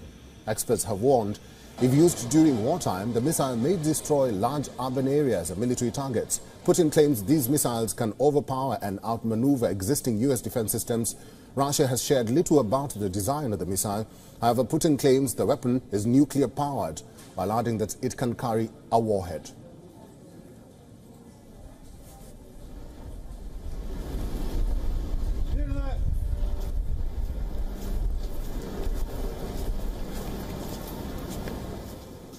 David Dunn is a professor of international politics in the University of Birmingham. He is now joining us live from Birmingham, England. David, good to see you. Welcome to the show. First of all, what do you make of this report that Russia may be preparing to test an experimental nuclear-powered cruise missile in the Arctic Sea? Well, as you say, there's nothing particularly new with this system. They've actually been trying to uh, perfect a whole range of exotic new nuclear weapon systems since uh, about 1917. Uh, so this is part of their so far unsuccessful attempt to try and prove what is an exotic technology. The, the thing that makes this interesting is the idea that it would be powered by a secondary nuclear uh, engine inside the missile. It would be launched by a solid state rocket, and then once uh, it, it was in the air, it would be powered by this nuclear, the small nuclear reactor. And what that would do is give it a very long endurance. It could fly a very long distance, 14,000 miles, uh, and possibly stay aloft uh, indefinitely due to that technology involved in there. What, what that gives is really uh, nothing very novel.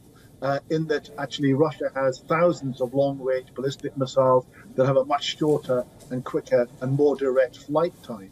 But it adds one piece of exotic technology to their arsenal. So in the event that they, all their weapons are destroyed, they have a second strike capability with this missile. David, U.S. claims that the unsuccessful launch in 2019 killed seven people. How big of a threat are these nuclear missiles or even tests? Well, the tests themselves uh, of a system that is clearly proven difficult to make work are a problem, in that whenever you use radiation, there is a risk of of that uh, being uh, a, a, a, having an effect in killing people. In this case, the seven crew that trying to rescue it, or falling on people's heads if it should actually be flown over land or even sea areas where there are shipping. So it's it's never a, a, a great thing to actually use nuclear technology in such a small form and unproved technology. But ultimately, in terms of the threat of, as a missile, it's no more of a threat than the other systems that Russia has in its arsenal. It's just Russia trying to be experimental and prove other ways of killing people. David, finally, and I want your brief uh, response to this one. So, if the tests are proven, what impact would that have, and what sort of reaction could Russia get from the nuclear agency?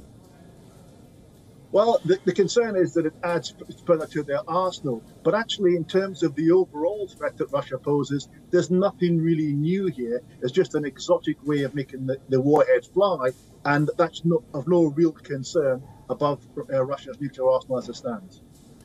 David Dunn, thank you very much for all your inputs and for talking to WION World is One today.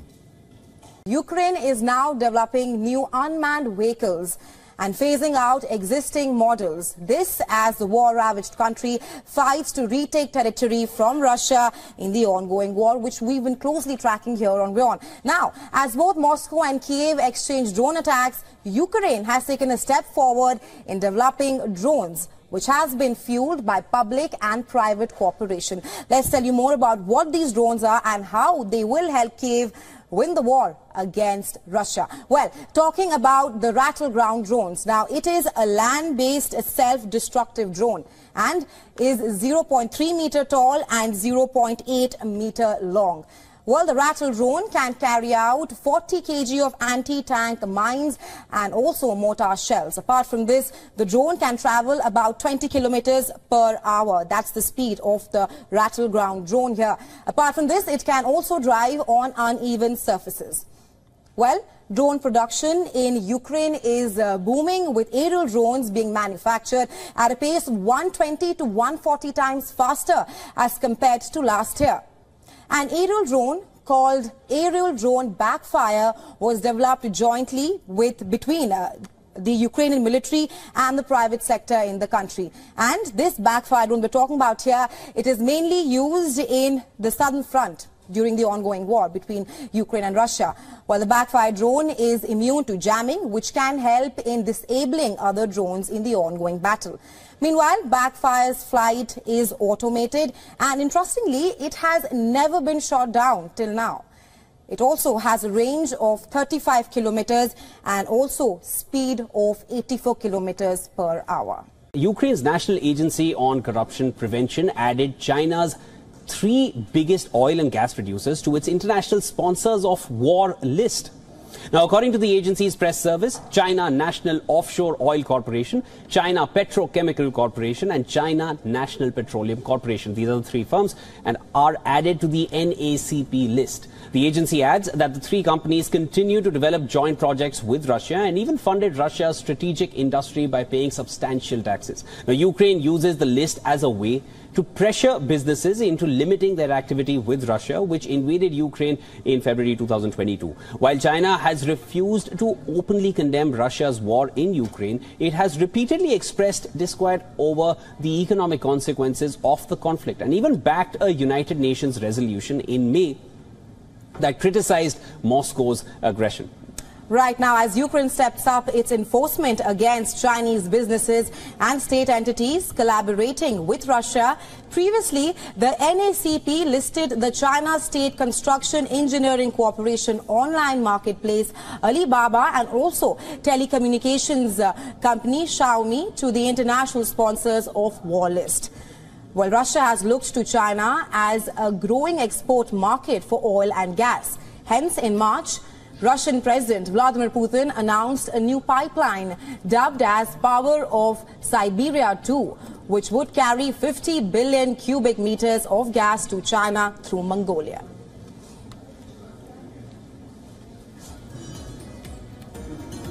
Armenian Parliament has voted to join the International Criminal Court, a move which further strains ties with its old ally Russia.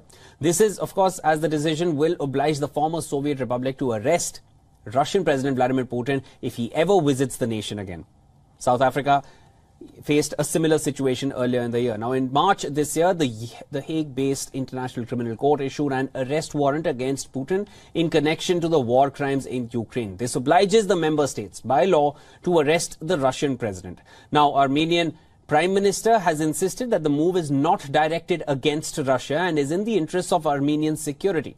However, reactions from the Kremlin is resentful. Kremlin spokesperson on Thursday had said that the move would be seen as extremely hostile towards Russia. Moscow has described this effort by Armenia as an unfriendly step. Russia is Armenia's old standing ally. Armenia hosts a Russian military base as well and is part of Collective Security Treaty Organization or CSTO. This is Russia-led military alliance of seven former Soviet states and was created in the year 2002.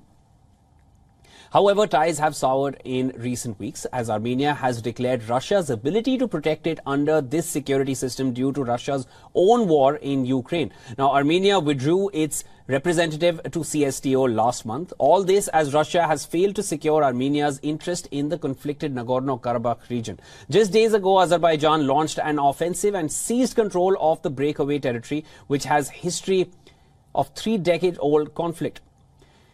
Nearly all the Armenian population has now fled the region. All it took Azerbaijan was one day of conflict and violence. In 2020, Putin had guaranteed that Russian peacekeepers would protect the region's population, maintain a ceasefire, and assure access on the only road connecting Nagorno-Karabakh and Armenia. However, this did not happen. It failed to keep the promises. Azerbaijan has taken control of the region, sparking a massive mass comeback of residents. Has Ukraine's much vaunted counteroffensive failed? Well, that's what Russia is saying. Ukrainian forces had been attempting to penetrate Russian defenses on front lines in the east and south of the country.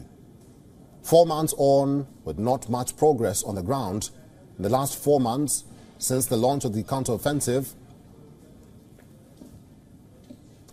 nothing has happened on ground and in the front line. Russian defense minister says, and I quote, the enemy's attempts to break through our defenses in the areas of Verbovoye and Rabotino on the Zaporizhia front have failed. Kremlin also asserts that it has pushed back the Ukrainian troops from Bakhmut in the eastern front in the war-battered Donetsk region. Kiev claims to have taken back about 47 square kilometers of territory around Bakhmut since starting its counteroffensive in early June. Kiev launched the long-awaited counteroffensive in June, but has acknowledged slow progress as its forces crashed into sophisticated and kilometers-deep Russian defense, defensive positions. The operation by Kiev was strategically planned with the help of intel from the West. It was also executed with the help of heavy Western weaponry. The West provided almost all the arms and ammunition sought by the Ukrainian president. But perhaps the Russian defenses were underestimated. Many Western bloggers claimed that the poorly motivated Russian troops would flee as the Ukrainian offensive begins. But the Moscow troops remain entrenched. The Russians had months to back themselves. They dug in deep fortify the defensive positions along the entire 1,000 kilometer front. Barriers, including trenches and various obstacles, were placed. These effectively made the movement of tanks and armored vehicles almost impossible. From the sky, Russians kept bombarding, making it increasingly difficult for Ukrainians to gain any ground. And now another winter is coming. The ground will once again become sloppy Mud and snow makes the region unsuitable for movement of vehicles. A mix of rain and bitter cold have influenced the outcomes of military campaigns throughout history and dashed the aspirations of Napoleon or even Hitler.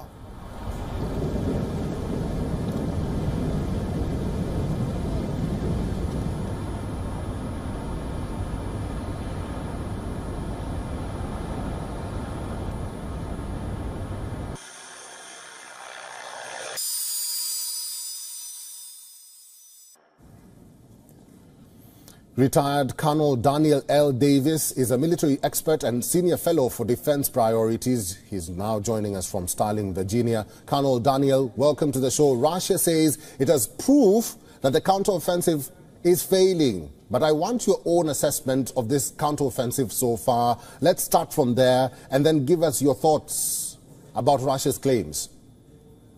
Well, I, I mean, look, you just have to look at the at the map, and it it doesn't take much of an examination uh, to be able to see that the lines have virtually remained unchanged since this uh, since this offensive began. The, the New York Times, I believe it was last week, in fact, had a graphic where it showed the map of Ukraine and to the the uh, part that was controlled by Russia, the part that was controlled by Kiev, and you, you and they showed the changes that have occurred since January 1st of this year to include all the nearly four months of the offensive, and you can see very clearly that virtually nothing has changed. In fact, uh, there was a, a, military organization called the Drive here, magazine that actually produced a, a graphic that showed that overall this year, Russia has actually gained somewhat more territory than Ukraine has. So there, there's by any stre- or assessment, by any kind of an analysis, the offensive has not succeeded. Their their goal was to cut through to the Azov coast, to go through the Robotyne area from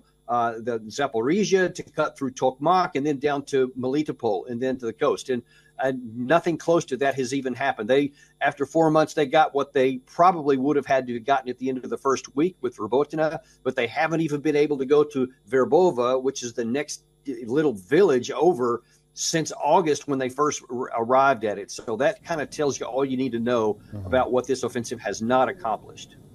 Colonel Daniel, now another winter is coming. The ground will once again become sloppy, like I said. What do you anticipate in the coming months? Yeah, that's that's a real important issue because the the only way that uh, Ukraine has had even moderate success in, in, the tactical fight here has been that they've used armored vehicles to get their infantry close to the line of contact get them out and then return back to pick them up later. But if you can't get those armored vehicles up there, and of course, when it gets really muddy, it gets very difficult for armored vehicles to make it through mud because those tracks or wheels, either one, can get mired in there. Anytime a vehicle gets struck in mud, it's going to be an immediate target for artillery or for uh, kamikaze drones. And that, if Ukraine therefore can't even get to the front line with enough troops, then they can't make progress. So I think the best thing they're going to be able to do is probably either still try to inch forward, but at very, very high cost in infantry, or what they should do, probably the most, what makes the most sense, is to convert to the defense to make sure they don't lose any more ground. Colonel Daniel, finally, and besides this or what is happening in Ukraine, there are claims that Russia is now testing missiles or nuclear missile tests. What do you make of these claims? You know, I mean, there, has been the risk of nuclear escalation from day one, and, and uh, as long as Russia is not any threat to, to, actually lose the war or being driven out of Ukraine or, or especially any kind of a movement military into Russia proper, then the, the risk of nuclear escalation is quite high. But in the meantime, I think that these are probably just saber rattling kinds of uh, moves by, by Russia. They want to keep everybody up at the front that we have nuclear weapons, so don't push us too far. But I don't think we're at any risk of nuclear use at the moment but getting this war over will be the best way to ensure that doesn't happen. All right, I've been talking to a military expert and senior fellow for defense priorities. His name is retired Colonel Daniel L. Davis. Daniel, thank you for talking to us today. Russia uses artillery as its primary form of lethality in the deep and close battles. Its combined arms elements are charged with positioning themselves so that the artillery can deliver destructive effects against their opponents. Now, NATO member France is sending additional howitzers to boost Ukraine's defenses. Of course, it's all part of the counter-offensive, which has not gone as planned, but Ukraine needs all the help it can get at the moment. Moscow has been accusing the West of leading a war against Russia by proxy. Here's all you need to know about what Ukraine is gaining in the latest. French state-owned firm Nexter uh, will deliver six additional Caesar truck-mounted howitzers to Ukraine. Now, as per the French Defense Ministry, Ukraine has already received 30 Caesar howitzers since uh, last year, 18 from France and 12 from manufacturer Nexter. Now, the French howitzers, which we're going to be talking about, will be a big boost for the Ukrainian armed forces, firing from the same spot, which is risky, as the enemy may detect artillery locations. So opponents can then determine the origin of indirect fire and respond with weaponized drones. Now, shoot and scoot. Now, these are the tactics which entail moving away from where shots were fired to avoid any kind of counter battery fire. Let's now take a look at the lethal French Caesar howitzer. First impressive deployment. Now, this was, let's talk about the capabilities first. The Caesar boasts of a road speed of more than 80 kilometers per hour. So it has those kinds of speeds and it is mobile. It can be positioned strategically wherever required. It has an off-road speed of more than 50 kilometers per hour and it is definitely one that the French howitzer has a cruising range of over 600 kilometers. So it can travel good distances and of course it can travel at a decent speed, can off-road as well. The combat weight of the formidable artillery system is less than 18 tons. So it's not super heavy and the Caesar offers the advantage of highly effective firepower. So the rate of fire is six rounds per minute. Now, range varies between 4.5 kilometers to more than 40 kilometers. It will obviously depend upon the trajectory in which it is fired. Additionally, the range using rocket-assisted ammunition is over 50 kilometers. The onboard ammunition consists of 18 complete rounds and it's all on board it's all mobile it can be moved where and when they want importantly the out action time is less than 40 seconds that's how quickly it can be installed and fired from lastly the caesar artillery system requires a crew of 4 to 5 personnel Ukraine's army has made modest advances. A counter-offensive that began in early June shows a little sign of breaking through Russian lines in force in any time soon. Now, the progress of Ukraine's operation has made some Western officials rather nervous. Remember, Russia also banks on similar shoot and scoot tactics and swears by the Msta-S self-propelled howitzers. Now, who's it going to be first, the Msta-S or these howitzers coming in from France? Of course, Ukraine needs all the all the effort and all the impact that it can get from the collective West. We will be tracking all the developments right here on World DNA. The Russia-Ukraine war is well into its 19th month. As the conflict drags on, there are stories of the human cost of this war buried deep under conflicting narratives from both nations. Thousands have died on both sides, many more have been injured. But today, we will tell you about Russia's punishment battalions and the people of these troops on the front lines.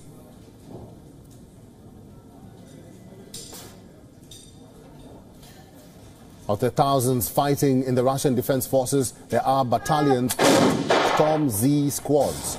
They fought on the front lines for the Battle of Bakhmut. Most of them have been killed. They fight with regular Russian soldiers, but nobody considers them ordinary citizens. The storm fighters, as they are called, are convicts from Russia's prisons. They are drunk recruits with a criminal past, recruits who were promised a clean record if they fought the war in Ukraine. Regular soldiers refer to them as quote-unquote just meat. Again, just meat. Reports reveal that the stormtroopers have been treated as lesser mortals and easy human exp expendables of war. The convict volunteers were denied medical treatment, munition to fight on the front lines, and even amenities as basic as food. Also referred to as penal squads, these soldiers are not a part of any private military. Unlike the Wagner Group, they function directly under orders of Russia's defense ministry. Independent reports from the war front revealed that storm fighters are just sent to the most dangerous parts of the front, in defense and in attack. Even if they get injured in battle or worse, they die, it is better than losing regular trained military troops. This is not the first time that convicts and criminals have been sent to the war zone. Many refer to the time of Joseph Stalin, who had sent soldiers to the punishment battalions as penance for mistakes and disciplinary reasons. Now, there seems to be no end in sight for the Russia-Ukraine war. The eternal question remains, is the human cost justified?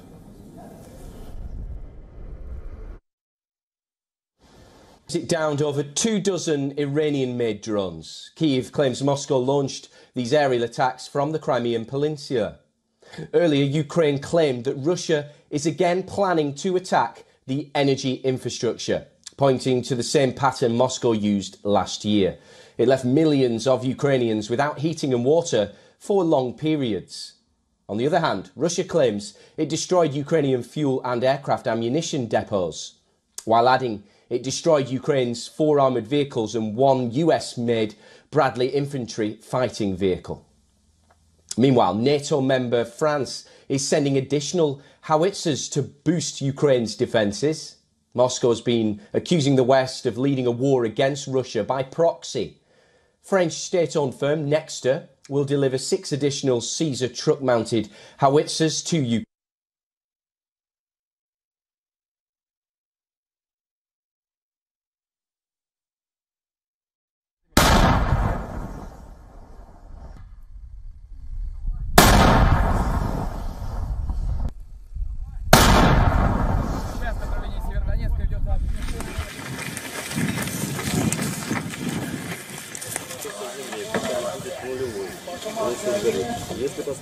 对我们的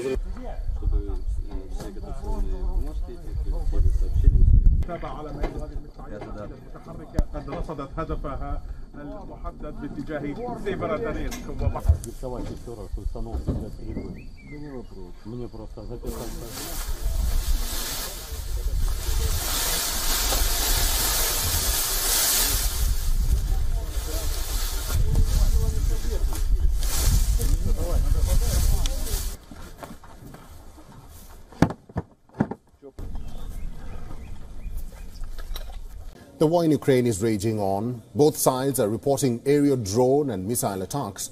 But a new report has once again reignited the debate of use of nuclear weapons in Ukraine. A satellite imagery and aviation data suggests that Russia may be preparing to test an experimental nuclear-powered cruise missile. An analysis by New York Times notices movements of aircraft and vehicles near a Russian base in the Arctic region. The remote base is known for conducting tests of nuclear-powered missiles. Similarly, over the last two weeks, U.S. surveillance planes have also been tracked in that area.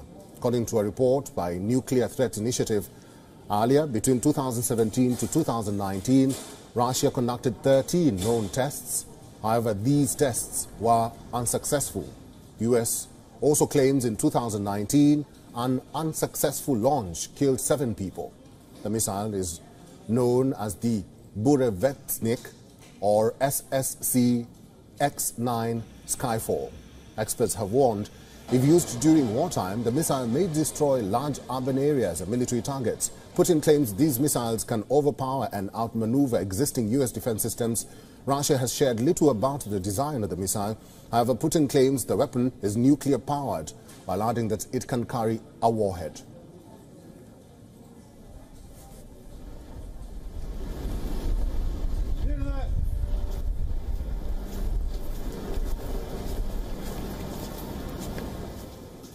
David Dunn is a professor of international politics in the University of Birmingham. Is now joining us live from Birmingham, England. David, good to see you. Welcome to the show. First of all, what do you make of this report that Russia may be preparing to test an experimental nuclear-powered cruise missile in the Arctic Sea? Well, as you say, there's nothing particularly new with this system. They've actually been trying to uh, perfect a whole range of exotic new nuclear weapon systems since uh, about 1917. Uh, so this is part of their so far unsuccessful attempt to try and prove what is an exotic technology. The, the thing that makes this interesting is the idea that it would be powered by a secondary nuclear uh, engine inside the missile. It would be launched by a solid state rocket, and then once uh, it, it was in the air, it would be powered by this nuclear, the small nuclear reactor. And what that would do is give it a very long endurance. It could fly a very long distance, 14,000 miles, uh, and possibly stay aloft uh, indefinitely due to that technology involved in there. What, what that gives is really uh, nothing very novel.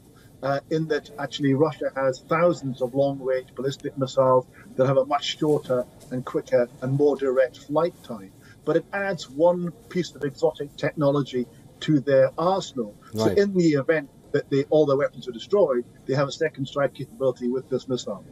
David, U.S. claims that the unsuccessful launch in 2019 killed seven people. How big of a threat are these nuclear missiles or even tests? Well, the tests themselves uh, of a system that has clearly proven difficult to make work are a problem in that whenever you use radiation, there is a risk of, of that uh, being uh, a, a, a, having an effect in killing people. In this case, the seven crew that tried to rescue it, or falling on people's heads if it should actually be flown over land or even sea areas where there are shipping. So it's it's never a, a, a great thing to actually use nuclear technology in such a, a small form and unproved technology. But ultimately, in terms of the threat of, as a missile, it's no more of a threat than the other systems that Russia has in its arsenal. It's just Russia trying to be experimental and prove other ways of killing people. David, finally, and I want your brief uh, response to this one. So, if the tests are proven, what impact would that have, and what sort of reaction could Russia get from the nuclear agency? Well, the, the concern is that it adds further to their arsenal. But actually, in terms of the overall threat that Russia poses, there's nothing really new here. It's just an exotic way of making the, the warheads fly, and that's not, of no real concern above uh, Russia's nuclear arsenal as it stands. David Dunn, thank you very much for all your inputs and for talking to WION World is One today.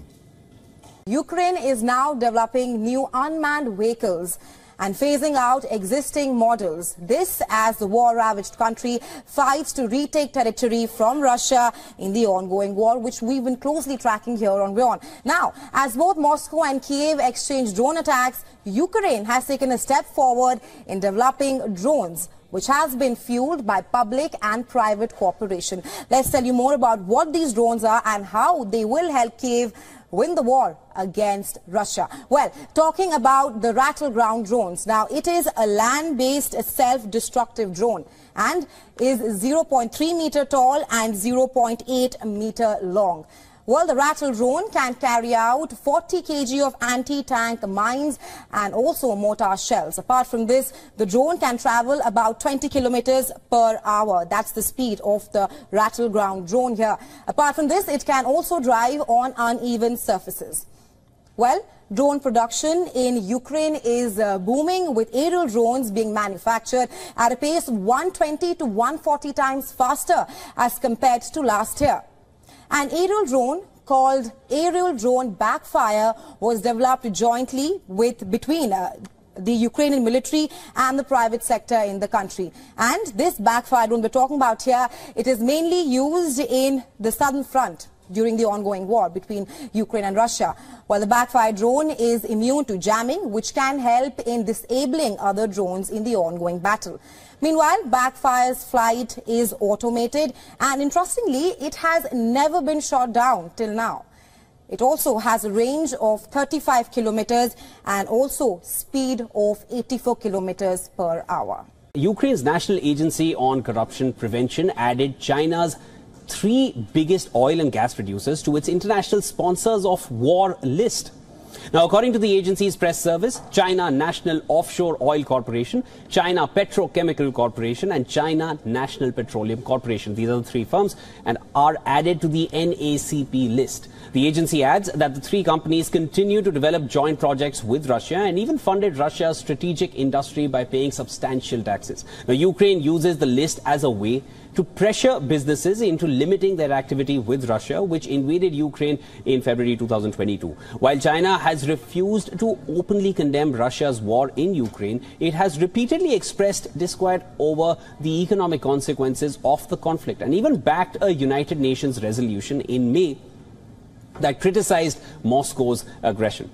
Right now, as Ukraine steps up its enforcement against Chinese businesses and state entities collaborating with Russia, previously the NACP listed the China State Construction Engineering Corporation online marketplace Alibaba and also telecommunications uh, company Xiaomi to the international sponsors of war list. Well, Russia has looked to China as a growing export market for oil and gas. Hence, in March, Russian President Vladimir Putin announced a new pipeline dubbed as Power of Siberia 2, which would carry 50 billion cubic meters of gas to China through Mongolia.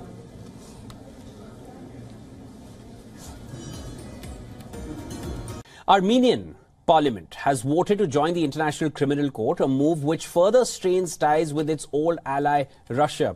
This is, of course, as the decision will oblige the former Soviet Republic to arrest Russian President Vladimir Putin if he ever visits the nation again.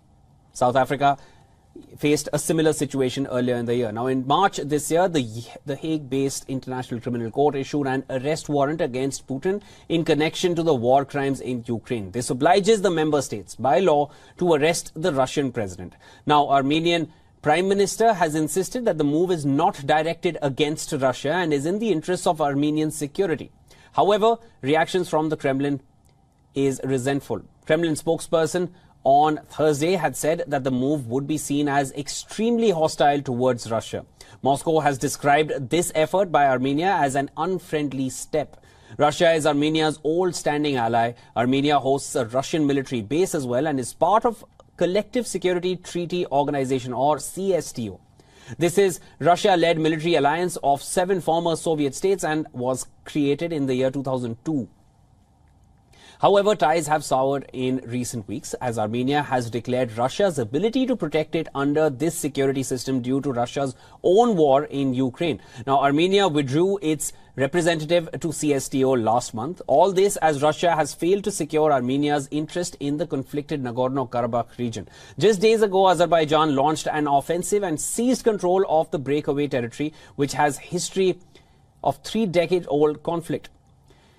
Nearly all the Armenian population has now fled the region. All it took Azerbaijan was one day of conflict and violence. In 2020, Putin had guaranteed that Russian peacekeepers would protect the region's population, maintain a ceasefire, and assure access on the only road connecting Nagorno-Karabakh and Armenia. However, this did not happen. It failed to keep the promises. Azerbaijan has taken control of the region, sparking a massive mass comeback of residents. Has Ukraine's much vaunted counteroffensive failed? Well, that's what Russia is saying. Ukrainian forces had been attempting to penetrate Russian defenses on front lines in the east and south of the country. Four months on, with not much progress on the ground, in the last four months since the launch of the counteroffensive, nothing has happened on ground and in the front line. Russian defense minister says, and I quote, the enemy's attempts to break through our defenses in the areas of Verbovoye and Rabotino on the Zaporizhia front have failed. Kremlin also asserts that it has pushed back the Ukrainian troops from Bakhmut in the eastern front in the war-battered Donetsk region. Kiev claims to have taken back about 47 square kilometers of territory around Bakhmut since starting its counteroffensive in early June. Kiev launched the long-awaited counteroffensive in June, but has acknowledged slow progress as its forces crashed into sophisticated and kilometers-deep Russian defense, defensive positions.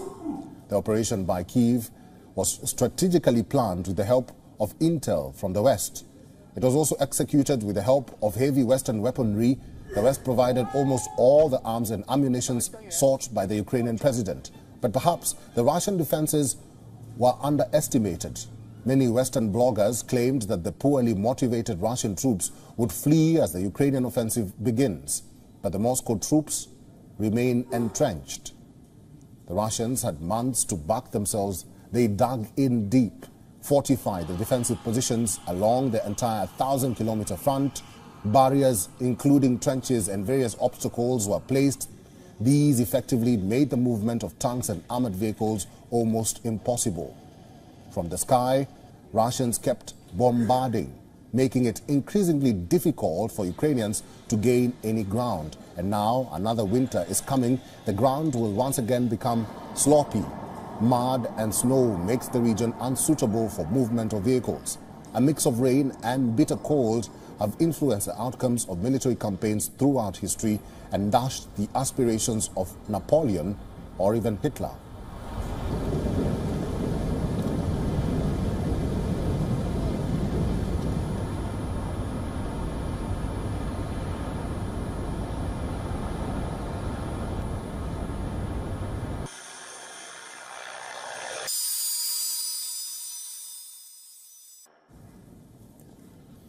Retired Colonel Daniel L. Davis is a military expert and senior fellow for defense priorities. He's now joining us from Sterling, Virginia. Colonel Daniel, welcome to the show. Russia says it has proof that the counteroffensive is failing. But I want your own assessment of this counteroffensive so far. Let's start from there and then give us your thoughts about Russia's claims.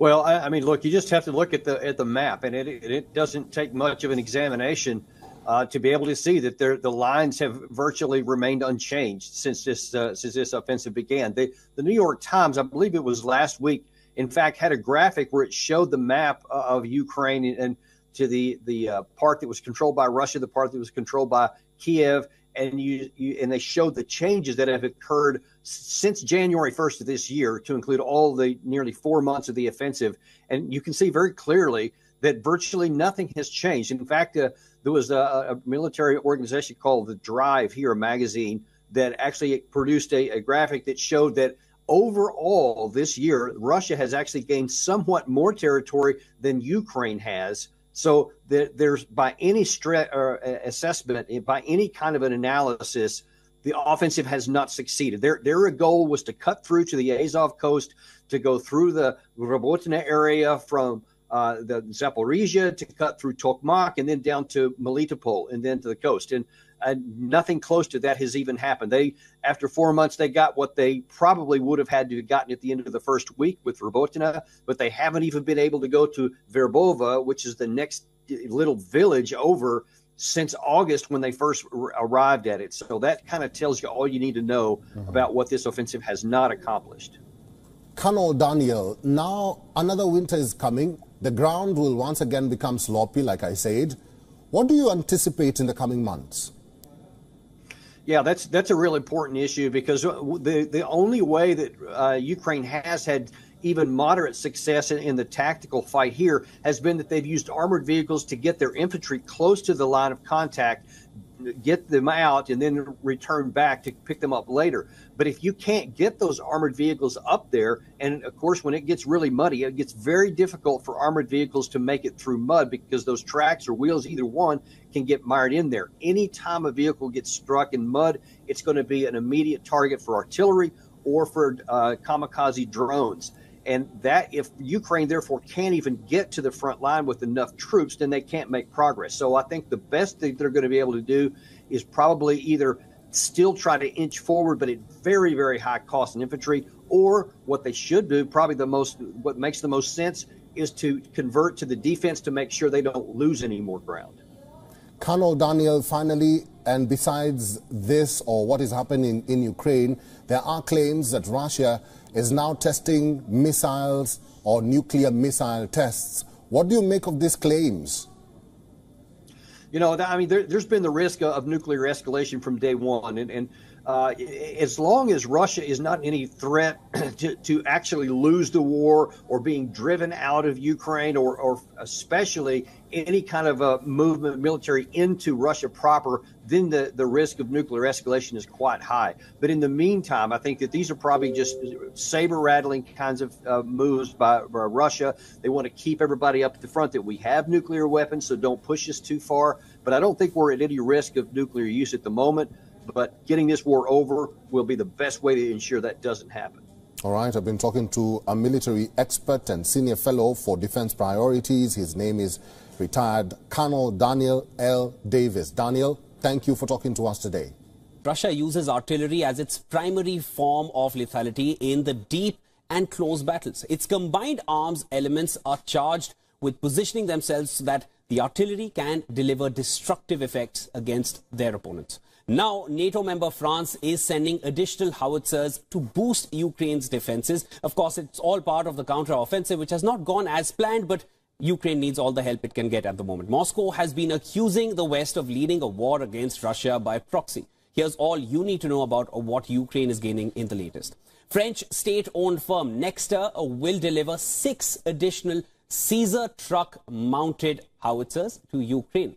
Now, as per the French Defense Ministry, Ukraine has already received 30 Caesar howitzers since uh, last year, 18 from France and 12 from manufacturer Nexter. Now, the French howitzers, which we're going to be talking about, will be a big boost for the Ukrainian armed forces, firing from the same spot, which is risky, as the enemy may detect artillery locations. So opponents can then determine the origin of indirect fire and respond with weaponized drones. Now, shoot and scoot. Now, these are the tactics which entail moving away from where shots were fired to avoid any kind of counter battery fire. Let's now take a look at the lethal French Caesar howitzer. First impressive deployment. Now, this was, let's talk about the capabilities first. The Caesar boasts of a road speed of more than 80 kilometers per hour. So it has those kinds of speeds and it is mobile. It can be positioned strategically wherever required. It has an off-road speed of more than 50 kilometers per hour and it is definitely one that the French howitzer has a cruising range of over 600 kilometers. So it can travel good distances and of course it can travel at a decent speed, can off-road as well. The combat weight of the formidable artillery system is less than 18 tons. So it's not super heavy and the Caesar offers uh, the advantage of highly effective firepower. So the rate of fire is 6 rounds per minute. Now, range varies between 4.5 kilometers uh, to more than 40 kilometers. It will obviously depend upon the trajectory in which it is fired. Additionally, the range using rocket-assisted ammunition is over 50 kilometers. The onboard ammunition consists of 18 complete rounds. And it's all on board it's all mobile it can be moved where and when they want. Importantly the out action time is less than 40 seconds. That's how quickly it can be installed and fired from.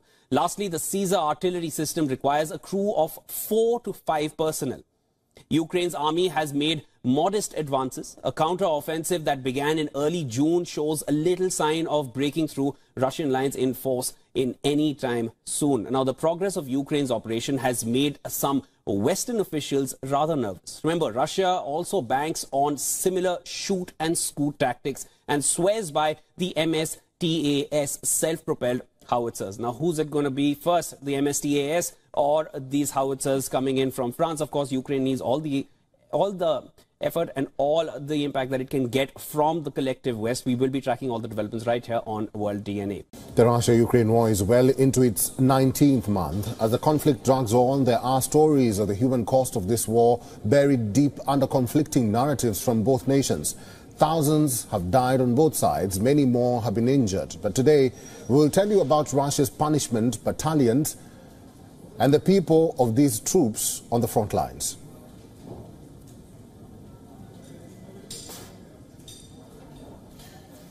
Of the thousands fighting in the Russian Defense Forces, there are battalions called Storm Z squads. They fought on the front lines for the Battle of Bakhmut. Most of them have been killed. They fight with regular Russian soldiers, but nobody considers them ordinary citizens. The storm fighters, as they are called, are convicts from Russia's prisons. They are drunk recruits with a criminal past, recruits who were promised a clean record if they fought the war in Ukraine. Regular soldiers refer to them as quote unquote just meat. Again, just meat. Reports reveal that the stormtroopers have been treated as lesser mortals and easy human exp expendables of war. The convict volunteers were denied medical treatment, munition to fight on the front lines, and even amenities as basic as food. Also referred to as penal squads, these soldiers are not a part of any private military. Unlike the Wagner Group, they function directly under orders of Russia's defense ministry. Independent reports from the war front revealed that storm fighters are just sent to the most dangerous parts of the front, in defense and in attack. Even if they get injured in battle or worse, they die, it is better than losing regular trained military troops. This is not the first time that convicts and criminals have been sent to the war zone. Many refer to the time of Joseph Stalin, who had sent soldiers to the punishment battalions as penance for mistakes and disciplinary reasons. There seems to be no end in sight for the Russia-Ukraine war. The eternal question remains, is the human cost justified?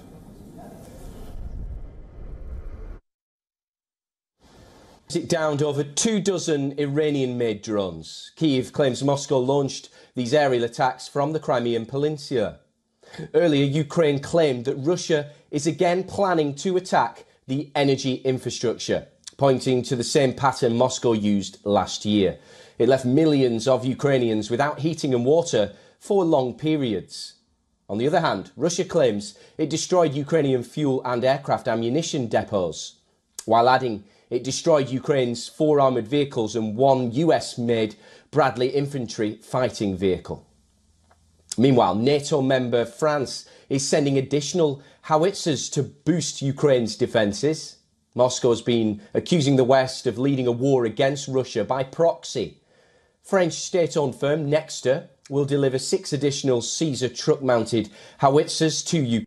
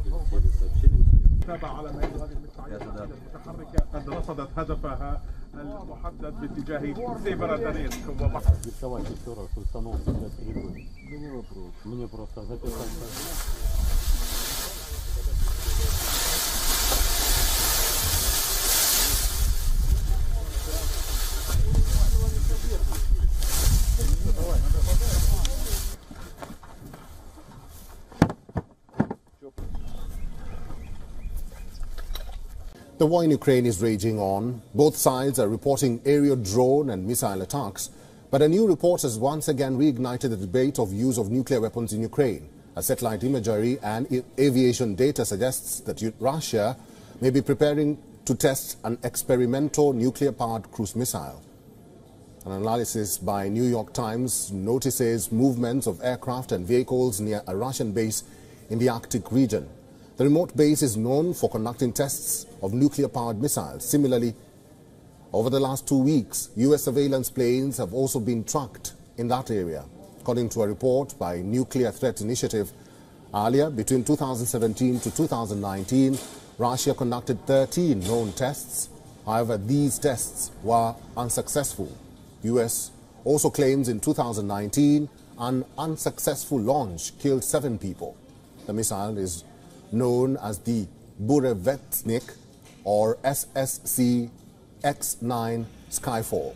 Experts have warned if used during wartime, the missile may destroy large urban areas and military targets. Putin claims these missiles can overpower and outmaneuver existing U.S. defense systems. Russia has shared little about the design of the missile. However, Putin claims the weapon is nuclear powered, while adding that it can carry a warhead.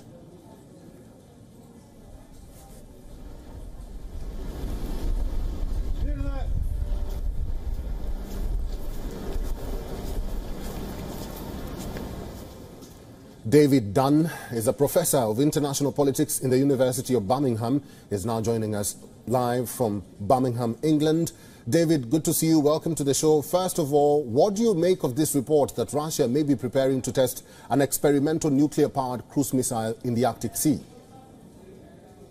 Well, as you say, there's nothing particularly new with this system. They've actually been trying to uh, perfect a whole range of exotic new nuclear weapon systems since uh, about 1917. Uh, so this is part of their so far unsuccessful attempt to try and prove what is an exotic technology. The, the thing that makes this interesting is the idea that it would be powered by a secondary nuclear uh, engine inside the missile. It would be launched by a solid state rocket, and then once uh, it, it was in the air, it would be powered by this nuclear, the small nuclear reactor. And what that would do was give it a very long endurance. It could fly a very long distance, 14,000 miles, uh, and possibly stay aloft uh, indefinitely due to that technology involved in there. What, what that gives is really uh, nothing very novel. Uh, in that actually Russia has thousands of long-range ballistic missiles that have a much shorter and quicker and more direct flight time. But it adds one piece of exotic technology to their arsenal. So in the event that they, all their weapons are destroyed, they have a second strike capability with this missile. David, U.S. claims that the unsuccessful launch in 2019 killed seven people. How big of a threat are these nuclear missiles or even tests?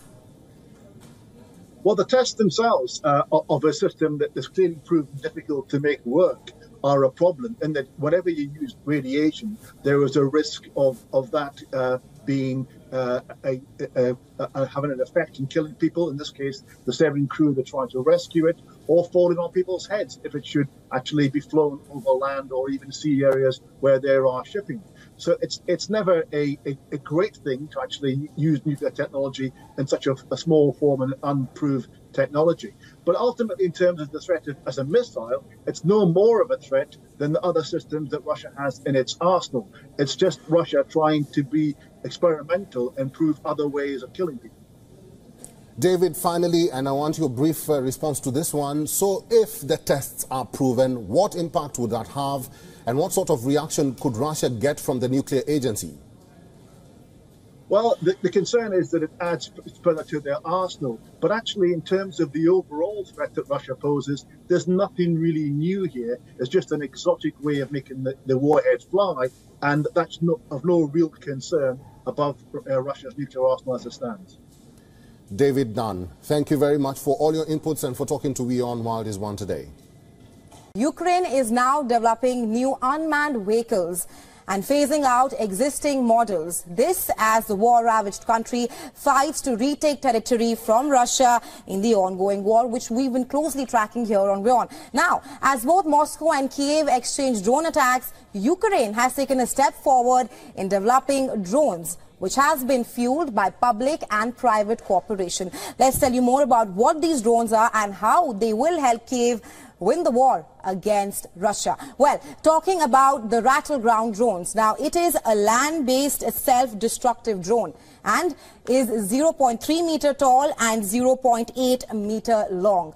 Well, the Ratel drone can carry out 40 kg of anti-tank mines and also mortar shells. Apart from this, the drone can travel about 20 kilometers per hour. That's the speed of the Ratel ground drone here. Apart from this, it can also drive on uneven surfaces.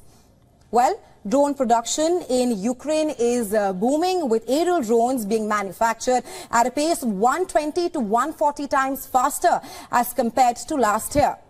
An aerial drone called Aerial Drone Backfire was developed jointly with between uh, the Ukrainian military and the private sector in the country. And this backfire drone we're talking about here, it is mainly used in the southern front during the ongoing war between Ukraine and Russia. While the backfire drone is immune to jamming, which can help in disabling other drones in the ongoing battle. Meanwhile, Backfire's flight is automated and interestingly, it has never been shot down till now. It also has a range of 35 kilometers and also speed of 84 kilometers per hour. Ukraine's National Agency on Corruption Prevention added China's three biggest oil and gas producers to its international sponsors of war list. Now, according to the agency's press service, China National Offshore Oil Corporation, China Petrochemical Corporation, and China National Petroleum Corporation, these are the three firms, and are added to the NACP list. The agency adds that the three companies continue to develop joint projects with Russia and even funded Russia's strategic industry by paying substantial taxes. Now, Ukraine uses the list as a way to pressure businesses into limiting their activity with Russia, which invaded Ukraine in February 2022.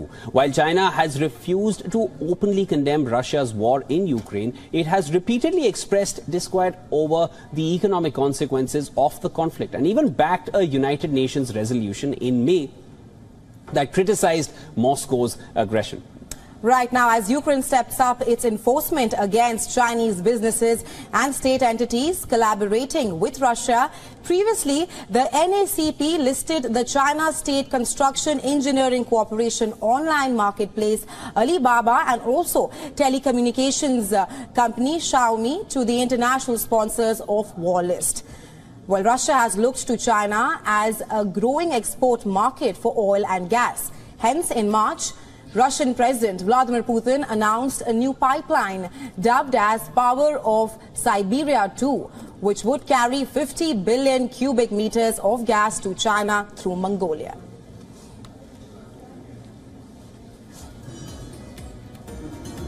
Armenian Parliament has voted to join the International Criminal Court, a move which further strains ties with its old ally Russia. This is, of course, as the decision will oblige the former Soviet Republic to arrest Russian President Vladimir Putin if he ever visits the nation again. South Africa faced a similar situation earlier in the year. Now, in March this year, the, the Hague-based International Criminal Court issued an arrest warrant against Putin in connection to the war crimes in Ukraine. This obliges the member states by law to arrest the Russian president. Now, Armenian Prime Minister has insisted that the move is not directed against Russia and is in the interests of Armenian security. However, reactions from the Kremlin is resentful. Kremlin spokesperson on Thursday had said that the move would be seen as extremely hostile towards Russia. Moscow has described this effort by Armenia as an unfriendly step. Russia is Armenia's old standing ally. Armenia hosts a Russian military base as well and is part of Collective Security Treaty Organization or CSTO. This is Russia-led military alliance of seven former Soviet states and was created in the year 2002. However, ties have soured in recent weeks as Armenia has declared Russia's ability to protect it under this security system due to Russia's own war in Ukraine. Now, Armenia withdrew its representative to CSTO last month. All this as Russia has failed to secure Armenia's interest in the conflicted Nagorno-Karabakh region. Just days ago, Azerbaijan launched an offensive and seized control of the breakaway territory, which has history of three-decade-old conflict. Nearly all the Armenian population has now fled the region. All it took Azerbaijan was one day of conflict and violence. In 2020, Putin had guaranteed that Russian peacekeepers would protect the region's population, maintain a ceasefire, and assure access on the only road connecting Nagorno-Karabakh and Armenia. However, this did not happen. It failed to keep the promises. Azerbaijan has taken control of the region, sparking a massive mass comeback of residents. Has Ukraine's much vaunted counteroffensive failed? Well, that's what Russia is saying. Ukrainian forces had been attempting to penetrate Russian defenses on front lines in the east and south of the country. Four months on, with not much progress on the ground, in the last four months since the launch of the counteroffensive, nothing has happened on ground and in the front line. Russian defense minister says, and I quote, the enemy's attempts to break through our defenses in the areas of Verbovoye and Rabotino on the Zaporizhia front have failed. Kremlin also asserts that it has pushed back the Ukrainian troops from Bakhmut in the eastern front in the war-battered Donetsk region. Kiev claims to have taken back about 47 square kilometers of territory around Bakhmut since starting its counteroffensive in early June. Kiev launched the long-awaited counteroffensive in June, but has acknowledged slow progress as its forces crashed into sophisticated and kilometers deep Russian defense, defensive positions. The operation by Kiev was strategically planned with the help of intel from the West. It was also executed with the help of heavy Western weaponry. The West provided almost all the arms and ammunition sought by the Ukrainian president. But perhaps the Russian defenses were underestimated. Many Western bloggers claimed that the poorly motivated Russian troops would flee as the Ukrainian offensive begins. But the Moscow troops remain entrenched. The Russians had months to back themselves. They dug in deep fortify the defensive positions along the entire 1,000 kilometer front. Barriers, including trenches and various obstacles, were placed. These effectively made the movement of tanks and armored vehicles almost impossible. From the sky, Russians kept bombarding, making it increasingly difficult for Ukrainians to gain any ground. And now another winter is coming. The ground will once again become sloppy Mud and snow makes the region unsuitable for movement of vehicles. A mix of rain and bitter cold have influenced the outcomes of military campaigns throughout history and dashed the aspirations of Napoleon or even Hitler.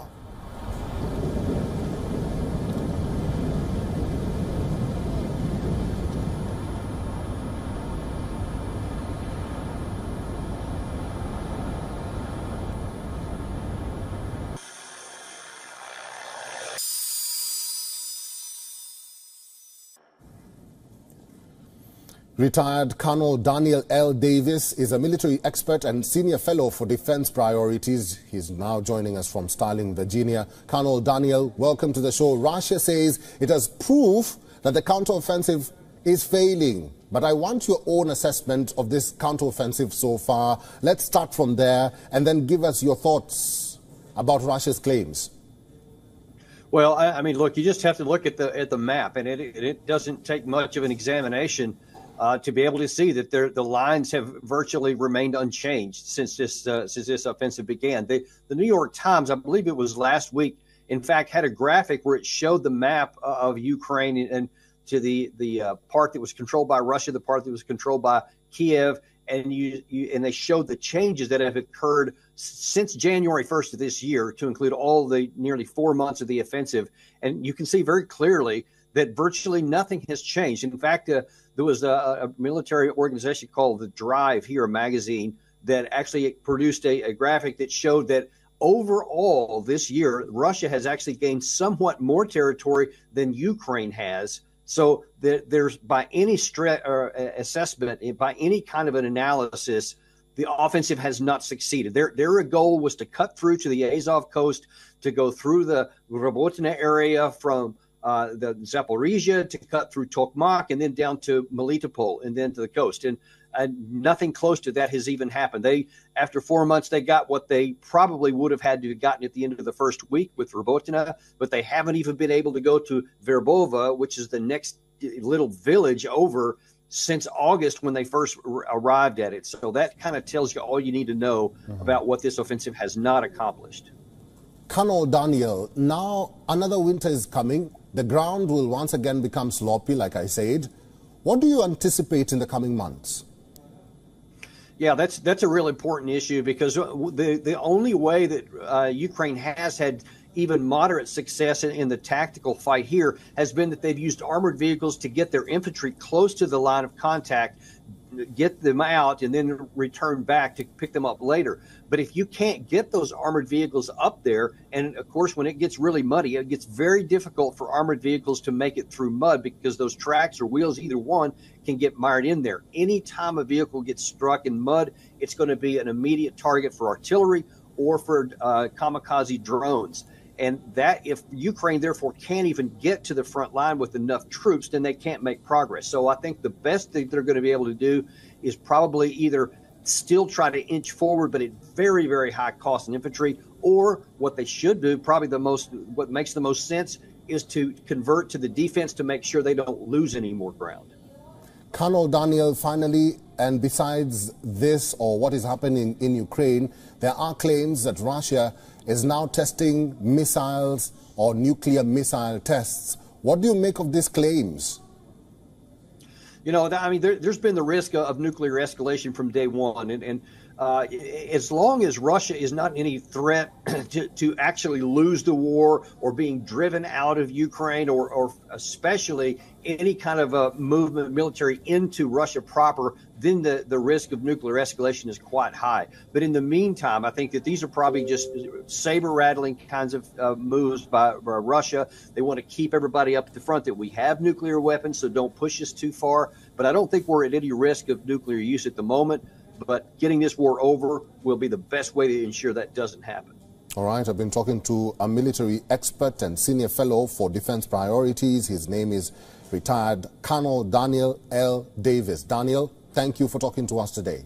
Russia uses artillery as its primary form of lethality in the deep and close battles. Its combined arms elements are charged with positioning themselves so that the artillery can deliver destructive effects against their opponents. Now, NATO member France is sending additional howitzers to boost Ukraine's defenses. Of course, it's all part of the counter-offensive, which has not gone as planned, but Ukraine needs all the help it can get at the moment. Moscow has been accusing the West of leading a war against Russia by proxy. Here's all you need to know about what Ukraine is gaining in the latest. French state-owned firm Nexter uh, will deliver six additional Caesar truck-mounted howitzers to Ukraine. Now, as per the French Defense Ministry, Ukraine has already received 30 Caesar howitzers since uh, last year, 18 from France and 12 from manufacturer Nexter. Now, the French howitzers, which we're going to be talking about, will be a big boost for the Ukrainian armed forces, firing from the same spot, which is risky, as the enemy may detect artillery location. So opponents can then determine the origin of indirect fire and respond with weaponized drones.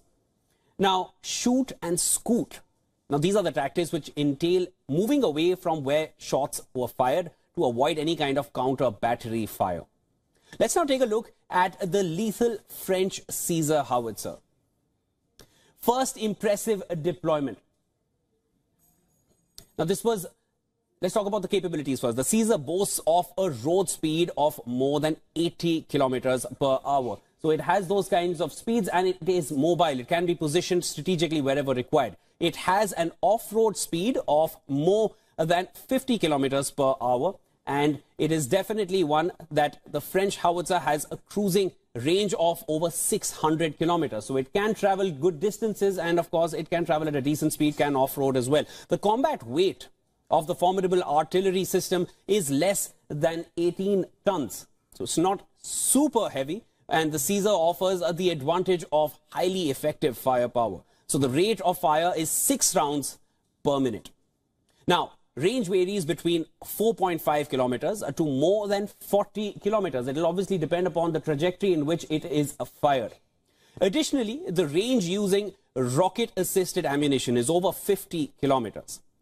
The onboard ammunition consists of 18 complete rounds and it's all on board it's all mobile it can be moved where and when they want importantly the out action time is less than 40 seconds that's how quickly it can be installed and fired from lastly the caesar artillery system requires a crew of 4 to 5 personnel Ukraine's army has made modest advances. A counter-offensive that began in early June shows a little sign of breaking through Russian lines in force in any time soon. Now, the progress of Ukraine's operation has made some Western officials rather nervous. Remember, Russia also banks on similar shoot and scoot tactics and swears by the Msta-S self-propelled howitzers. Now, who's it going to be first, the Msta-S or these howitzers coming in from France? Of course, Ukraine needs all the all the effort and all the impact that it can get from the collective West. We will be tracking all the developments right here on World DNA.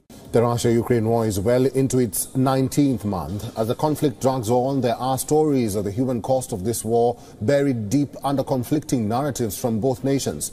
Thousands have died on both sides, many more have been injured. But today, we'll tell you about Russia's punishment battalions and the people of these troops on the front lines.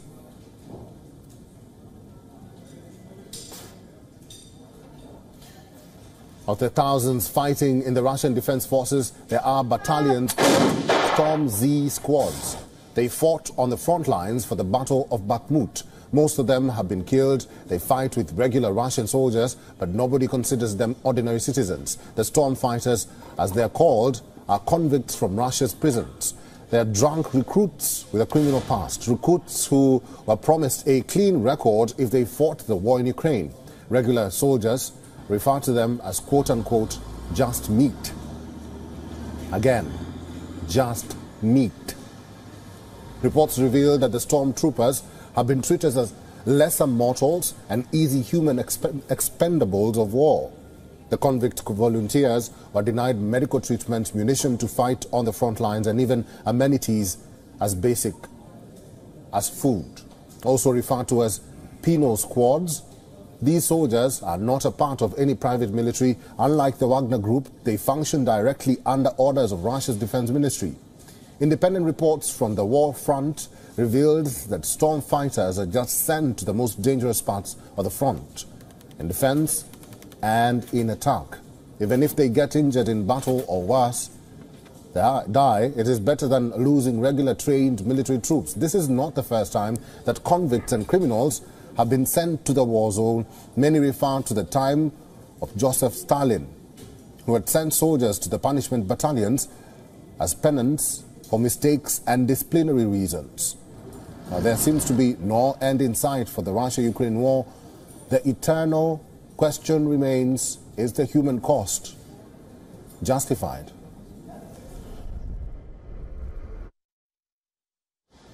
It downed over two dozen Iranian made drones. Kiev claims Moscow launched these aerial attacks from the Crimean Peninsula.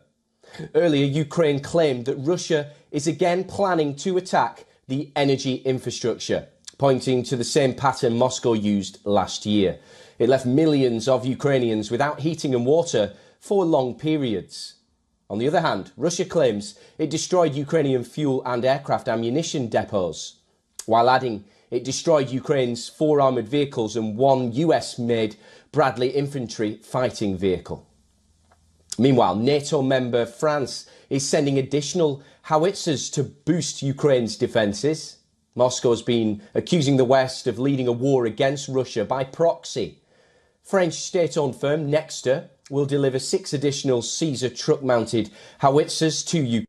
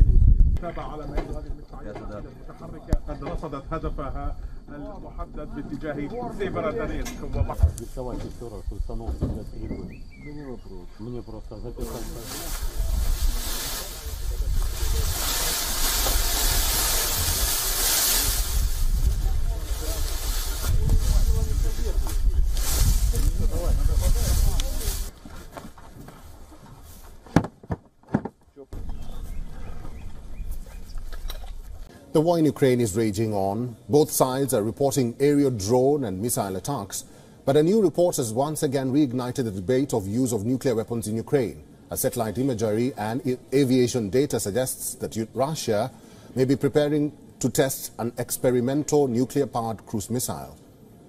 An analysis by New York Times notices movements of aircraft and vehicles near a Russian base in the Arctic region. The remote base is known for conducting tests of nuclear-powered missiles. Similarly, over the last two weeks, U.S. surveillance planes have also been tracked in that area. According to a report by Nuclear Threat Initiative, earlier between 2017 to 2019, Russia conducted 13 known tests. However, these tests were unsuccessful. U.S. also claims in 2019 an unsuccessful launch killed seven people. The missile is known as the Burevestnik or SSC X-9 Skyfall. Experts have warned if used during wartime, the missile may destroy large urban areas and military targets. Putin claims these missiles can overpower and outmaneuver existing U.S. defense systems. Russia has shared little about the design of the missile. However, Putin claims the weapon is nuclear powered, while adding that it can carry a warhead.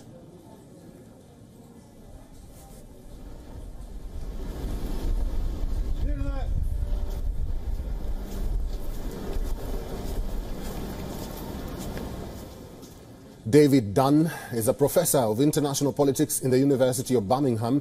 He is now joining us live from Birmingham, England. David, good to see you. Welcome to the show. First of all, what do you make of this report that Russia may be preparing to test an experimental nuclear-powered cruise missile in the Arctic Sea? Well, as you say, there's nothing particularly new with this system. They've actually been trying to uh, perfect a whole range of exotic new nuclear weapon systems since uh, about 1917. Uh, so this is part of their so far unsuccessful attempt to try and prove what is an exotic technology. The, the thing that makes this interesting is the idea that it would be powered by a secondary nuclear uh, engine inside the missile. It would be launched by a solid state rocket, and then once uh, it, it was in the air, it would be powered by this nuclear, the small nuclear reactor.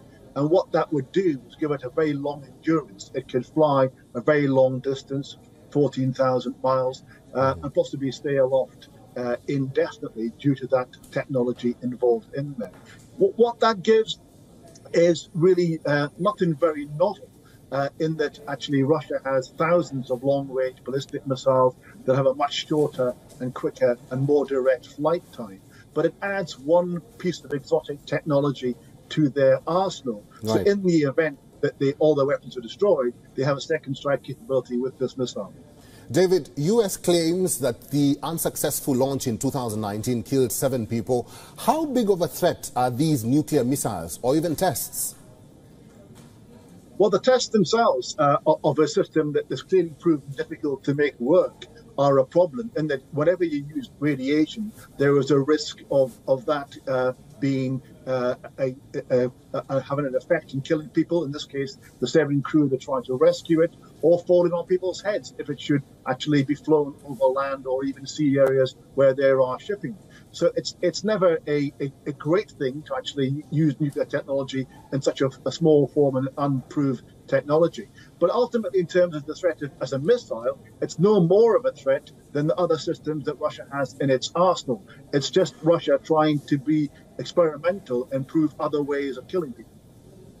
David, finally, and I want your brief uh, response to this one. So, if the tests are proven, what impact would that have, and what sort of reaction could Russia get from the nuclear agency?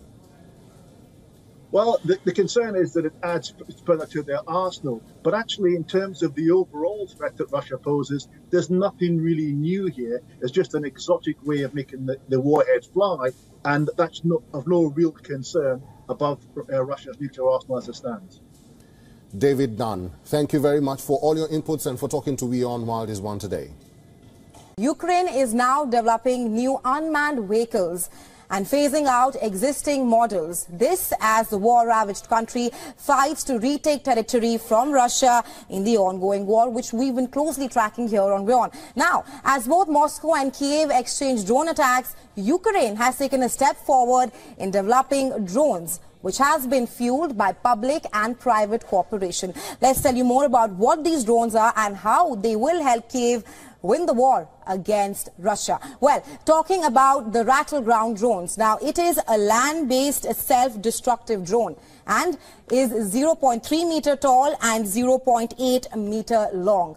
Well, the Ratel drone can carry out 40 kg of anti-tank mines and also mortar shells. Apart from this, the drone can travel about 20 kilometers per hour. That's the speed of the Ratel ground drone here. Apart from this, it can also drive on uneven surfaces. Well, drone production in Ukraine is uh, booming with aerial drones being manufactured at a pace 120 to 140 times faster as compared to last year. An aerial drone called Aerial Drone Backfire was developed jointly with between uh, the Ukrainian military and the private sector in the country. And this backfire drone we're talking about here, it is mainly used in the southern front during the ongoing war between Ukraine and Russia. While the backfire drone is immune to jamming, which can help in disabling other drones in the ongoing battle. Meanwhile, Backfire's flight is automated and interestingly, it has never been shot down till now. It also has a range of 35 kilometers and also speed of 84 kilometers per hour. Ukraine's National Agency on Corruption Prevention added China's three biggest oil and gas producers to its international sponsors of war list.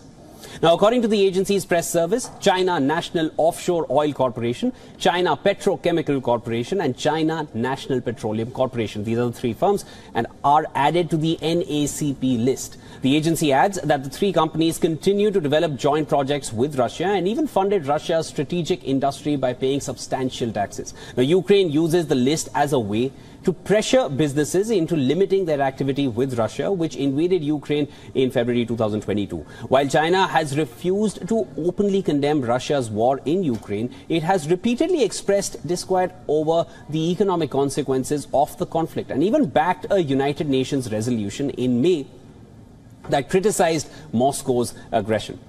Right now, as Ukraine steps up its enforcement against Chinese businesses and state entities collaborating with Russia, previously the NACP listed the China State Construction Engineering Corporation online marketplace Alibaba and also telecommunications uh, company Xiaomi to the international sponsors of war list. Well, Russia has looked to China as a growing export market for oil and gas. Hence, in March, Russian President Vladimir Putin announced a new pipeline dubbed as Power of Siberia 2, which would carry 50 billion cubic meters of gas to China through Mongolia.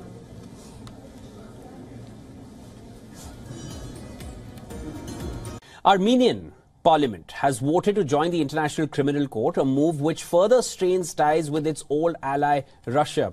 This is, of course, as the decision will oblige the former Soviet Republic to arrest Russian President Vladimir Putin if he ever visits the nation again. South Africa faced a similar situation earlier in the year. Now, in March this year, the, the Hague-based International Criminal Court issued an arrest warrant against Putin in connection to the war crimes in Ukraine. This obliges the member states by law to arrest the Russian president. Now, Armenian Prime Minister has insisted that the move is not directed against Russia and is in the interests of Armenian security. However, reactions from the Kremlin is resentful. Kremlin spokesperson on Thursday had said that the move would be seen as extremely hostile towards Russia. Moscow has described this effort by Armenia as an unfriendly step.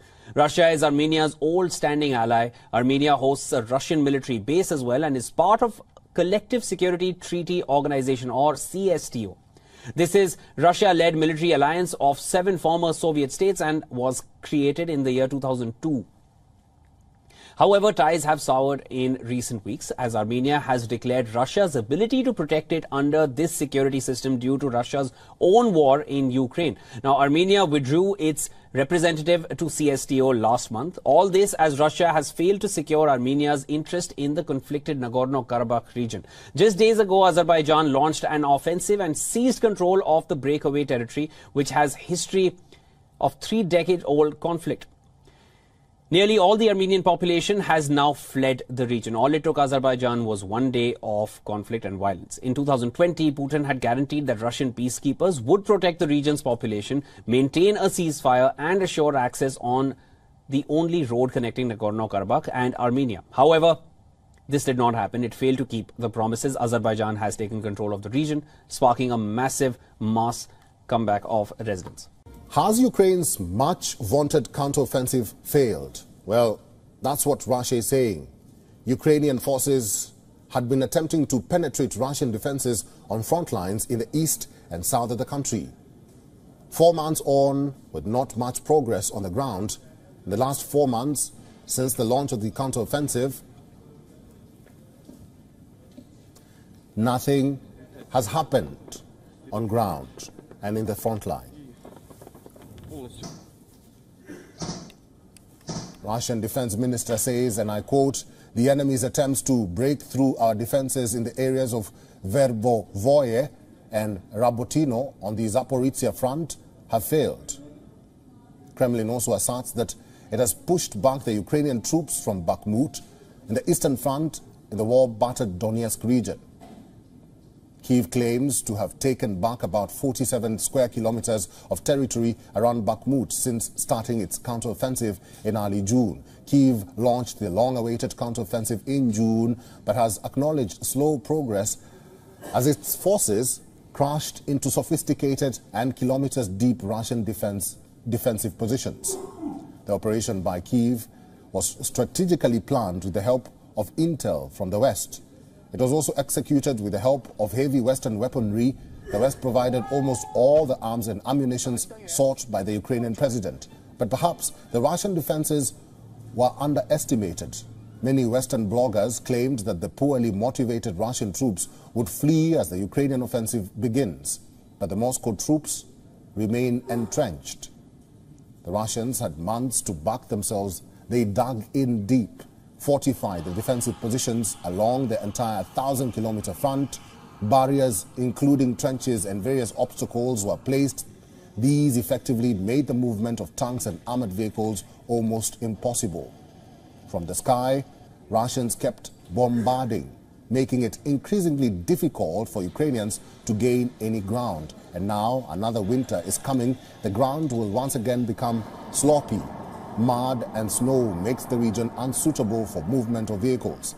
A mix of rain and bitter cold have influenced the outcomes of military campaigns throughout history and dashed the aspirations of Napoleon or even Hitler.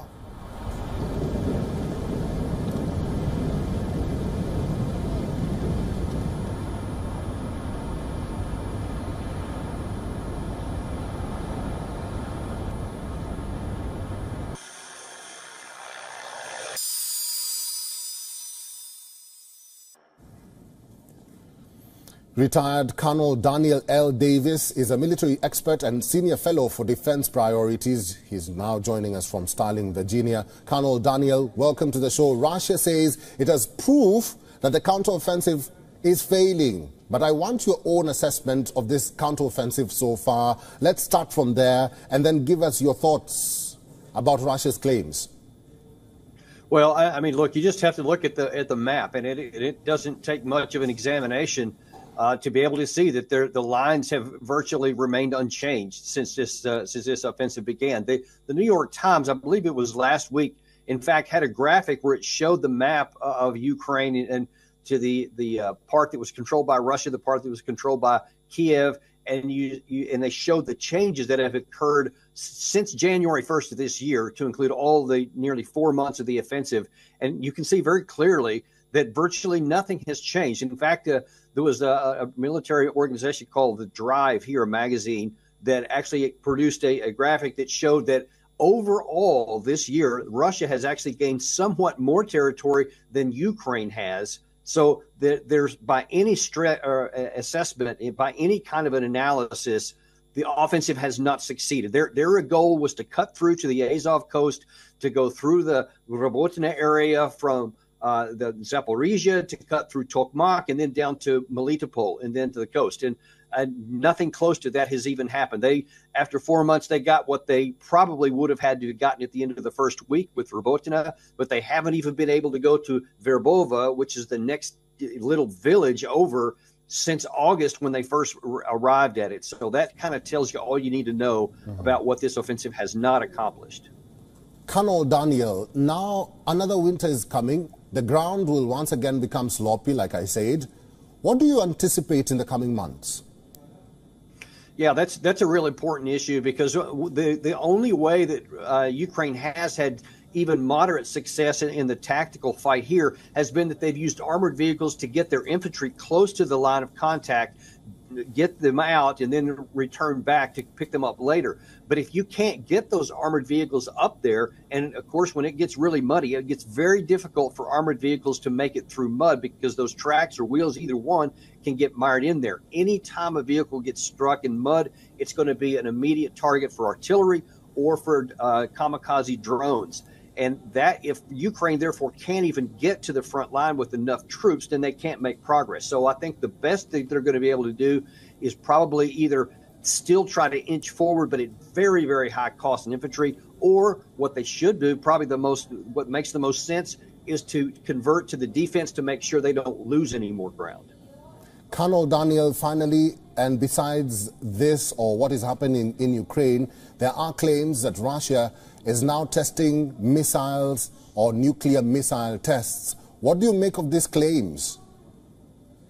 You know, I mean, there, has been the risk of nuclear escalation from day one, and, and uh, as long as Russia is not any threat to, to actually lose the war or being driven out of Ukraine or, or especially any kind of a movement military into Russia proper, then the, the risk of nuclear escalation is quite high. But in the meantime, I think that these are probably just saber rattling kinds of uh, moves by, by Russia. They want to keep everybody up at the front that we have nuclear weapons, so don't push us too far. But I don't think we're at any risk of nuclear use at the moment but getting this war over will be the best way to ensure that doesn't happen. All right, I've been talking to a military expert and senior fellow for defense priorities. His name is retired Colonel Daniel L. Davis. Daniel, thank you for talking to us today. Russia uses artillery as its primary form of lethality in the deep and close battles. Its combined arms elements are charged with positioning themselves so that the artillery can deliver destructive effects against their opponents. Now, NATO member France is sending additional howitzers to boost Ukraine's defenses. Of course, it's all part of the counter-offensive, which has not gone as planned, but Ukraine needs all the help it can get at the moment. Moscow has been accusing the West of leading a war against Russia by proxy. Here's all you need to know about what Ukraine is gaining in the latest. French state-owned firm Nexter uh, will deliver six additional Caesar truck-mounted howitzers to Ukraine. Now, as per the French Defense Ministry, Ukraine has already received 30 Caesar howitzers since uh, last year, 18 from France and 12 from manufacturer Nexter. Now, the French howitzers, which we're going to be talking about, will be a big boost for the Ukrainian armed forces, firing from the same spot, which is risky, as the enemy may detect artillery locations. So opponents can then determine the origin of indirect fire and respond with weaponized drones. Now, shoot and scoot. Now, these are the tactics which entail moving away from where shots were fired to avoid any kind of counter battery fire. Let's now take a look at the lethal French Caesar howitzer. First impressive deployment.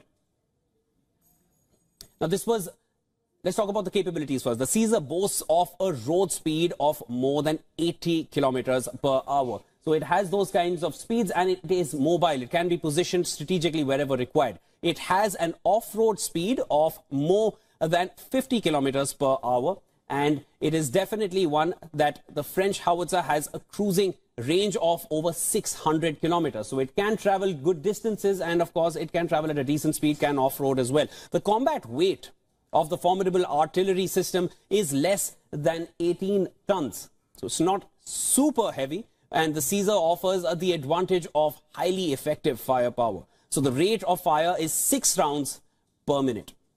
Now, range varies between 4.5 kilometers to more than 40 kilometers. It will obviously depend upon the trajectory in which it is fired. Additionally, the range using rocket-assisted ammunition is over 50 kilometers. The onboard ammunition consists of 18 complete rounds and it's all on board it's all mobile it can be moved where and when they want importantly the out action time is less than 40 seconds that's how quickly it can be installed and fired from lastly the caesar artillery system requires a crew of 4 to 5 personnel Ukraine's army has made modest advances. A counter-offensive that began in early June shows a little sign of breaking through Russian lines in force in any time soon. Now, the progress of Ukraine's operation has made some Western officials rather nervous. Remember, Russia also banks on similar shoot and scoot tactics and swears by the Msta-S self-propelled howitzers. Now, who's it going to be first, the Msta-S or these howitzers coming in from France? Of course, Ukraine needs all the all the effort and all the impact that it can get from the collective West. We will be tracking all the developments right here on World DNA. The Russia-Ukraine war is well into its 19th month. As the conflict drags on, there are stories of the human cost of this war buried deep under conflicting narratives from both nations. Thousands have died on both sides, many more have been injured. But today, we will tell you about Russia's punishment battalions and the people of these troops on the front lines.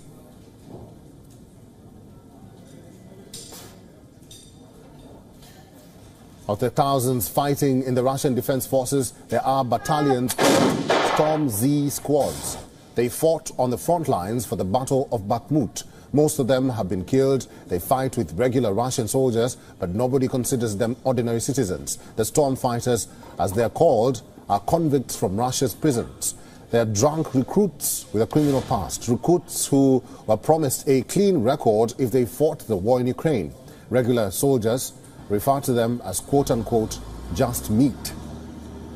Again, just meat. Reports reveal that the stormtroopers have been treated as lesser mortals and easy human exp expendables of war. The convict volunteers were denied medical treatment, munition to fight on the front lines, and even amenities as basic as food.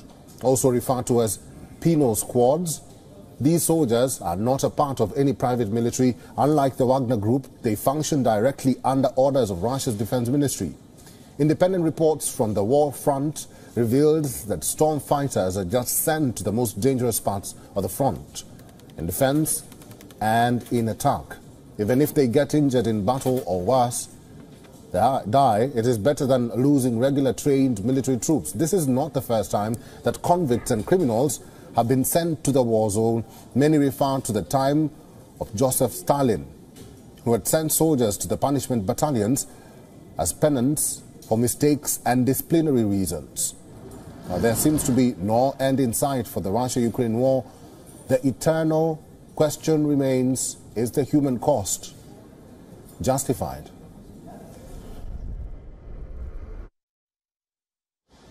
It downed over two dozen Iranian-made drones. Kiev claims Moscow launched these aerial attacks from the Crimean Peninsula.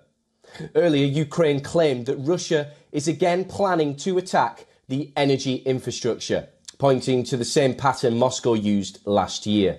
It left millions of Ukrainians without heating and water for long periods. On the other hand, Russia claims it destroyed Ukrainian fuel and aircraft ammunition depots, while adding it destroyed Ukraine's four armoured vehicles and one US made Bradley infantry fighting vehicle. Meanwhile, NATO member France is sending additional howitzers to boost Ukraine's defences. Moscow has been accusing the West of leading a war against Russia by proxy. French state owned firm Nexter will deliver six additional Caesar truck mounted howitzers to Ukraine.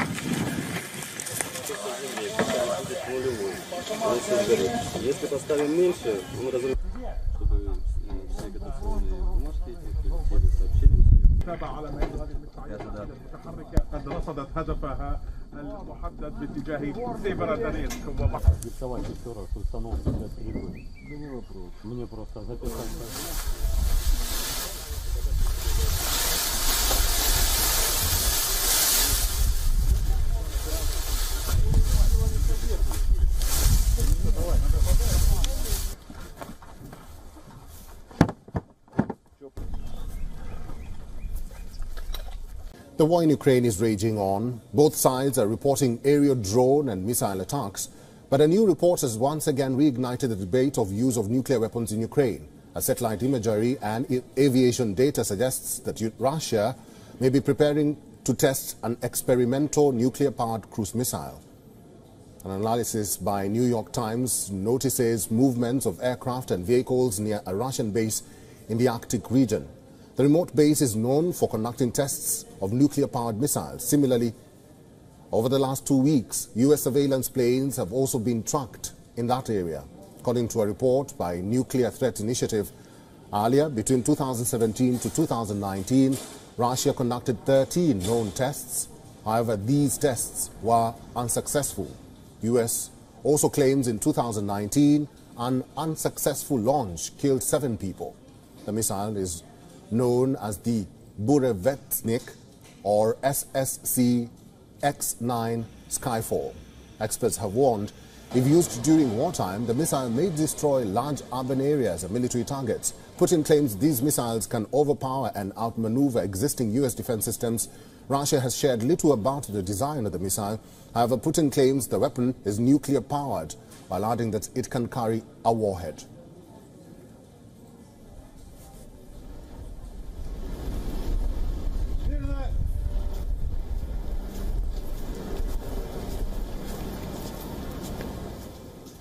David Dunn is a professor of international politics in the University of Birmingham. Is now joining us live from Birmingham, England. David, good to see you. Welcome to the show. First of all, what do you make of this report that Russia may be preparing to test an experimental nuclear-powered cruise missile in the Arctic Sea? Well, as you say, there's nothing particularly new with this system. They've actually been trying to uh, perfect a whole range of exotic new nuclear weapon systems since uh, about 1917. Uh, so this is part of their so far unsuccessful attempt to try and prove what is an exotic technology. The, the thing that makes this interesting is the idea that it would be powered by a secondary nuclear uh, engine inside the missile. It would be launched by a solid state rocket, and then once uh, it, it was in the air, it would be powered by this nuclear, the small nuclear reactor. And what that would do was give it a very long endurance. It could fly a very long distance, 14,000 miles, uh, and possibly stay aloft uh, indefinitely due to that technology involved in there. What, what that gives is really uh, nothing very novel. Uh, in that actually Russia has thousands of long-range ballistic missiles that have a much shorter and quicker and more direct flight time but it adds one piece of exotic technology to their arsenal. Right. So in the event that they, all their weapons are destroyed, they have a second strike capability with this missile. David, U.S. claims that the unsuccessful launch in 2019 killed seven people. How big of a threat are these nuclear missiles or even tests? Well, the tests themselves uh, of a system that has clearly proven difficult to make work are a problem, and that whenever you use radiation, there is a risk of of that uh, being uh, a, a, a, having an effect in killing people. In this case, the seven crew that tried to rescue it, or falling on people's heads if it should actually be flown over land or even sea areas where there are shipping. So it's it's never a, a, a great thing to actually use nuclear technology in such a, a small form and unproved technology. But ultimately, in terms of the threat of, as a missile, it's no more of a threat than the other systems that Russia has in its arsenal. It's just Russia trying to be experimental and prove other ways of killing people. David, finally, and I want your brief uh, response to this one. So, if the tests are proven, what impact would that have, and what sort of reaction could Russia get from the nuclear agency?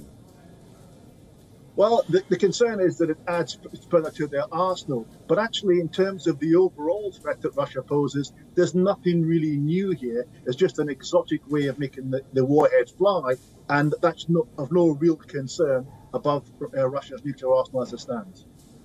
David Dunn, thank you very much for all your inputs and for talking to WION World is One today. Ukraine is now developing new unmanned vehicles and phasing out existing models. This as the war-ravaged country fights to retake territory from Russia in the ongoing war, which we've been closely tracking here on WION. Now, as both Moscow and Kiev exchange drone attacks, Ukraine has taken a step forward in developing drones which has been fueled by public and private cooperation. Let's tell you more about what these drones are and how they will help Kiev win the war against Russia. Well, talking about the Ratel ground drones. Now, it is a land-based self-destructive drone and is 0.3 meter tall and 0.8 meter long. Well, the Ratel drone can carry out 40 kg of anti-tank mines and also mortar shells. Apart from this, the drone can travel about 20 kilometers per hour. That's the speed of the Ratel ground drone here. Apart from this, it can also drive on uneven surfaces. Well, drone production in Ukraine is uh, booming with aerial drones being manufactured at a pace 120 to 140 times faster as compared to last year. An aerial drone called Aerial Drone Backfire was developed jointly with between uh, the Ukrainian military and the private sector in the country. And this backfire drone we're talking about here, it is mainly used in the southern front during the ongoing war between Ukraine and Russia. While the backfire drone is immune to jamming, which can help in disabling other drones in the ongoing battle. Meanwhile, Backfire's flight is automated and interestingly, it has never been shot down till now. It also has a range of 35 kilometers and also speed of 84 kilometers per hour. Ukraine's National Agency on Corruption Prevention added China's three biggest oil and gas producers to its international sponsors of war list. Now, according to the agency's press service, China National Offshore Oil Corporation, China Petrochemical Corporation, and China National Petroleum Corporation. These are the three firms and are added to the NACP list. The agency adds that the three companies continue to develop joint projects with Russia and even funded Russia's strategic industry by paying substantial taxes. Now, Ukraine uses the list as a way to pressure businesses into limiting their activity with Russia, which invaded Ukraine in February 2022. While China has refused to openly condemn Russia's war in Ukraine, it has repeatedly expressed disquiet over the economic consequences of the conflict and even backed a United Nations resolution in May that criticized Moscow's aggression. Right now, as Ukraine steps up its enforcement against Chinese businesses and state entities collaborating with Russia, previously the NACP listed the China State Construction Engineering Corporation online marketplace Alibaba and also telecommunications uh, company Xiaomi to the international sponsors of war list. Well, Russia has looked to China as a growing export market for oil and gas. Hence, in March, Russian President Vladimir Putin announced a new pipeline dubbed as Power of Siberia 2, which would carry 50 billion cubic meters of gas to China through Mongolia.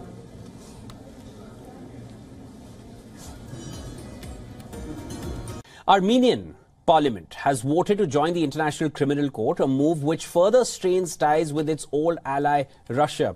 This is, of course, as the decision will oblige the former Soviet Republic to arrest Russian President Vladimir Putin if he ever visits the nation again. South Africa faced a similar situation earlier in the year. Now, in March this year, the, the Hague-based International Criminal Court issued an arrest warrant against Putin in connection to the war crimes in Ukraine. This obliges the member states by law to arrest the Russian president. Now, Armenian Prime Minister has insisted that the move is not directed against Russia and is in the interests of Armenian security. However, reactions from the Kremlin is resentful. Kremlin spokesperson on Thursday had said that the move would be seen as extremely hostile towards Russia. Moscow has described this effort by Armenia as an unfriendly step. Russia is Armenia's old standing ally. Armenia hosts a Russian military base as well and is part of Collective Security Treaty Organization or CSTO.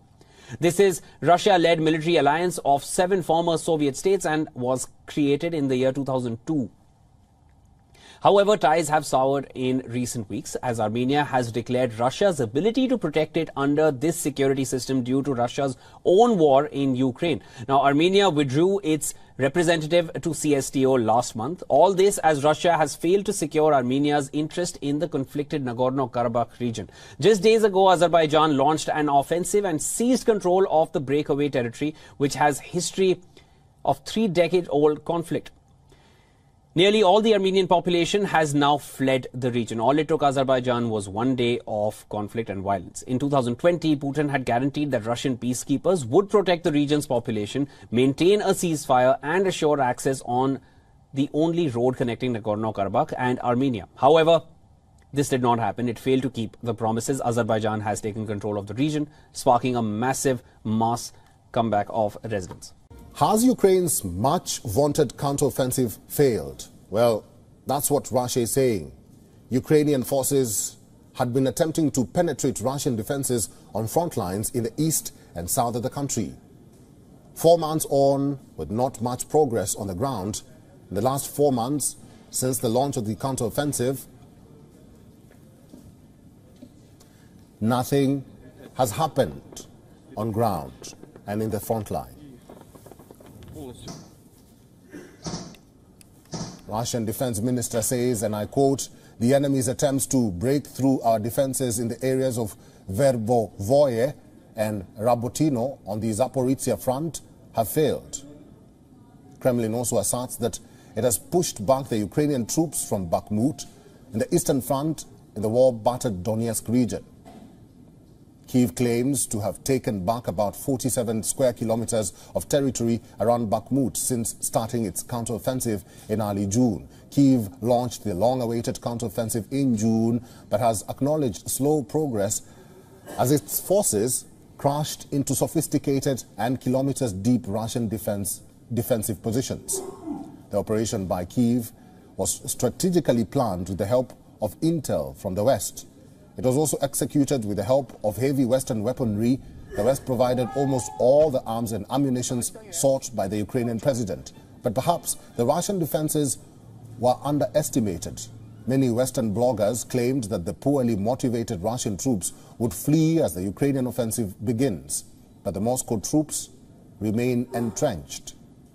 The Russians had months to back themselves. They dug in deep fortify the defensive positions along the entire 1,000 kilometer front. Barriers, including trenches and various obstacles, were placed. These effectively made the movement of tanks and armored vehicles almost impossible.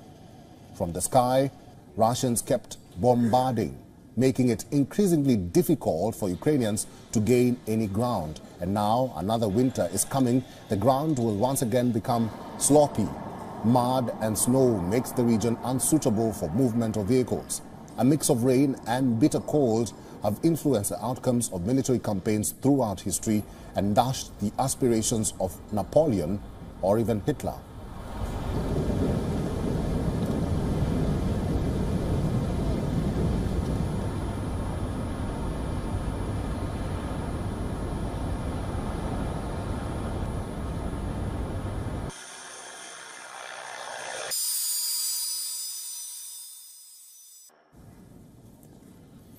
Retired Colonel Daniel L. Davis is a military expert and senior fellow for defense priorities. He's now joining us from Sterling, Virginia. Colonel Daniel, welcome to the show. Russia says it has proof that the counteroffensive is failing, But I want your own assessment of this counteroffensive so far. Let's start from there and then give us your thoughts about Russia's claims.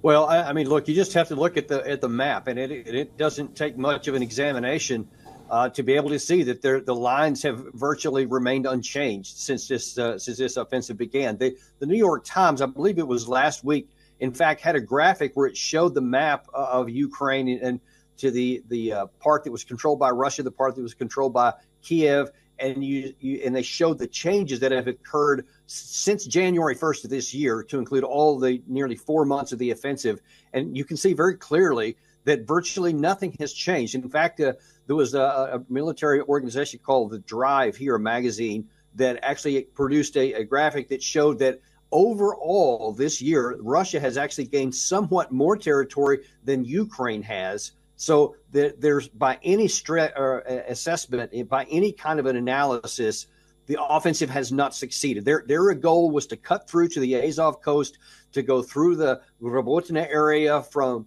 uh, the Zaporizhia, to cut through Tokmak, and then down to Melitopol, and then to the coast. And and nothing close to that has even happened. They, after four months, they got what they probably would have had to have gotten at the end of the first week with Robotyne, but they haven't even been able to go to Verbova, which is the next little village over since August when they first arrived at it. So that kind of tells you all you need to know mm-hmm. about what this offensive has not accomplished. Colonel Daniel, now another winter is coming. The ground will once again become sloppy, like I said. What do you anticipate in the coming months?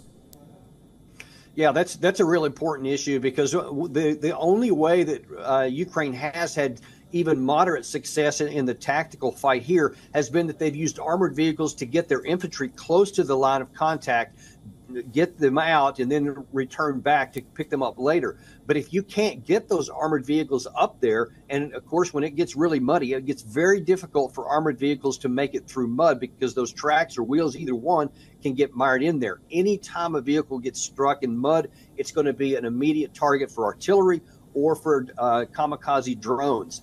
And that, if Ukraine therefore can't even get to the front line with enough troops, then they can't make progress. So I think the best thing they're going to be able to do is probably either still try to inch forward, but at very, very high cost in infantry, or what they should do, probably the most, what makes the most sense is to convert to the defense to make sure they don't lose any more ground. Colonel Daniel, finally, and besides this or what is happening in Ukraine, there are claims that Russia is now testing missiles or nuclear missile tests. What do you make of these claims?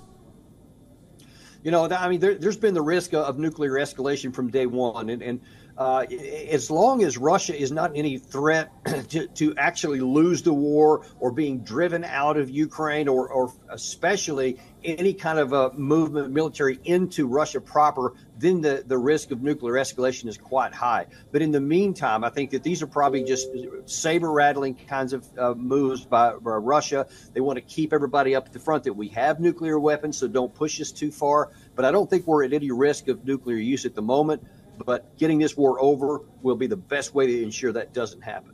All right, I've been talking to a military expert and senior fellow for defense priorities. His name is retired Colonel Daniel L. Davis. Daniel, thank you for talking to us today.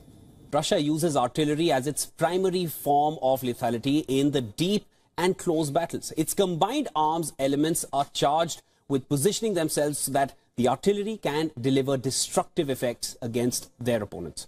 Now, NATO member France is sending additional howitzers to boost Ukraine's defenses. Of course, it's all part of the counter-offensive, which has not gone as planned, but Ukraine needs all the help it can get at the moment. Moscow has been accusing the West of leading a war against Russia by proxy. Here's all you need to know about what Ukraine is gaining in the latest.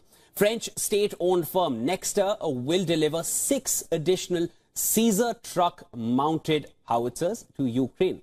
Now, as per the French Defense Ministry, Ukraine has already received 30 Caesar howitzers since uh, last year, 18 from France and 12 from manufacturer Nexter. Now, the French howitzers, which we're going to be talking about, will be a big boost for the Ukrainian armed forces, firing from the same spot, which is risky, as the enemy may detect artillery locations. So opponents can then determine the origin of indirect fire and respond with weaponized drones. Now, shoot and scoot. Now, these are the tactics which entail moving away from where shots were fired to avoid any kind of counter battery fire. Let's now take a look at the lethal French Caesar howitzer. First impressive deployment.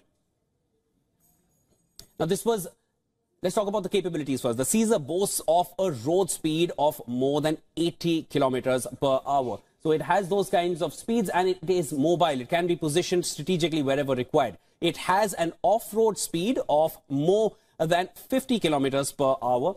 And it is definitely one that the French howitzer has a cruising range of over 600 kilometers. So it can travel good distances and of course it can travel at a decent speed, can off-road as well. The combat weight of the formidable artillery system is less than 18 tons. So it's not super heavy and the Caesar offers uh, the advantage of highly effective firepower. So the rate of fire is 6 rounds per minute. Now, range varies between 4.5 kilometers uh, to more than 40 kilometers. It will obviously depend upon the trajectory in which it is fired.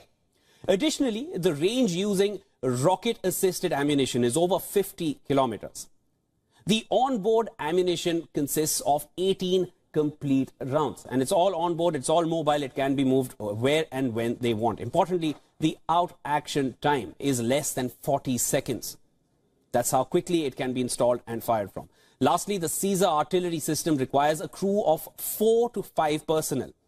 Ukraine's army has made modest advances. A counter-offensive that began in early June shows a little sign of breaking through Russian lines in force in any time soon. Now, the progress of Ukraine's operation has made some Western officials rather nervous. Remember, Russia also banks on similar shoot and scoot tactics and swears by the Msta-S self-propelled howitzers. Now, who's it going to be first, the Msta-S or these howitzers coming in from France? Of course, Ukraine needs all the all the effort and all the impact that it can get from the collective West. We will be tracking all the developments right here on World DNA. The Russia-Ukraine war is well into its 19th month. As the conflict drags on, there are stories of the human cost of this war buried deep under conflicting narratives from both nations.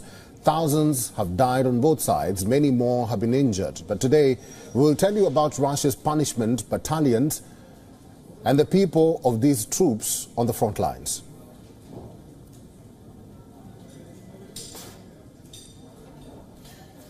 Of the thousands fighting in the Russian Defense Forces, there are battalions called Storm Z squads.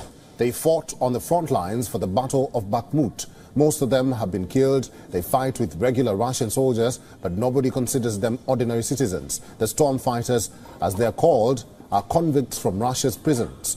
They are drunk recruits with a criminal past, recruits who were promised a clean record if they fought the war in Ukraine. Regular soldiers refer to them as quote unquote just meat. Again, just meat. Reports reveal that the stormtroopers have been treated as lesser mortals and easy human exp expendables of war. The convict volunteers were denied medical treatment, munition to fight on the front lines, and even amenities as basic as food. Also referred to as penal squads, these soldiers are not a part of any private military. Unlike the Wagner Group, they function directly under orders of Russia's defense ministry. Independent reports from the war front revealed that storm fighters are just sent to the most dangerous parts of the front, in defense and in attack. Even if they get injured in battle or worse, they die, it is better than losing regular trained military troops. This is not the first time that convicts and criminals have been sent to the war zone. Many refer to the time of Joseph Stalin, who had sent soldiers to the punishment battalions as penance for mistakes and disciplinary reasons. Now, there seems to be no end in sight for the Russia-Ukraine war. The eternal question remains, is the human cost justified?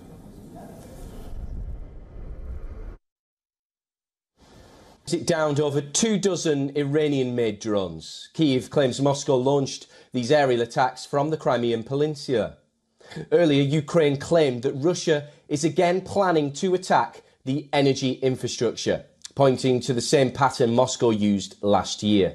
It left millions of Ukrainians without heating and water for long periods.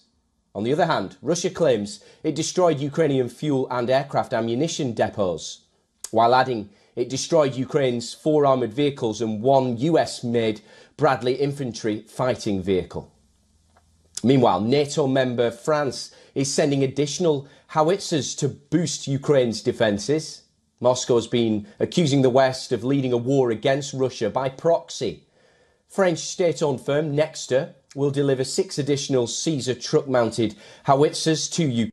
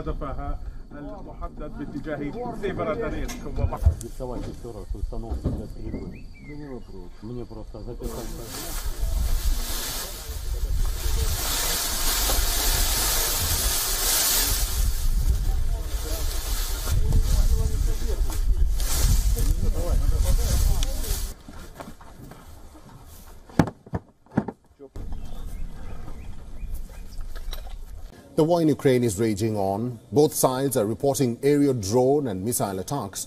But a new report has once again reignited the debate of use of nuclear weapons in Ukraine. A satellite imagery and aviation data suggests that Russia may be preparing to test an experimental nuclear-powered cruise missile. An analysis by New York Times notices movements of aircraft and vehicles near a Russian base in the Arctic region. The remote base is known for conducting tests of nuclear-powered missiles. Similarly, over the last two weeks, U.S. surveillance planes have also been tracked in that area. According to a report by Nuclear Threat Initiative, earlier, between 2017 to 2019, Russia conducted 13 known tests. However, these tests were unsuccessful. U.S. also claims in 2019 an unsuccessful launch killed seven people.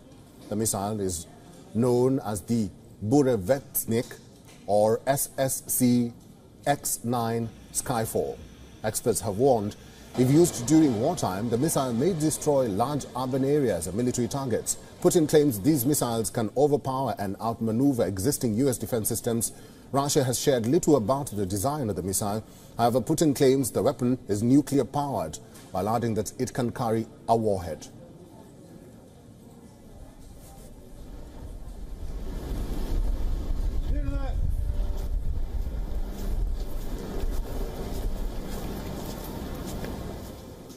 David Dunn is a professor of international politics in the University of Birmingham. Is now joining us live from Birmingham, England.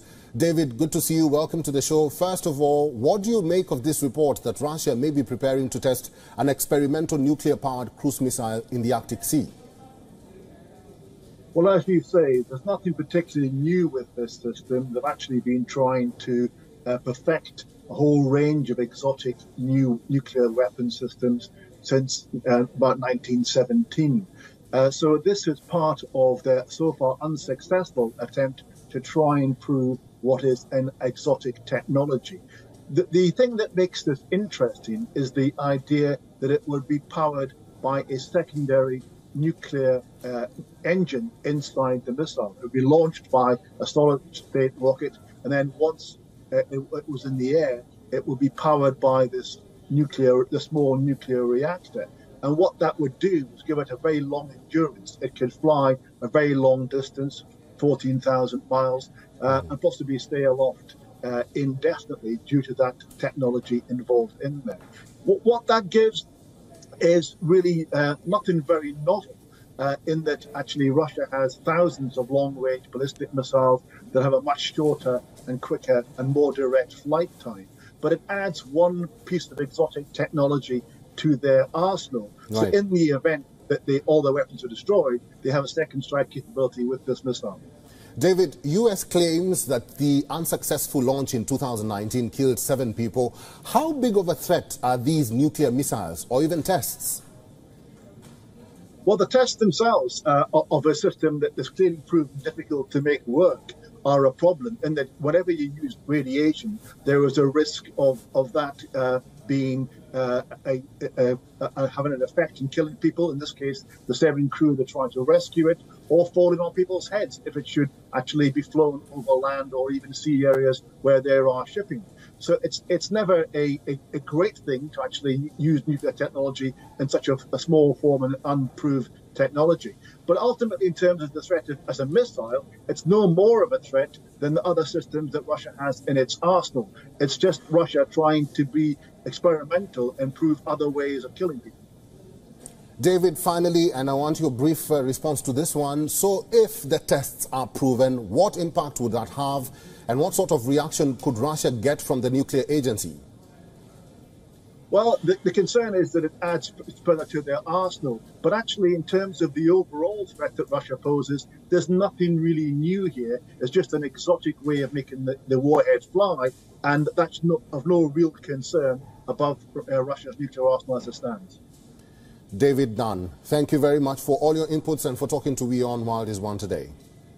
Ukraine is now developing new unmanned vehicles and phasing out existing models. This as the war-ravaged country fights to retake territory from Russia in the ongoing war, which we've been closely tracking here on WION. Now, as both Moscow and Kiev exchange drone attacks, Ukraine has taken a step forward in developing drones which has been fueled by public and private cooperation. Let's tell you more about what these drones are and how they will help Kiev win the war against Russia. Well, talking about the Ratel ground drones. Now, it is a land-based self-destructive drone and is 0.3 meter tall and 0.8 meter long. Well, the Ratel drone can carry out 40 kg of anti-tank mines and also mortar shells. Apart from this, the drone can travel about 20 kilometers per hour. That's the speed of the Ratel ground drone here. Apart from this, it can also drive on uneven surfaces. Well, drone production in Ukraine is uh, booming with aerial drones being manufactured at a pace 120 to 140 times faster as compared to last year. An aerial drone called Aerial Drone Backfire was developed jointly with between uh, the Ukrainian military and the private sector in the country. And this backfire drone we're talking about here, it is mainly used in the southern front during the ongoing war between Ukraine and Russia. While the backfire drone is immune to jamming, which can help in disabling other drones in the ongoing battle. Meanwhile, Backfire's flight is automated and interestingly, it has never been shot down till now. It also has a range of 35 kilometers and also speed of 84 kilometers per hour. Ukraine's National Agency on Corruption Prevention added China's three biggest oil and gas producers to its international sponsors of war list. Now, according to the agency's press service, China National Offshore Oil Corporation, China Petrochemical Corporation, and China National Petroleum Corporation, these are the three firms, and are added to the NACP list. The agency adds that the three companies continue to develop joint projects with Russia and even funded Russia's strategic industry by paying substantial taxes. Now, Ukraine uses the list as a way to pressure businesses into limiting their activity with Russia, which invaded Ukraine in February 2022. While China has refused to openly condemn Russia's war in Ukraine, it has repeatedly expressed disquiet over the economic consequences of the conflict and even backed a United Nations resolution in May that criticized Moscow's aggression. Right now, as Ukraine steps up its enforcement against Chinese businesses and state entities collaborating with Russia, previously the NACP listed the China State Construction Engineering Corporation online marketplace Alibaba and also telecommunications uh, company Xiaomi to the international sponsors of war list. Well, Russia has looked to China as a growing export market for oil and gas. Hence, in March, Russian President Vladimir Putin announced a new pipeline dubbed as Power of Siberia 2, which would carry 50 billion cubic meters of gas to China through Mongolia.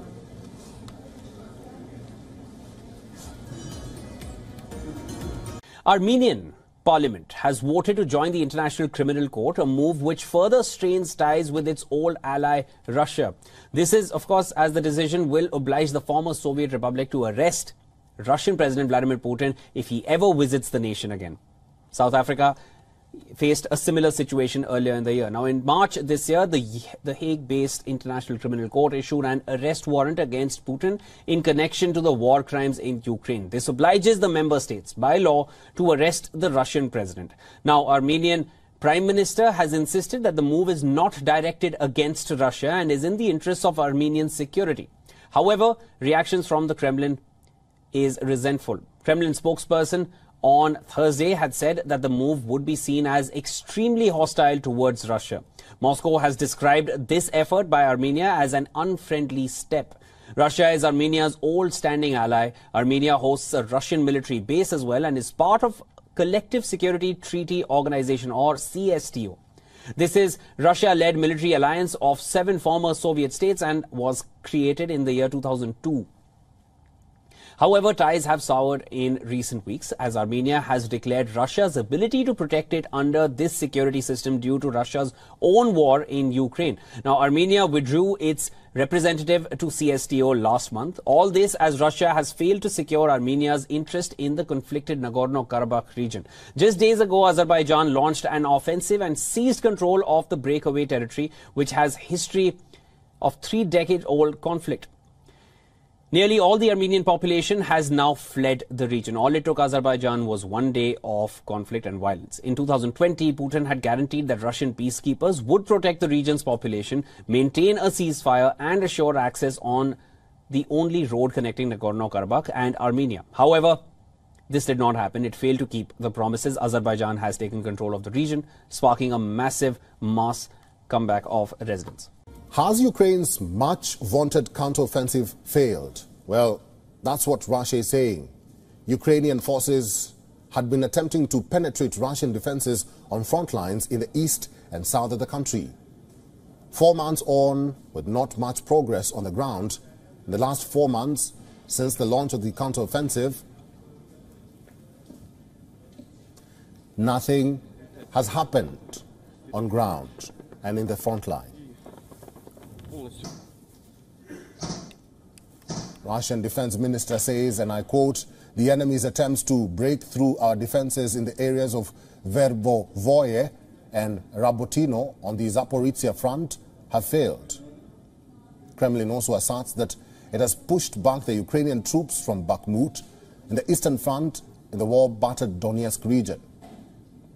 Kiev claims to have taken back about 47 square kilometers of territory around Bakhmut since starting its counteroffensive in early June. Kiev launched the long-awaited counteroffensive in June, but has acknowledged slow progress as its forces crashed into sophisticated and kilometers deep Russian defense, defensive positions.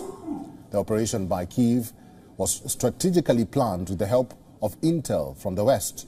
It was also executed with the help of heavy Western weaponry. The West provided almost all the arms and ammunition sought by the Ukrainian president. But perhaps the Russian defenses were underestimated. Many Western bloggers claimed that the poorly motivated Russian troops would flee as the Ukrainian offensive begins. But the Moscow troops remain entrenched. The Russians had months to back themselves. They dug in deep fortify the defensive positions along the entire 1,000 kilometer front. Barriers, including trenches and various obstacles, were placed. These effectively made the movement of tanks and armored vehicles almost impossible. From the sky, Russians kept bombarding, making it increasingly difficult for Ukrainians to gain any ground. And now another winter is coming. The ground will once again become sloppy Mud and snow makes the region unsuitable for movement of vehicles. A mix of rain and bitter cold have influenced the outcomes of military campaigns throughout history and dashed the aspirations of Napoleon or even Hitler.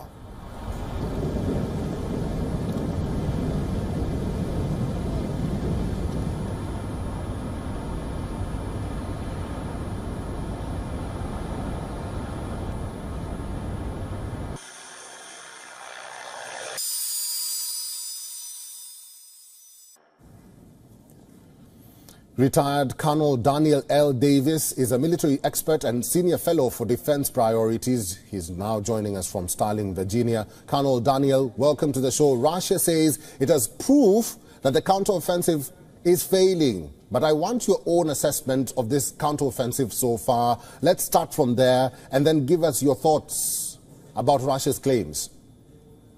Well, I, I mean, look, you just have to look at the at the map, and it it doesn't take much of an examination uh, to be able to see that the lines have virtually remained unchanged since this uh, since this offensive began. The the New York Times, I believe it was last week, in fact, had a graphic where it showed the map of Ukraine and to the the uh, part that was controlled by Russia, the part that was controlled by Kiev, and you, you, and they showed the changes that have occurred since January 1st of this year to include all the nearly four months of the offensive, and you can see very clearly that virtually nothing has changed. In fact, uh, there was a, a, military organization called the Drive here, magazine that actually produced a, a graphic that showed that overall this year, Russia has actually gained somewhat more territory than Ukraine has so there's by any stre- uh, assessment, by any kind of an analysis, the offensive has not succeeded. Their their goal was to cut through to the Azov coast, to go through the Robotyne area from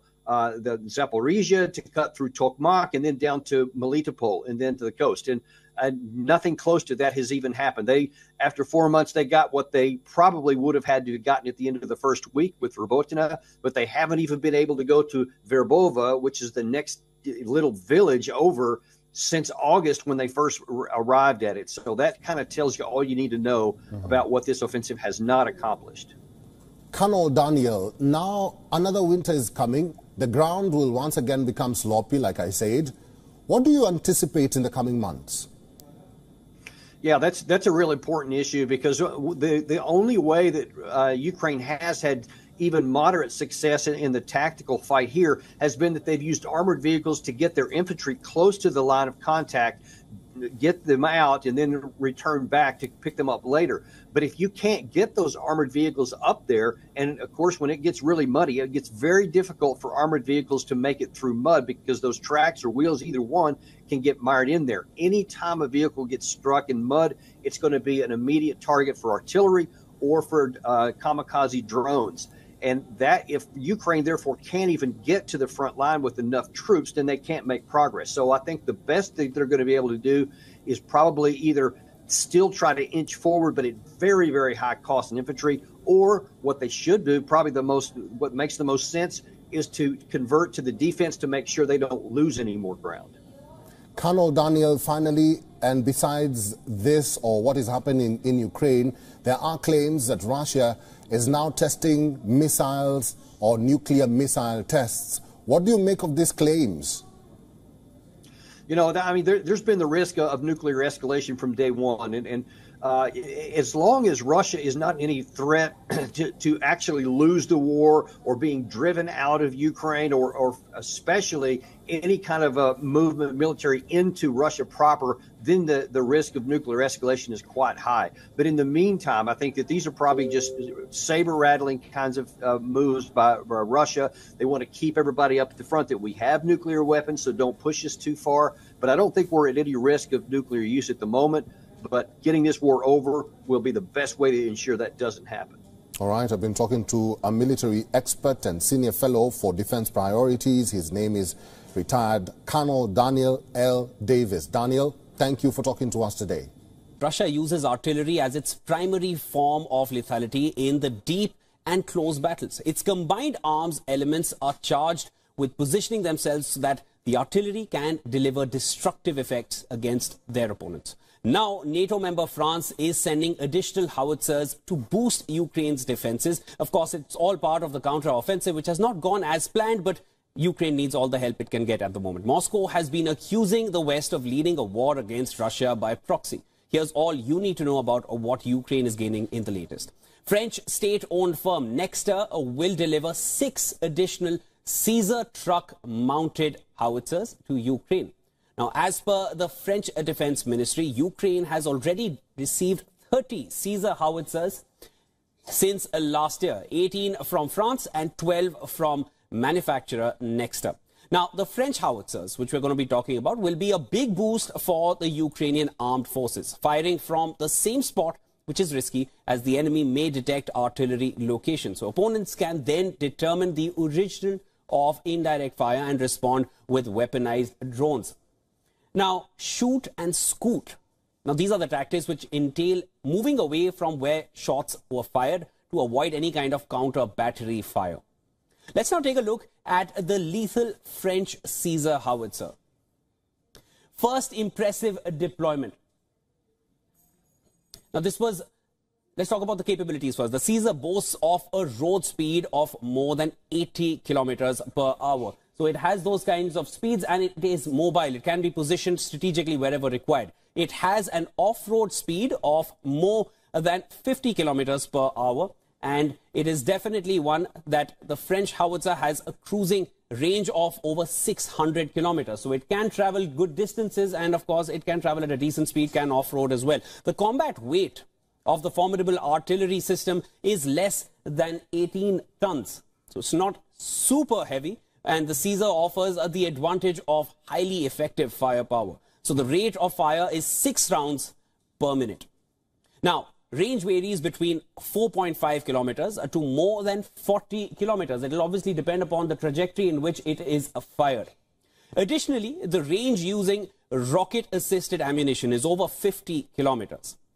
The onboard ammunition consists of 18 complete rounds and it's all on board, it's all mobile, it can be moved where and when they want. Importantly, the out action time is less than 40 seconds. That's how quickly it can be installed and fired from. Lastly, the Caesar artillery system requires a crew of four to five personnel.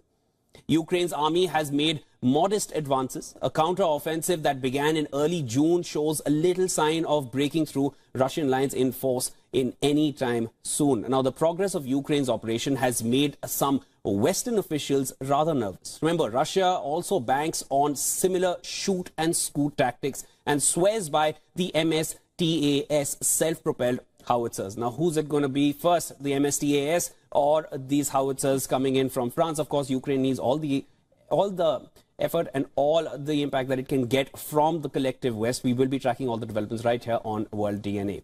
The Russia-Ukraine war is well into its 19th month. As the conflict drags on, there are stories of the human cost of this war buried deep under conflicting narratives from both nations.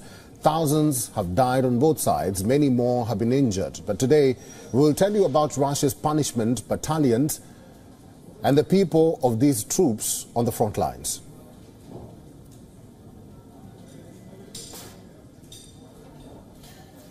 Of the thousands fighting in the Russian Defense Forces, there are battalions called Storm Z squads. They fought on the front lines for the Battle of Bakhmut. Most of them have been killed. They fight with regular Russian soldiers, but nobody considers them ordinary citizens. The storm fighters, as they are called, are convicts from Russia's prisons. They are drunk recruits with a criminal past, recruits who were promised a clean record if they fought the war in Ukraine. Regular soldiers refer to them as quote-unquote just meat. Again, just meat. Reports reveal that the stormtroopers have been treated as lesser mortals and easy human exp expendables of war. The convict volunteers were denied medical treatment, munition to fight on the front lines, and even amenities as basic as food. Also referred to as penal squads, these soldiers are not a part of any private military. Unlike the Wagner Group, they function directly under orders of Russia's defense ministry. Independent reports from the war front revealed that storm fighters are just sent to the most dangerous parts of the front, in defense and in attack. Even if they get injured in battle or worse, they die, it is better than losing regular trained military troops. This is not the first time that convicts and criminals have been sent to the war zone. Many refer to the time of Joseph Stalin, who had sent soldiers to the punishment battalions as penance for mistakes and disciplinary reasons. Now, there seems to be no end in sight for the Russia-Ukraine war. The eternal question remains, is the human cost justified?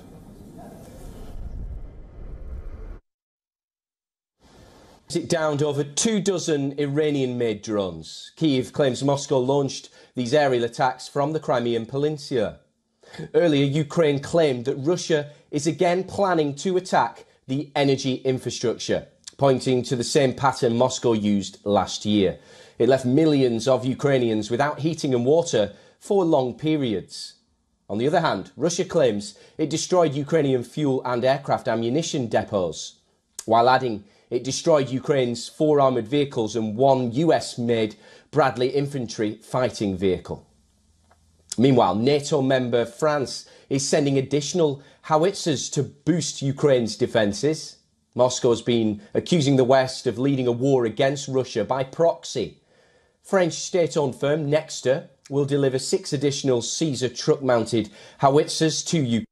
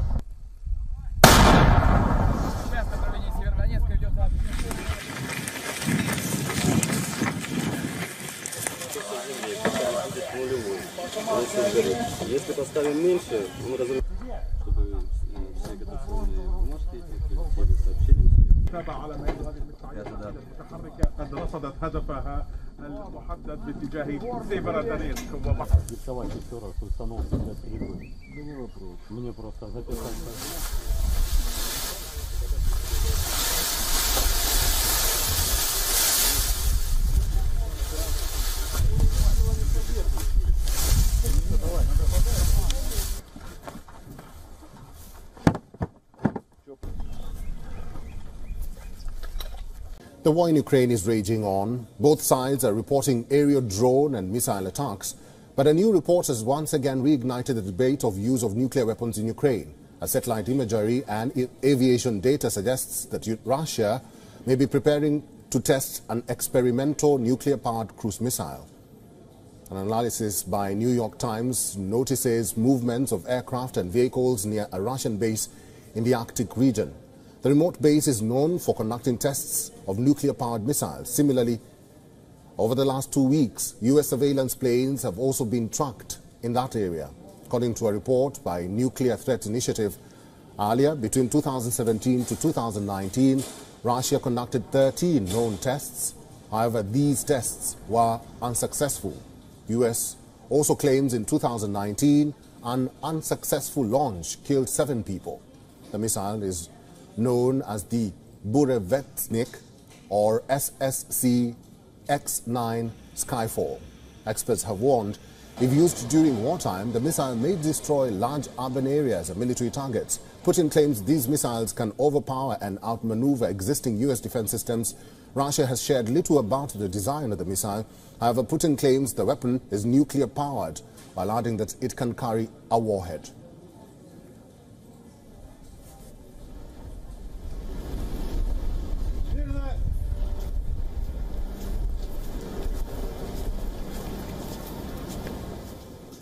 David Dunn is a professor of international politics in the University of Birmingham. He is now joining us live from Birmingham, England. David, good to see you. Welcome to the show. First of all, what do you make of this report that Russia may be preparing to test an experimental nuclear-powered cruise missile in the Arctic Sea? Well, as you say, there's nothing particularly new with this system. They've actually been trying to uh, perfect a whole range of exotic new nuclear weapon systems since uh, about 1917. Uh, so this is part of their so far unsuccessful attempt to try and prove what is an exotic technology. The, the thing that makes this interesting is the idea that it would be powered by a secondary nuclear uh, engine inside the missile. It would be launched by a solid state rocket, and then once uh, it, it was in the air, it would be powered by this nuclear, the small nuclear reactor. And what that would do was give it a very long endurance. It could fly a very long distance, 14,000 miles, uh, and possibly stay aloft uh, indefinitely due to that technology involved in there. What, what that gives is really uh, nothing very novel. uh, in that actually Russia has thousands of long-range ballistic missiles that have a much shorter and quicker and more direct flight time. But it adds one piece of exotic technology to their arsenal. So in the event that they, all their weapons are destroyed, they have a second strike capability with this missile. David, U.S. claims that the unsuccessful launch in 2019 killed seven people. How big of a threat are these nuclear missiles or even tests? Well, the tests themselves uh, of a system that that is clearly proven difficult to make work are a problem and that whenever you use radiation, there is a risk of, of that uh, being uh, a, a, a, having an effect in killing people. In this case, the seven crew that tried to rescue it, or falling on people's heads if it should actually be flown over land or even sea areas where there are shipping. So it's it's never a, a, a great thing to actually use nuclear technology in such a, a small form and unproved technology. But ultimately, in terms of the threat of, as a missile, it's no more of a threat than the other systems that Russia has in its arsenal. It's just Russia trying to be experimental and prove other ways of killing people. David, finally, and I want your brief uh, response to this one. So, if the tests are proven, what impact would that have, and what sort of reaction could Russia get from the nuclear agency? Well, the, the concern is that it adds further to their arsenal. But actually, in terms of the overall threat that Russia poses, there's nothing really new here. It's just an exotic way of making the, the warheads fly, and that's no, of no real concern above uh, Russia's nuclear arsenal as it stands. David Dunn, thank you very much for all your inputs and for talking to WION World is One today. Ukraine is now developing new unmanned vehicles and phasing out existing models. This as the war-ravaged country fights to retake territory from Russia in the ongoing war, which we've been closely tracking here on WION. Now, as both Moscow and Kiev exchange drone attacks, Ukraine has taken a step forward in developing drones which has been fueled by public and private cooperation. Let's tell you more about what these drones are and how they will help Kiev win the war against Russia. Well, talking about the Ratel ground drones. Now, it is a land-based self-destructive drone and is 0.3 meter tall and 0.8 meter long. Well, the Ratel drone can carry out 40 kg of anti-tank mines and also mortar shells. Apart from this, the drone can travel about 20 kilometers per hour. That's the speed of the Ratel ground drone here. Apart from this, it can also drive on uneven surfaces. Well, drone production in Ukraine is uh, booming with aerial drones being manufactured at a pace 120 to 140 times faster as compared to last year. An aerial drone called Aerial Drone Backfire was developed jointly with between uh, the Ukrainian military and the private sector in the country. And this backfire drone we're talking about here, it is mainly used in the southern front during the ongoing war between Ukraine and Russia. While the backfire drone is immune to jamming, which can help in disabling other drones in the ongoing battle. Meanwhile, Backfire's flight is automated and interestingly, it has never been shot down till now. It also has a range of 35 kilometers and also speed of 84 kilometers per hour. Ukraine's National Agency on Corruption Prevention added China's three biggest oil and gas producers to its international sponsors of war list. Now, according to the agency's press service, China National Offshore Oil Corporation, China Petrochemical Corporation, and China National Petroleum Corporation, these are the three firms, and are added to the NACP list. The agency adds that the three companies continue to develop joint projects with Russia and even funded Russia's strategic industry by paying substantial taxes. Now, Ukraine uses the list as a way to pressure businesses into limiting their activity with Russia, which invaded Ukraine in February 2022. While China has refused to openly condemn Russia's war in Ukraine, it has repeatedly expressed disquiet over the economic consequences of the conflict and even backed a United Nations resolution in May that criticized Moscow's aggression. Right now, as Ukraine steps up its enforcement against Chinese businesses and state entities collaborating with Russia, previously the NACP listed the China State Construction Engineering Corporation online marketplace Alibaba and also telecommunications uh, company Xiaomi to the international sponsors of war list. Well, Russia has looked to China as a growing export market for oil and gas. Hence, in March, Russian President Vladimir Putin announced a new pipeline dubbed as Power of Siberia 2, which would carry 50 billion cubic meters of gas to China through Mongolia.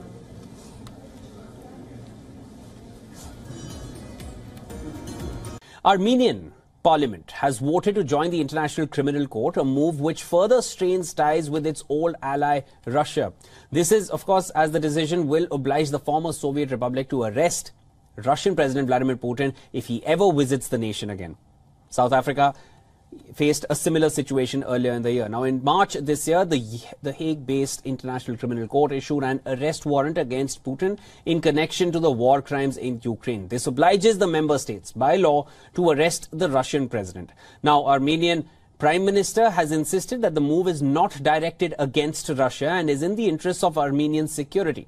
However, reactions from the Kremlin is resentful. Kremlin spokesperson on Thursday had said that the move would be seen as extremely hostile towards Russia.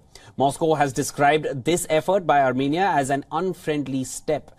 Russia is Armenia's old standing ally. Armenia hosts a Russian military base as well and is part of Collective Security Treaty Organization or CSTO. This is Russia-led military alliance of seven former Soviet states and was created in the year 2002. However, ties have soured in recent weeks as Armenia has declared Russia's ability to protect it under this security system due to Russia's own war in Ukraine. Now, Armenia withdrew its representative to CSTO last month. All this as Russia has failed to secure Armenia's interest in the conflicted Nagorno-Karabakh region. Just days ago, Azerbaijan launched an offensive and seized control of the breakaway territory, which has history of three-decade-old conflict. Nearly all the Armenian population has now fled the region. All it took Azerbaijan was one day of conflict and violence. In 2020, Putin had guaranteed that Russian peacekeepers would protect the region's population, maintain a ceasefire, and assure access on the only road connecting Nagorno-Karabakh and Armenia. However, this did not happen. It failed to keep the promises. Azerbaijan has taken control of the region, sparking a massive mass comeback of residents. Has Ukraine's much vaunted counteroffensive failed? Well, that's what Russia is saying. Ukrainian forces had been attempting to penetrate Russian defenses on front lines in the east and south of the country. Four months on, with not much progress on the ground, in the last four months since the launch of the counteroffensive, nothing has happened on ground and in the front line.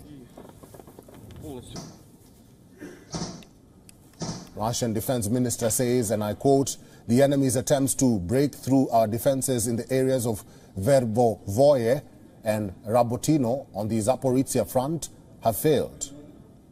Kremlin also asserts that it has pushed back the Ukrainian troops from Bakhmut in the eastern front in the war-battered Donetsk region.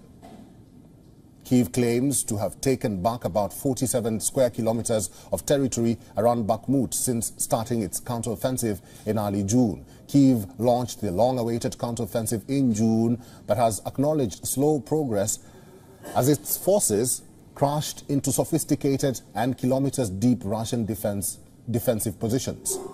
The operation by Kiev was strategically planned with the help of intel from the West.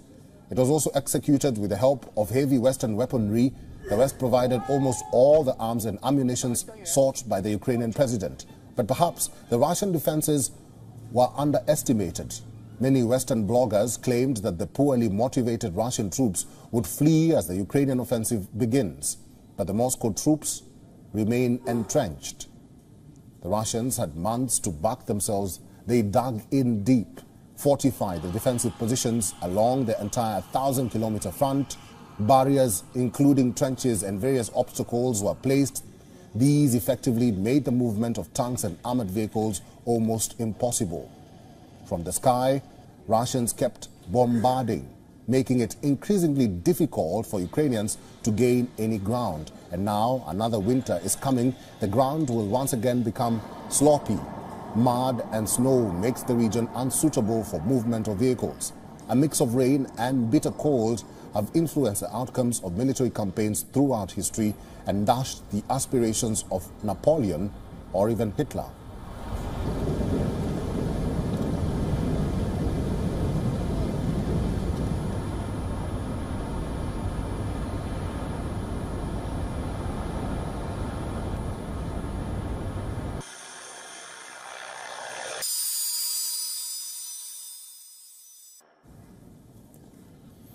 Retired Colonel Daniel L. Davis is a military expert and senior fellow for defense priorities. He's now joining us from Sterling, Virginia. Colonel Daniel, welcome to the show. Russia says it has proof that the counteroffensive is failing. But I want your own assessment of this counteroffensive so far. Let's start from there and then give us your thoughts about Russia's claims.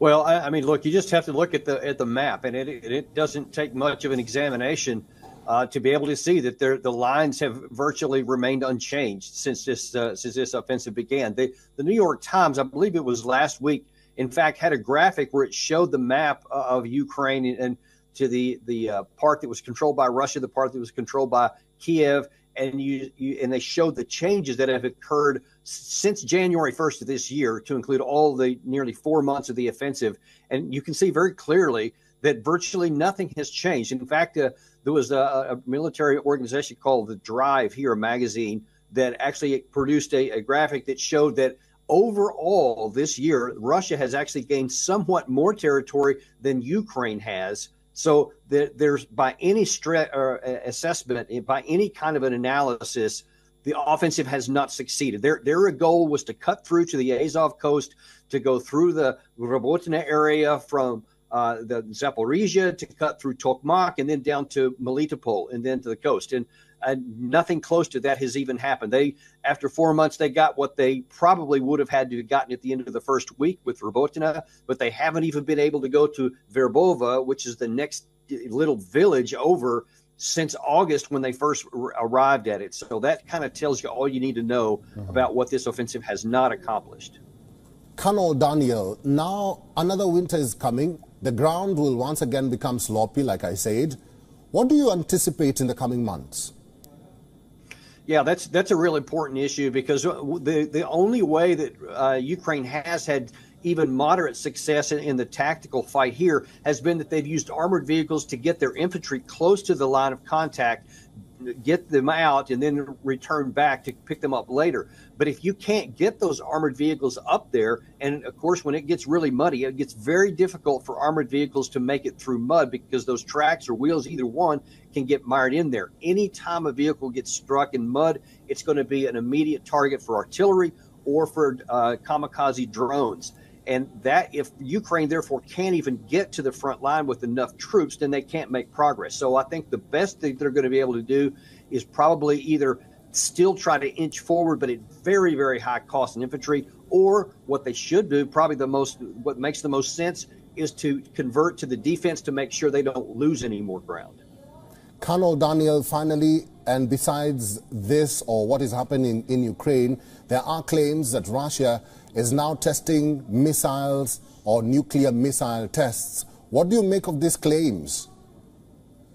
You know, I mean, there, has been the risk of nuclear escalation from day one, and, and uh, as long as Russia is not any threat to, to, actually lose the war or being driven out of Ukraine or, or especially any kind of a movement military into Russia proper, then the, the risk of nuclear escalation is quite high. But in the meantime, I think that these are probably just saber rattling kinds of uh, moves by, by Russia. They want to keep everybody up at the front that we have nuclear weapons, so don't push us too far. But I don't think we're at any risk of nuclear use at the moment but getting this war over will be the best way to ensure that doesn't happen.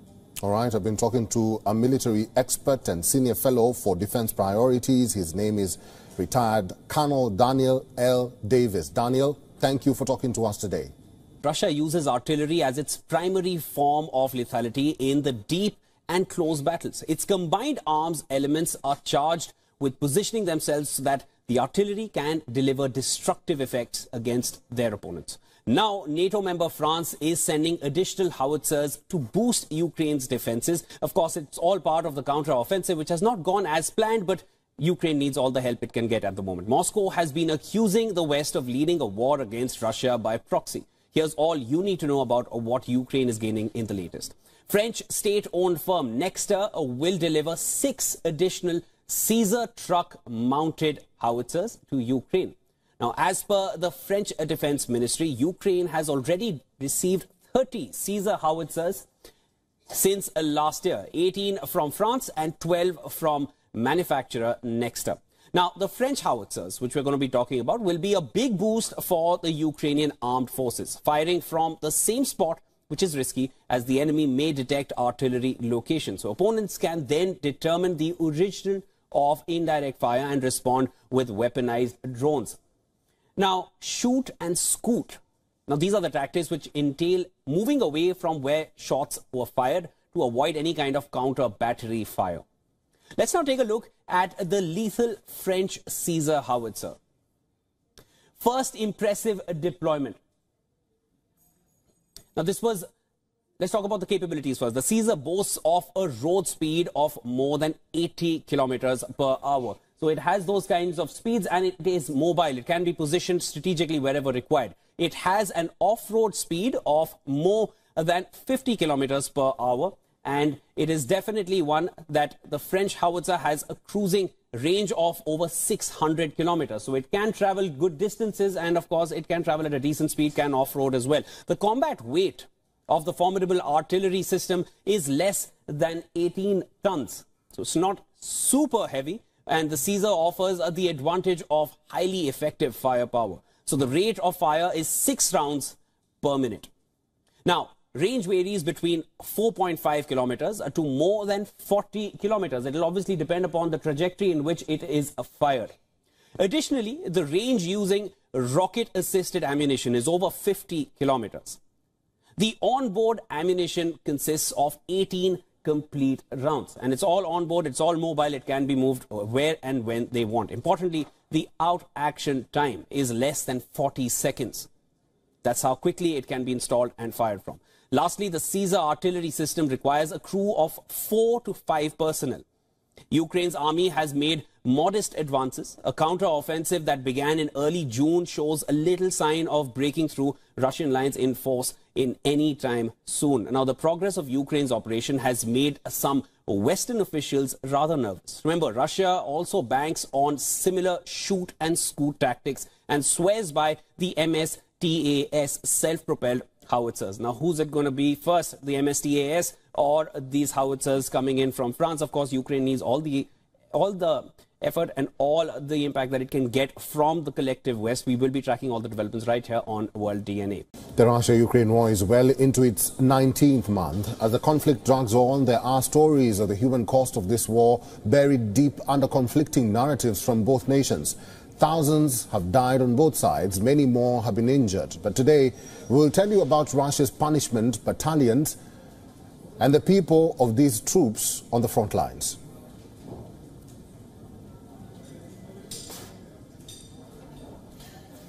Of the thousands fighting in the Russian Defense Forces, there are battalions Storm Z squads.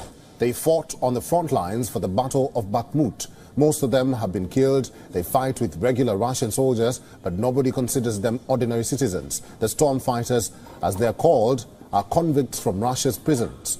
They are drunk recruits with a criminal past, recruits who were promised a clean record if they fought the war in Ukraine. Regular soldiers refer to them as quote-unquote just meat. Again, just meat. Reports reveal that the stormtroopers have been treated as lesser mortals and easy human exp expendables of war. The convict volunteers were denied medical treatment, munition to fight on the front lines, and even amenities as basic as food. Also referred to as penal squads, these soldiers are not a part of any private military. Unlike the Wagner Group, they function directly under orders of Russia's defense ministry. Independent reports from the war front revealed that storm fighters are just sent to the most dangerous parts of the front, in defense and in attack. Even if they get injured in battle or worse, they die, it is better than losing regular trained military troops. This is not the first time that convicts and criminals have been sent to the war zone. Many refer to the time of Joseph Stalin, who had sent soldiers to the punishment battalions as penance for mistakes and disciplinary reasons. Now, there seems to be no end in sight for the Russia-Ukraine war. The eternal question remains, is the human cost justified?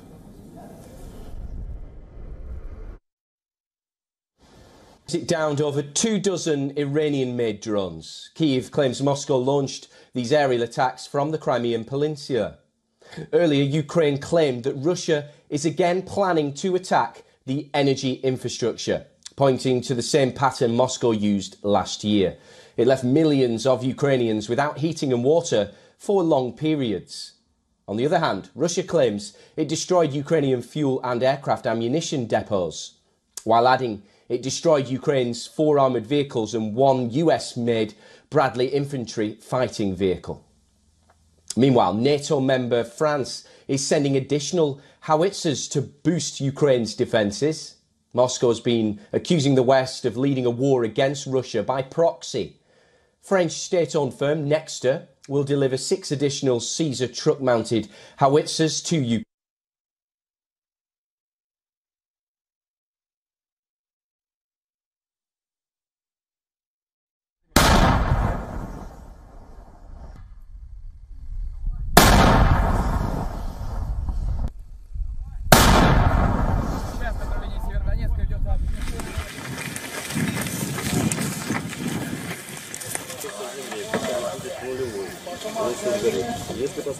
对我们的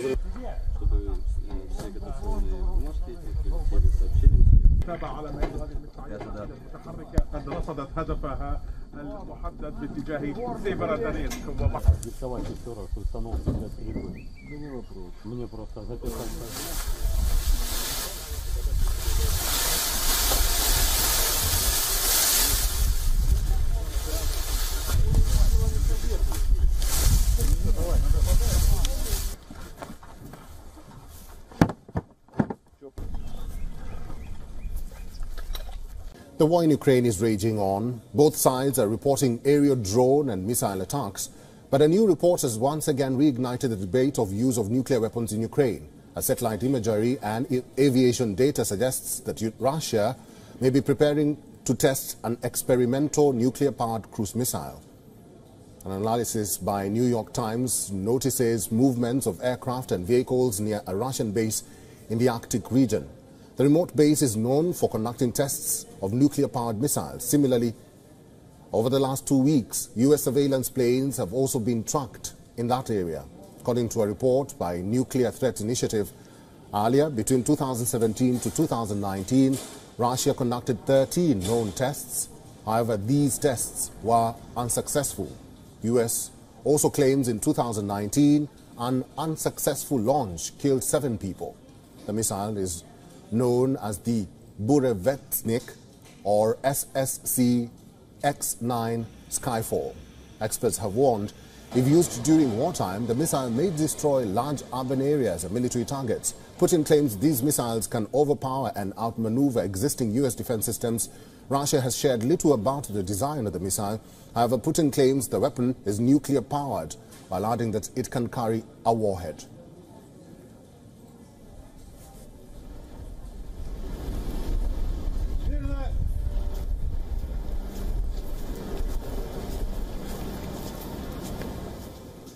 David Dunn is a professor of international politics in the University of Birmingham. Is now joining us live from Birmingham, England.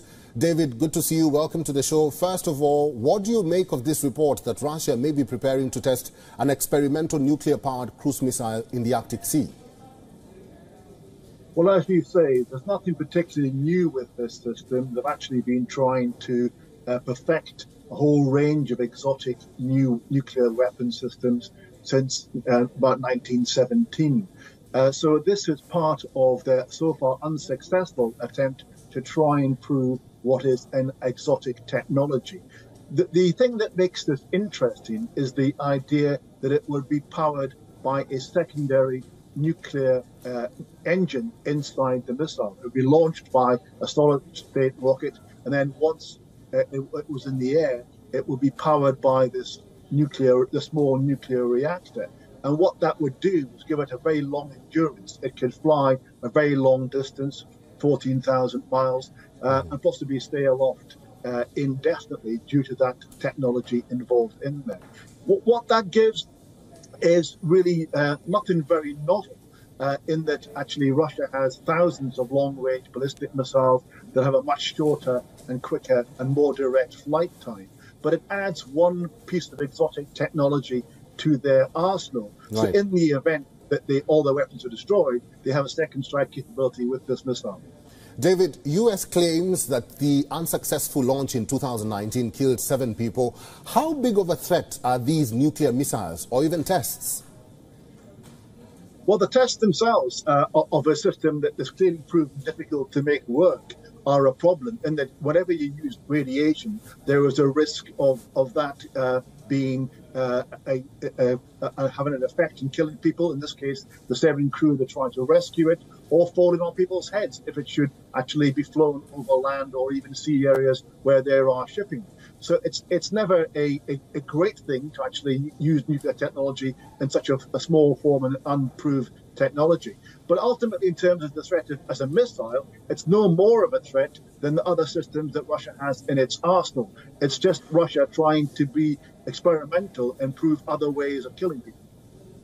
David, finally, and I want your brief uh, response to this one. So, if the tests are proven, what impact would that have, and what sort of reaction could Russia get from the nuclear agency? Well, the, the, concern is that it adds further to their arsenal. But actually, in terms of the overall threat that Russia poses, there's nothing really new here. It's just an exotic way of making the, the warheads fly, and that's no, of no real concern above uh, Russia's nuclear arsenal as it stands. David Dunn, thank you very much for all your inputs and for talking to WION World is One today. Ukraine is now developing new unmanned vehicles and phasing out existing models. This as the war-ravaged country fights to retake territory from Russia in the ongoing war, which we've been closely tracking here on WION. Now, as both Moscow and Kiev exchange drone attacks, Ukraine has taken a step forward in developing drones which has been fueled by public and private cooperation. Let's tell you more about what these drones are and how they will help Kiev win the war against Russia. Well, talking about the Ratel ground drones. Now, it is a land-based self-destructive drone and is 0.3 meter tall and 0.8 meter long. Well, the Ratel drone can carry out 40 kg of anti-tank mines and also mortar shells. Apart from this, the drone can travel about 20 kilometers per hour. That's the speed of the Ratel ground drone here. Apart from this, it can also drive on uneven surfaces. Well, drone production in Ukraine is uh, booming with aerial drones being manufactured at a pace 120 to 140 times faster as compared to last year.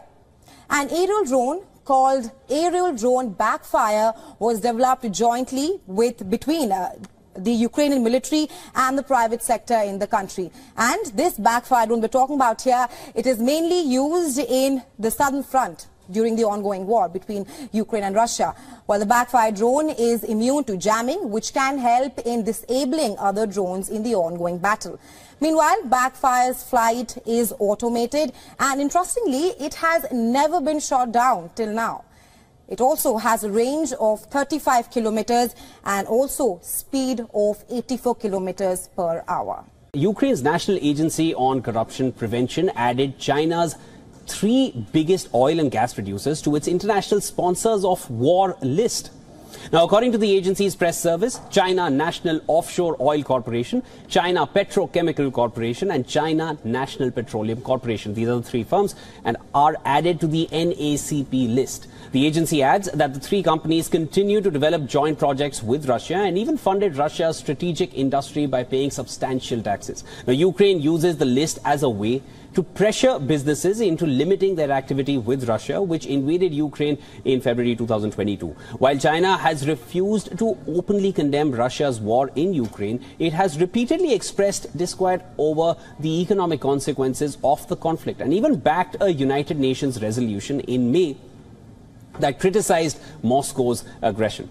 Right now, as Ukraine steps up its enforcement against Chinese businesses and state entities collaborating with Russia, previously the NACP listed the China State Construction Engineering Corporation online marketplace Alibaba and also telecommunications uh, company Xiaomi to the international sponsors of war list.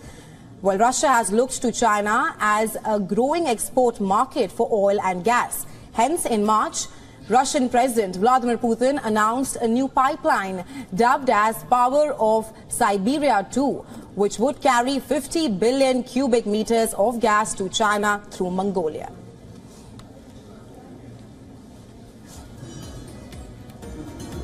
Armenian Parliament has voted to join the International Criminal Court, a move which further strains ties with its old ally Russia. This is, of course, as the decision will oblige the former Soviet Republic to arrest Russian President Vladimir Putin if he ever visits the nation again. South Africa faced a similar situation earlier in the year. Now, in March this year, the, the Hague-based International Criminal Court issued an arrest warrant against Putin in connection to the war crimes in Ukraine. This obliges the member states by law to arrest the Russian president. Now, Armenian Prime Minister has insisted that the move is not directed against Russia and is in the interests of Armenian security. However, reactions from the Kremlin is resentful. Kremlin spokesperson on Thursday had said that the move would be seen as extremely hostile towards Russia. Moscow has described this effort by Armenia as an unfriendly step. Russia is Armenia's old standing ally. Armenia hosts a Russian military base as well and is part of Collective Security Treaty Organization or CSTO. This is Russia-led military alliance of seven former Soviet states and was created in the year 2002. However, ties have soured in recent weeks as Armenia has declared Russia's ability to protect it under this security system due to Russia's own war in Ukraine. Now, Armenia withdrew its representative to CSTO last month. All this as Russia has failed to secure Armenia's interest in the conflicted Nagorno-Karabakh region. Just days ago, Azerbaijan launched an offensive and seized control of the breakaway territory, which has history of three-decade-old conflict.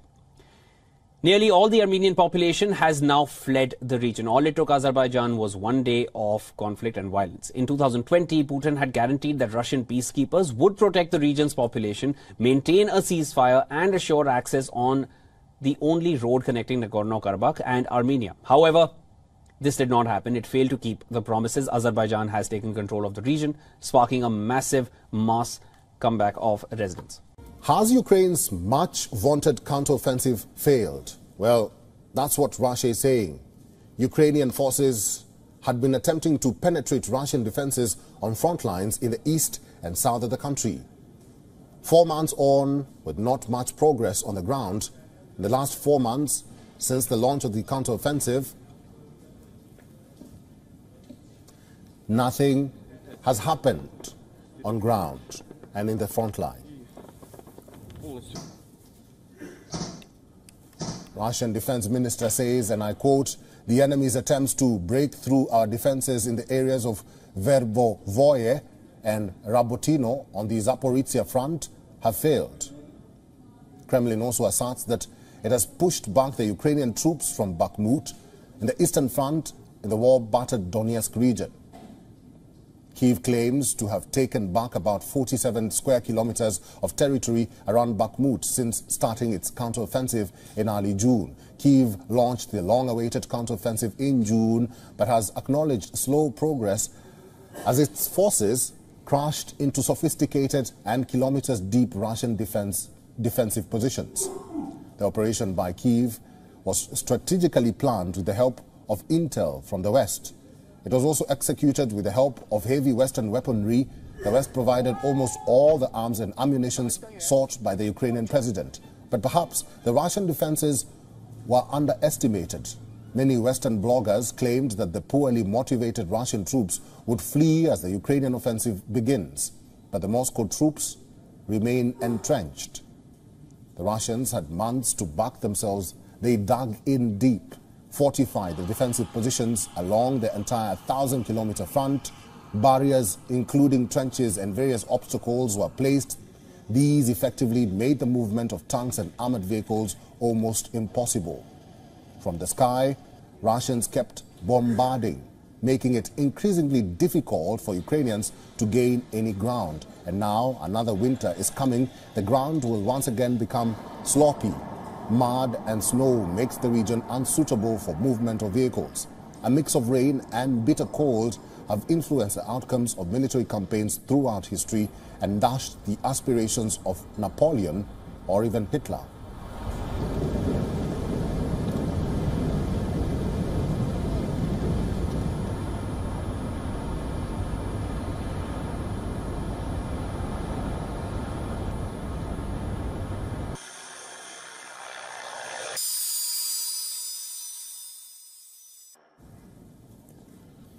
Retired Colonel Daniel L. Davis is a military expert and senior fellow for defense priorities. He's now joining us from Sterling, Virginia. Colonel Daniel, welcome to the show. Russia says it has proof that the counteroffensive is failing. But I want your own assessment of this counteroffensive so far. Let's start from there and then give us your thoughts about Russia's claims.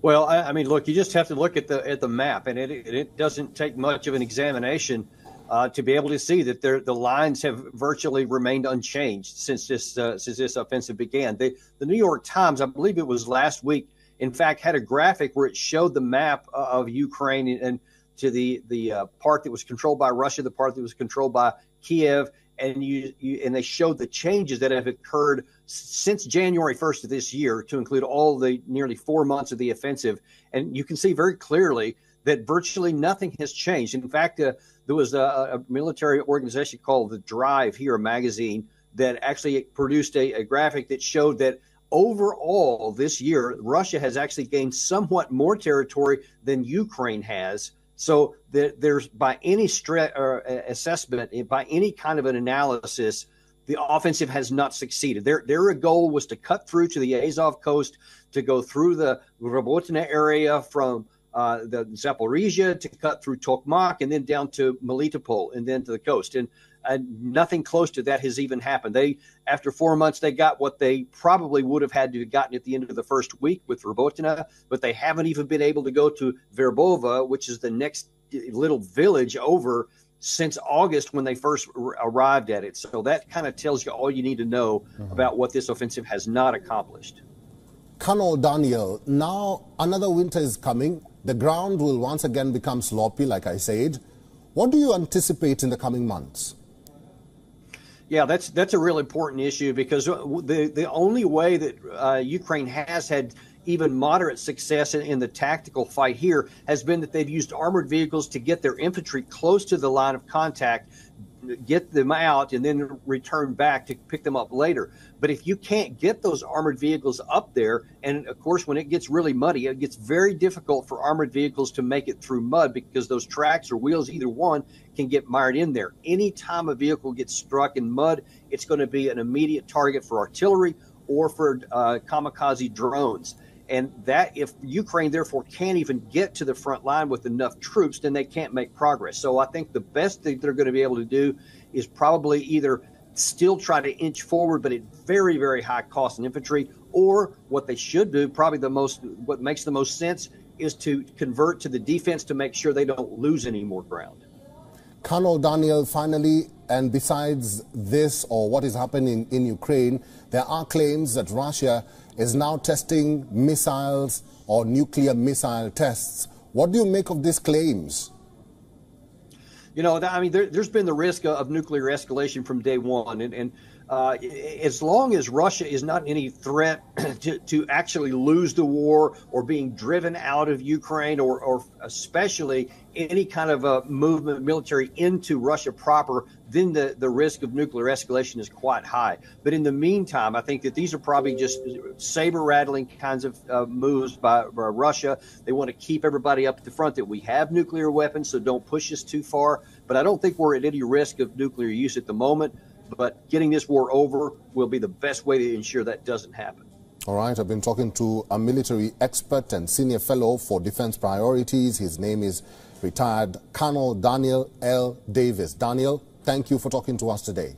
Russia uses artillery as its primary form of lethality in the deep and close battles. Its combined arms elements are charged with positioning themselves so that the artillery can deliver destructive effects against their opponents. Now, NATO member France is sending additional howitzers to boost Ukraine's defenses. Of course, it's all part of the counter-offensive, which has not gone as planned, but Ukraine needs all the help it can get at the moment. Moscow has been accusing the West of leading a war against Russia by proxy. Here's all you need to know about what Ukraine is gaining in the latest.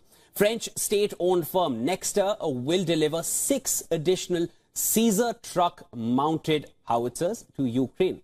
Now, as per the French Defense Ministry, Ukraine has already received 30 Caesar howitzers since uh, last year, 18 from France and 12 from manufacturer Nexter.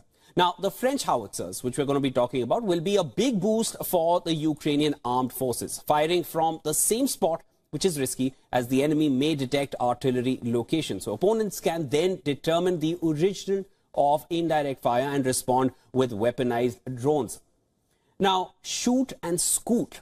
Now, these are the tactics which entail moving away from where shots were fired to avoid any kind of counter battery fire. Let's now take a look at the lethal French Caesar howitzer. First impressive deployment. Now, this was, let's talk about the capabilities first. The Caesar boasts of a road speed of more than 80 kilometers per hour. So it has those kinds of speeds and it is mobile. It can be positioned strategically wherever required. It has an off-road speed of more than 50 kilometers per hour. And it is definitely one that the French howitzer has a cruising range of over 600 kilometers. So it can travel good distances and of course it can travel at a decent speed, can off-road as well. The combat weight of the formidable artillery system is less than 18 tons. So it's not super heavy and the Caesar offers uh, the advantage of highly effective firepower. So the rate of fire is 6 rounds per minute. Now, range varies between 4.5 kilometers uh, to more than 40 kilometers. It will obviously depend upon the trajectory in which it is fired. Additionally, the range using rocket-assisted ammunition is over 50 kilometers. The onboard ammunition consists of 18 complete rounds. And it's all on board, it's all mobile, it can be moved where and when they want. Importantly, the out action time is less than 40 seconds. That's how quickly it can be installed and fired from. Lastly, the Caesar artillery system requires a crew of four to five personnel.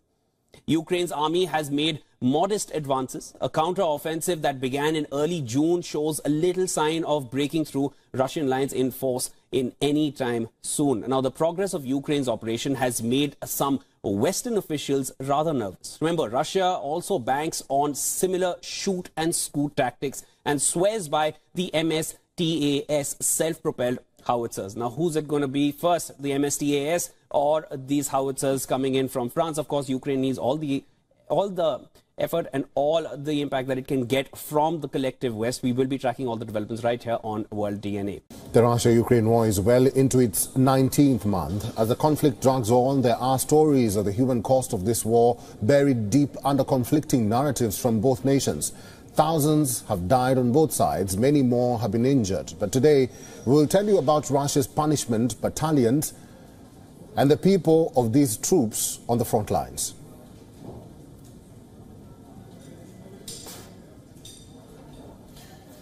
Of the thousands fighting in the Russian Defense Forces, there are battalions called Storm Z squads.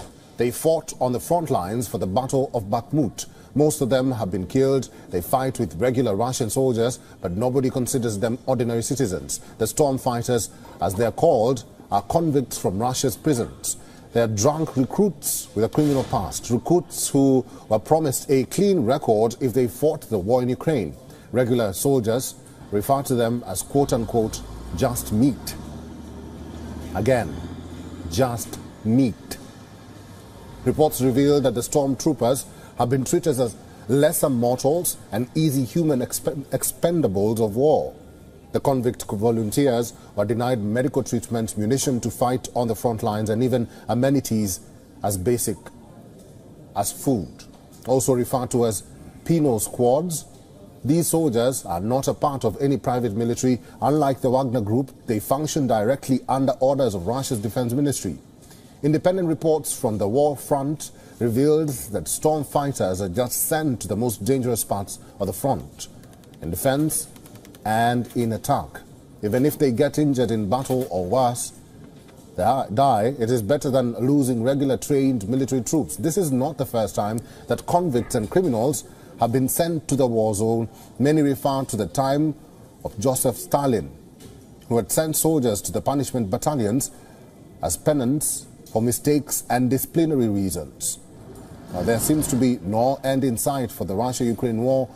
The eternal question remains, is the human cost justified?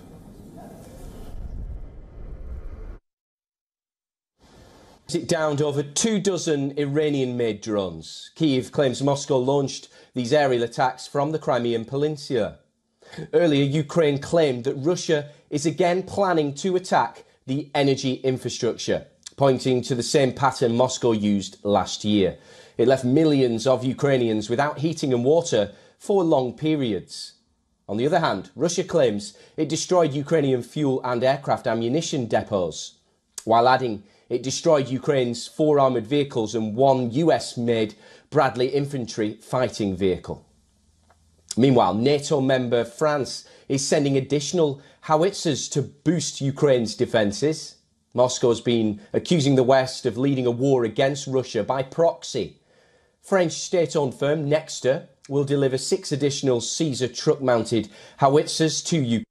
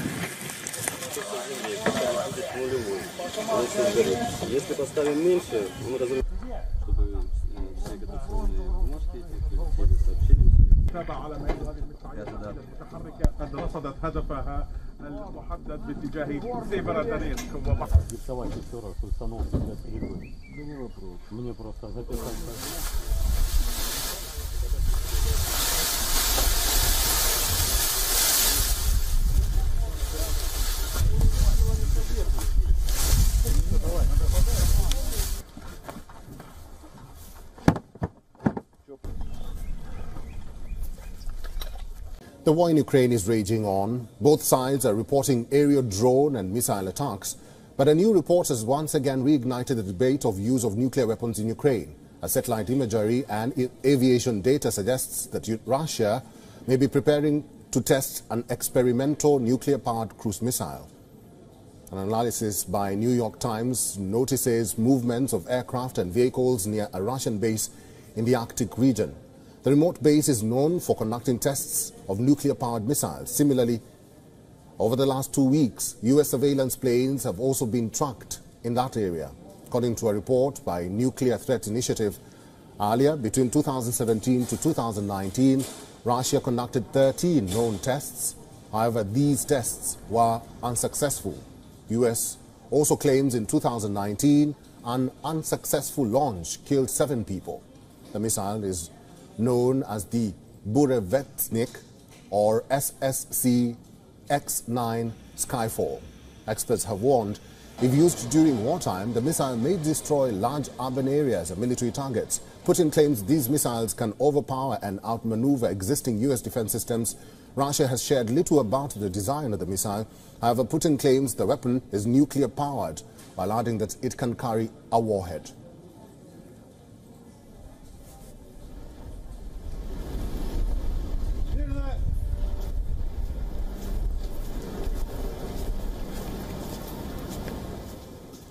David Dunn is a professor of international politics in the University of Birmingham. Is now joining us live from Birmingham, England. David, good to see you. Welcome to the show. First of all, what do you make of this report that Russia may be preparing to test an experimental nuclear-powered cruise missile in the Arctic Sea? Well, as you say, there's nothing particularly new with this system. They've actually been trying to uh, perfect a whole range of exotic new nuclear weapon systems since uh, about 1917. Uh, so this is part of their so far unsuccessful attempt to try and prove what is an exotic technology. The, the thing that makes this interesting is the idea that it would be powered by a secondary nuclear uh, engine inside the missile. It would be launched by a solid state rocket, and then once uh, it, it, was in the air, it would be powered by this nuclear, the small nuclear reactor. And what that would do was give it a very long endurance. It could fly a very long distance, 14,000 miles, uh, and possibly stay aloft uh, indefinitely due to that technology involved in there. What, what that gives is really uh, nothing very novel. Uh, in that actually Russia has thousands of long-range ballistic missiles that have a much shorter and quicker and more direct flight time. But it adds one piece of exotic technology to their arsenal. Right. So in the event that they, all their weapons are destroyed, they have a second strike capability with this missile. David, U.S. claims that the unsuccessful launch in 2019 killed seven people. How big of a threat are these nuclear missiles or even tests? Well, the tests themselves uh, of a system that has clearly proven difficult to make work are a problem and that whenever you use radiation, there is a risk of, of that uh, being uh, a, a, a, having an effect in killing people. In this case, the seven crew that tried to rescue it, or falling on people's heads if it should actually be flown over land or even sea areas where there are shipping. So it's it's never a, a, a great thing to actually use nuclear technology in such a, a, small form and unproved technology. But ultimately, in terms of the threat as a missile, it's no more of a threat than the other systems that Russia has in its arsenal. It's just Russia trying to be experimental and prove other ways of killing people. David, finally, and I want your brief uh, response to this one. So, if the tests are proven, what impact would that have, and what sort of reaction could Russia get from the nuclear agency? Well, the, the, concern is that it adds further to their arsenal. But actually, in terms of the overall threat that Russia poses, there's nothing really new here. It's just an exotic way of making the, the warhead fly, and that's no, of no real concern above uh, Russia's nuclear arsenal as it stands. David Dunn, thank you very much for all your inputs and for talking to WION World is One today. Ukraine is now developing new unmanned vehicles and phasing out existing models. This as the war-ravaged country fights to retake territory from Russia in the ongoing war, which we've been closely tracking here on WION. Now, as both Moscow and Kiev exchange drone attacks, Ukraine has taken a step forward in developing drones which has been fueled by public and private cooperation. Let's tell you more about what these drones are and how they will help Kiev win the war against Russia. Well, talking about the Ratel ground drones. Now, it is a land-based self-destructive drone and is 0.3 meter tall and 0.8 meter long. Well, the Ratel drone can carry out 40 kg of anti-tank mines and also mortar shells. Apart from this, the drone can travel about 20 kilometers per hour. That's the speed of the Ratel ground drone here. Apart from this, it can also drive on uneven surfaces. Well, drone production in Ukraine is uh, booming with aerial drones being manufactured at a pace 120 to 140 times faster as compared to last year. An aerial drone called Aerial Drone Backfire was developed jointly with between uh, the Ukrainian military and the private sector in the country. And this backfire drone we're talking about here, it is mainly used in the southern front during the ongoing war between Ukraine and Russia. While the backfire drone is immune to jamming, which can help in disabling other drones in the ongoing battle. Meanwhile, Backfire's flight is automated and interestingly, it has never been shot down till now. It also has a range of 35 kilometers and also speed of 84 kilometers per hour. Ukraine's National Agency on Corruption Prevention added China's three biggest oil and gas producers to its international sponsors of war list. Now, according to the agency's press service, China National Offshore Oil Corporation, China Petrochemical Corporation, and China National Petroleum Corporation, these are the three firms, and are added to the NACP list. The agency adds that the three companies continue to develop joint projects with Russia and even funded Russia's strategic industry by paying substantial taxes. Now, Ukraine uses the list as a way to pressure businesses into limiting their activity with Russia, which invaded Ukraine in February 2022. While China has refused to openly condemn Russia's war in Ukraine, it has repeatedly expressed disquiet over the economic consequences of the conflict and even backed a United Nations resolution in May that criticized Moscow's aggression. Right now, as Ukraine steps up its enforcement against Chinese businesses and state entities collaborating with Russia, previously the NACP listed the China State Construction Engineering Corporation online marketplace Alibaba and also telecommunications uh, company Xiaomi to the international sponsors of war list. Well, Russia has looked to China as a growing export market for oil and gas. Hence, in March, Russian President Vladimir Putin announced a new pipeline dubbed as Power of Siberia 2, which would carry 50 billion cubic meters of gas to China through Mongolia.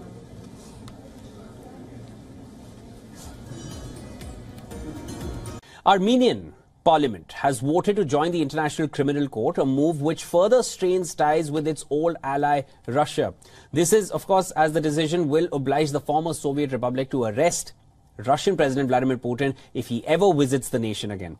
South Africa faced a similar situation earlier in the year. Now, in March this year, the, the Hague-based International Criminal Court issued an arrest warrant against Putin in connection to the war crimes in Ukraine. This obliges the member states by law to arrest the Russian president. Now, Armenian Prime Minister has insisted that the move is not directed against Russia and is in the interests of Armenian security. However, reactions from the Kremlin is resentful. Kremlin spokesperson on Thursday had said that the move would be seen as extremely hostile towards Russia. Moscow has described this effort by Armenia as an unfriendly step. Russia is Armenia's old standing ally. Armenia hosts a Russian military base as well and is part of Collective Security Treaty Organization or CSTO. This is Russia-led military alliance of seven former Soviet states and was created in the year 2002.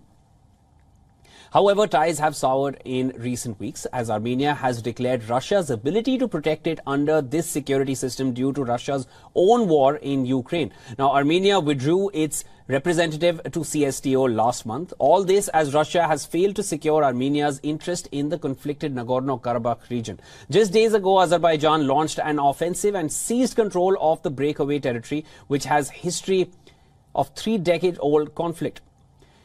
Nearly all the Armenian population has now fled the region. All it took Azerbaijan was one day of conflict and violence. In 2020, Putin had guaranteed that Russian peacekeepers would protect the region's population, maintain a ceasefire, and assure access on the only road connecting Nagorno-Karabakh and Armenia. However, this did not happen. It failed to keep the promises. Azerbaijan has taken control of the region, sparking a massive mass comeback of residents. Has Ukraine's much vaunted counteroffensive failed? Well, that's what Russia is saying. Ukrainian forces had been attempting to penetrate Russian defenses on front lines in the east and south of the country. Four months on, with not much progress on the ground, in the last four months since the launch of the counteroffensive, nothing has happened on ground and in the front line. Russian defense minister says, and I quote, the enemy's attempts to break through our defenses in the areas of Verbovoye and Rabotino on the Zaporizhia front have failed. Kremlin also asserts that it has pushed back the Ukrainian troops from Bakhmut in the eastern front in the war-battered Donetsk region. Kiev claims to have taken back about 47 square kilometers of territory around Bakhmut since starting its counteroffensive in early June. Kiev launched the long-awaited counteroffensive in June, but has acknowledged slow progress as its forces crashed into sophisticated and kilometers deep Russian defense, defensive positions. The operation by Kiev was strategically planned with the help of intel from the West. It was also executed with the help of heavy Western weaponry. The West provided almost all the arms and ammunition sought by the Ukrainian president. But perhaps the Russian defenses were underestimated. Many Western bloggers claimed that the poorly motivated Russian troops would flee as the Ukrainian offensive begins. But the Moscow troops remain entrenched. The Russians had months to back themselves. They dug in deep, fortified the defensive positions along the entire 1,000 kilometer front. Barriers, including trenches and various obstacles, were placed. These effectively made the movement of tanks and armored vehicles almost impossible. From the sky, Russians kept bombarding, making it increasingly difficult for Ukrainians to gain any ground. And now another winter is coming. The ground will once again become sloppy. Mud and snow makes the region unsuitable for movement of vehicles. A mix of rain and bitter cold have influenced the outcomes of military campaigns throughout history and dashed the aspirations of Napoleon or even Hitler.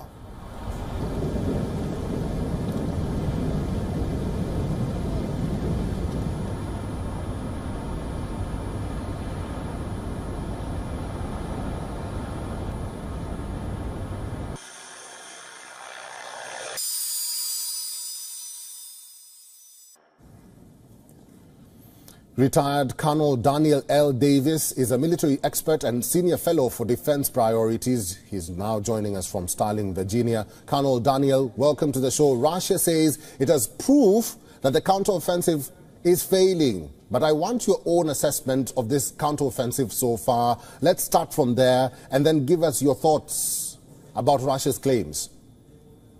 Well, I, I mean, look, you just have to look at the at the map, and it it doesn't take much of an examination uh, to be able to see that the lines have virtually remained unchanged since this uh, since this offensive began. The the New York Times, I believe it was last week, in fact, had a graphic where it showed the map of Ukraine and to the the uh, part that was controlled by Russia, the part that was controlled by Kiev, and you, you and they showed the changes that have occurred since January 1st of this year, to include all the nearly four months of the offensive, and you can see very clearly that virtually nothing has changed. In fact, uh, there was a, a, military organization called the Drive here, magazine that actually produced a, a graphic that showed that overall this year, Russia has actually gained somewhat more territory than Ukraine has. So there's by any stre- uh, assessment, by any kind of an analysis, the offensive has not succeeded. Their their goal was to cut through to the Azov coast, to go through the Robotyne area from uh, the Zaporizhia to cut through Tokmak and then down to Melitopol and then to the coast. And uh, nothing close to that has even happened. They, after four months, they got what they probably would have had to have gotten at the end of the first week with Robotyne, but they haven't even been able to go to Verbova, which is the next little village over since August when they first r- arrived at it. So that kind of tells you all you need to know mm-hmm. about what this offensive has not accomplished. Colonel Daniel, now another winter is coming. The ground will once again become sloppy, like I said. What do you anticipate in the coming months? Yeah, that's that's a real important issue because the the only way that uh, Ukraine has had even moderate success in, in, the tactical fight here has been that they've used armored vehicles to get their infantry close to the line of contact get them out and then return back to pick them up later. But if you can't get those armored vehicles up there, and of course, when it gets really muddy, it gets very difficult for armored vehicles to make it through mud because those tracks or wheels, either one, can get mired in there. Anytime a vehicle gets struck in mud, it's going to be an immediate target for artillery or for uh, kamikaze drones. And that, if Ukraine therefore can't even get to the front line with enough troops, then they can't make progress. So I think the best thing they're going to be able to do is probably either still try to inch forward, but at very, very high cost in infantry, or what they should do, probably the most, what makes the most sense, is to convert to the defense to make sure they don't lose any more ground. Colonel Daniel, finally, and besides this or what is happening in Ukraine, there are claims that Russia is now testing missiles or nuclear missile tests. What do you make of these claims? You know, I mean, there, has been the risk of nuclear escalation from day one, and, and uh, as long as Russia is not any threat to, to actually lose the war or being driven out of Ukraine or, or especially any kind of a movement military into Russia proper, then the, the risk of nuclear escalation is quite high. But in the meantime, I think that these are probably just saber rattling kinds of uh, moves by, by Russia. They want to keep everybody up at the front that we have nuclear weapons, so don't push us too far. But I don't think we're at any risk of nuclear use at the moment but getting this war over will be the best way to ensure that doesn't happen. All right, I've been talking to a military expert and senior fellow for defense priorities. His name is retired Colonel Daniel L. Davis. Daniel, thank you for talking to us today. Russia uses artillery as its primary form of lethality in the deep and close battles. Its combined arms elements are charged with positioning themselves so that the artillery can deliver destructive effects against their opponents. Now, NATO member France is sending additional howitzers to boost Ukraine's defenses. Of course, it's all part of the counter-offensive, which has not gone as planned, but Ukraine needs all the help it can get at the moment. Moscow has been accusing the West of leading a war against Russia by proxy. Here's all you need to know about what Ukraine is gaining in the latest. French state-owned firm Nexter uh, will deliver six additional Caesar truck-mounted howitzers to Ukraine. Now, as per the French Defense Ministry, Ukraine has already received 30 Caesar howitzers since uh, last year, 18 from France and 12 from manufacturer Nexter. Now, the French howitzers, which we're going to be talking about, will be a big boost for the Ukrainian armed forces, firing from the same spot which is risky as the enemy may detect artillery location. So opponents can then determine the origin of indirect fire and respond with weaponized drones. Now, shoot and scoot. Now, these are the tactics which entail moving away from where shots were fired to avoid any kind of counter battery fire. Let's now take a look at the lethal French Caesar howitzer. First impressive deployment. Now, this was, let's talk about the capabilities first. The Caesar boasts of a road speed of more than 80 kilometers per hour. So it has those kinds of speeds and it is mobile. It can be positioned strategically wherever required. It has an off-road speed of more than 50 kilometers per hour. And it is definitely one that the French howitzer has a cruising range of over 600 kilometers. So it can travel good distances and of course it can travel at a decent speed, can off-road as well. The combat weight of the formidable artillery system is less than 18 tons. So it's not super heavy and the Caesar offers the advantage of highly effective firepower. So the rate of fire is 6 rounds per minute. Now, range varies between 4.5 kilometers uh, to more than 40 kilometers. It will obviously depend upon the trajectory in which it is fired. Additionally, the range using rocket-assisted ammunition is over 50 kilometers. The onboard ammunition consists of 18 complete rounds. And it's all on board, it's all mobile, it can be moved where and when they want. Importantly, the out action time is less than 40 seconds. That's how quickly it can be installed and fired from. Lastly, the Caesar artillery system requires a crew of four to five personnel. Ukraine's army has made modest advances. A counter-offensive that began in early June shows a little sign of breaking through Russian lines in force in any time soon. Now, the progress of Ukraine's operation has made some Western officials rather nervous. Remember, Russia also banks on similar shoot and scoot tactics and swears by the Msta-S self-propelled howitzers. Now, who's it going to be first, the Msta-S or these howitzers coming in from France? Of course, Ukraine needs all the all the effort and all the impact that it can get from the collective West. We will be tracking all the developments right here on World DNA. The Russia-Ukraine war is well into its 19th month. As the conflict drags on, there are stories of the human cost of this war buried deep under conflicting narratives from both nations. Thousands have died on both sides, many more have been injured. But today, we'll tell you about Russia's punishment battalions and the people of these troops on the front lines.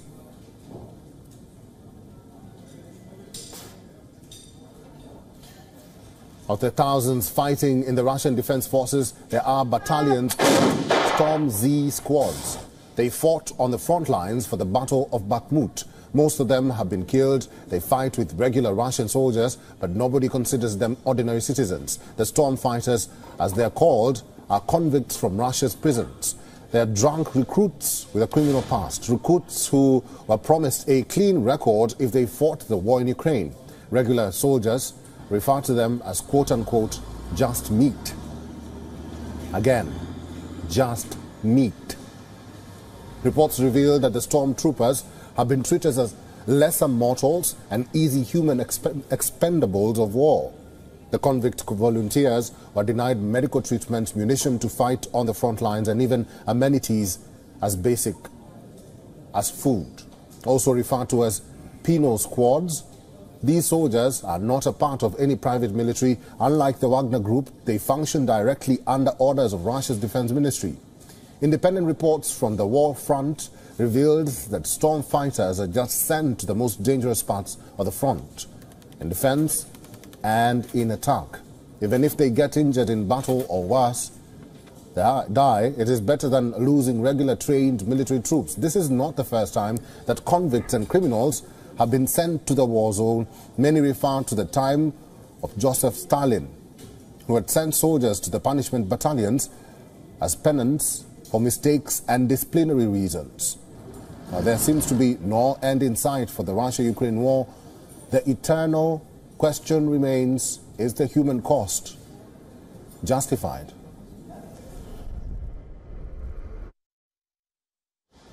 It downed over two dozen Iranian made drones. Kiev claims Moscow launched these aerial attacks from the Crimean Peninsula. Earlier, Ukraine claimed that Russia is again planning to attack the energy infrastructure, pointing to the same pattern Moscow used last year. It left millions of Ukrainians without heating and water for long periods. On the other hand, Russia claims it destroyed Ukrainian fuel and aircraft ammunition depots, while adding it destroyed Ukraine's four armoured vehicles and one US made Bradley infantry fighting vehicle. Meanwhile, NATO member France is sending additional howitzers to boost Ukraine's defences. Moscow has been accusing the West of leading a war against Russia by proxy. French state owned firm Nexter will deliver six additional Caesar truck mounted howitzers to Ukraine.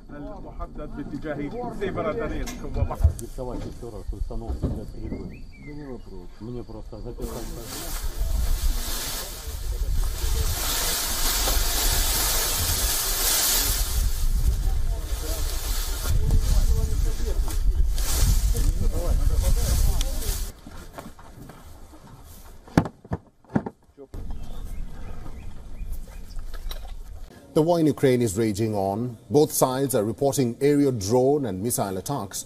But a new report has once again reignited the debate of use of nuclear weapons in Ukraine. A satellite imagery and aviation data suggests that Russia may be preparing to test an experimental nuclear-powered cruise missile.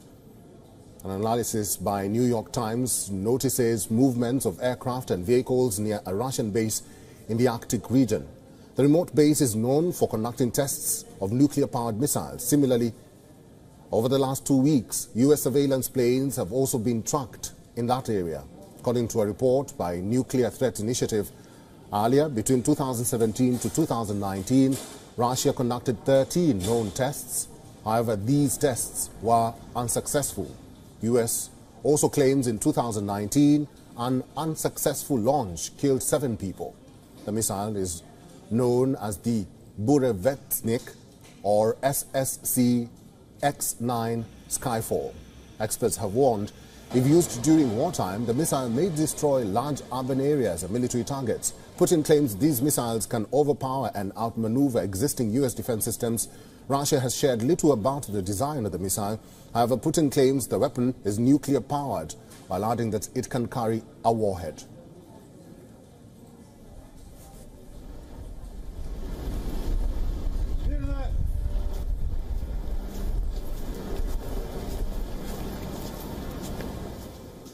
David Dunn is a professor of international politics in the University of Birmingham. Is now joining us live from Birmingham, England. David, good to see you. Welcome to the show. First of all, what do you make of this report that Russia may be preparing to test an experimental nuclear-powered cruise missile in the Arctic Sea? Well, as you say, there's nothing particularly new with this system. They've actually been trying to uh, perfect a whole range of exotic new nuclear weapon systems since uh, about 1917. Uh, so this is part of their so far unsuccessful attempt to try and prove what is an exotic technology. The, the thing that makes this interesting is the idea that it would be powered by a secondary nuclear uh, engine inside the missile. It would be launched by a solid state rocket, and then once uh, it, it, was in the air, it would be powered by this nuclear, the small nuclear reactor. And what that would do was give it a very long endurance. It could fly a very long distance, 14,000 miles, uh, and possibly stay aloft uh, indefinitely due to that technology involved in there. What, what that gives is really uh, nothing very novel. Uh, in that actually Russia has thousands of long-range ballistic missiles that have a much shorter and quicker and more direct flight time. But it adds one piece of exotic technology to their arsenal. Right. So in the event that they, all their weapons are destroyed, they have a second strike capability with this missile. David, U.S. claims that the unsuccessful launch in 2019 killed seven people. How big of a threat are these nuclear missiles or even tests? Well, the tests themselves uh, of a system that is clearly proven difficult to make work are a problem and that whenever you use radiation, there is a risk of, of that uh, being uh, a, a, a, having an effect in killing people. In this case, the seven crew that tried to rescue it, or falling on people's heads if it should actually be flown over land or even sea areas where there are shipping. So it's it's never a, a, a great thing to actually use nuclear technology in such a, a small form and unproved technology. But ultimately, in terms of the threat of, as a missile, it's no more of a threat than the other systems that Russia has in its arsenal. It's just Russia trying to be experimental and prove other ways of killing people.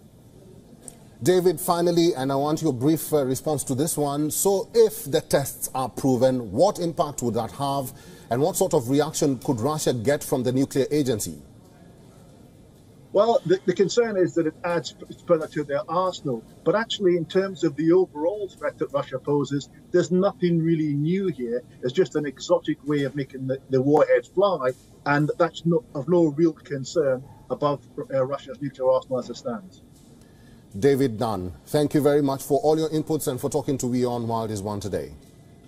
Ukraine is now developing new unmanned vehicles and phasing out existing models. This as the war-ravaged country fights to retake territory from Russia in the ongoing war, which we've been closely tracking here on WION. Now, as both Moscow and Kiev exchange drone attacks, Ukraine has taken a step forward in developing drones which has been fueled by public and private cooperation. Let's tell you more about what these drones are and how they will help Kiev win the war against Russia. Well, talking about the Ratel ground drones. Now, it is a land-based self-destructive drone and is 0.3 meter tall and 0.8 meter long.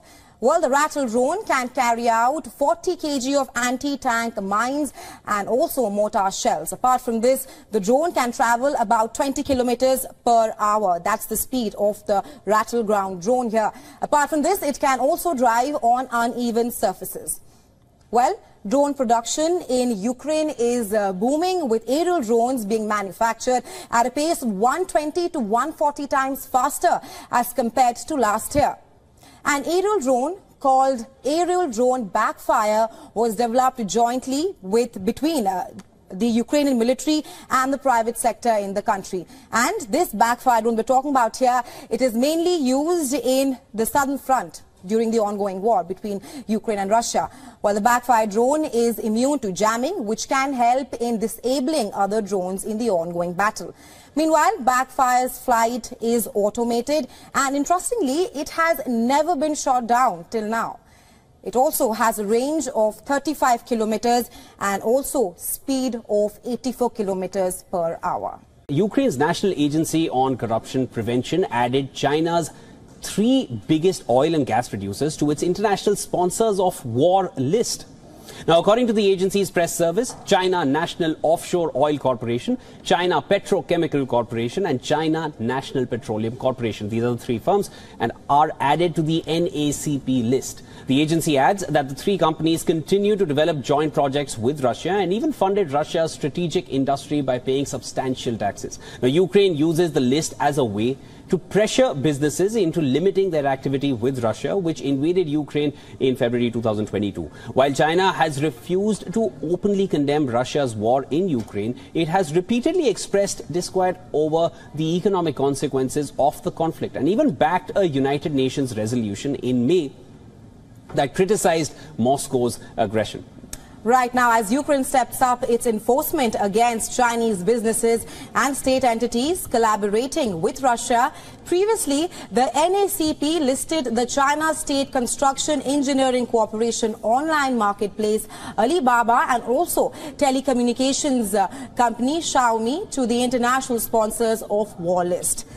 Well, Russia has looked to China as a growing export market for oil and gas. Hence, in March, Russian President Vladimir Putin announced a new pipeline dubbed as Power of Siberia 2, which would carry 50 billion cubic meters of gas to China through Mongolia.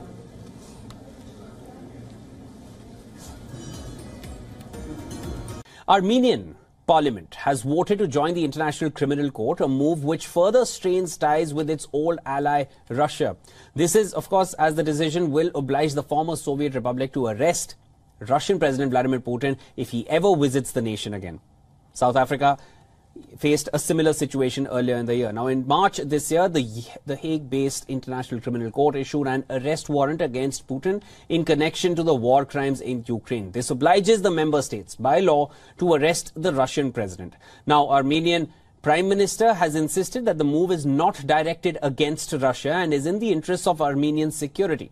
However, reactions from the Kremlin is resentful. Kremlin spokesperson on Thursday had said that the move would be seen as extremely hostile towards Russia. Moscow has described this effort by Armenia as an unfriendly step. Russia is Armenia's old standing ally. Armenia hosts a Russian military base as well and is part of Collective Security Treaty Organization or CSTO. This is Russia-led military alliance of seven former Soviet states and was created in the year 2002. However, ties have soured in recent weeks as Armenia has declared Russia's ability to protect it under this security system due to Russia's own war in Ukraine. Now, Armenia withdrew its representative to CSTO last month. All this as Russia has failed to secure Armenia's interest in the conflicted Nagorno-Karabakh region. Just days ago, Azerbaijan launched an offensive and seized control of the breakaway territory, which has history of three-decade-old conflict. Nearly all the Armenian population has now fled the region. All it took Azerbaijan was one day of conflict and violence. In 2020, Putin had guaranteed that Russian peacekeepers would protect the region's population, maintain a ceasefire, and assure access on the only road connecting Nagorno-Karabakh and Armenia. However, this did not happen. It failed to keep the promises. Azerbaijan has taken control of the region, sparking a massive mass comeback of residents. Has Ukraine's much vaunted counteroffensive failed? Well, that's what Russia is saying. Ukrainian forces had been attempting to penetrate Russian defenses on front lines in the east and south of the country. Four months on, with not much progress on the ground, in the last four months since the launch of the counteroffensive, nothing has happened on ground and in the front line. Russian defense minister says, and I quote, the enemy's attempts to break through our defenses in the areas of Verbovoye and Rabotino on the Zaporizhia front have failed. Kremlin also asserts that it has pushed back the Ukrainian troops from Bakhmut in the eastern front in the war-battered Donetsk region. Kiev claims to have taken back about 47 square kilometers of territory around Bakhmut since starting its counteroffensive in early June. Kiev launched the long-awaited counteroffensive in June, but has acknowledged slow progress as its forces crashed into sophisticated and kilometers-deep Russian defense, defensive positions.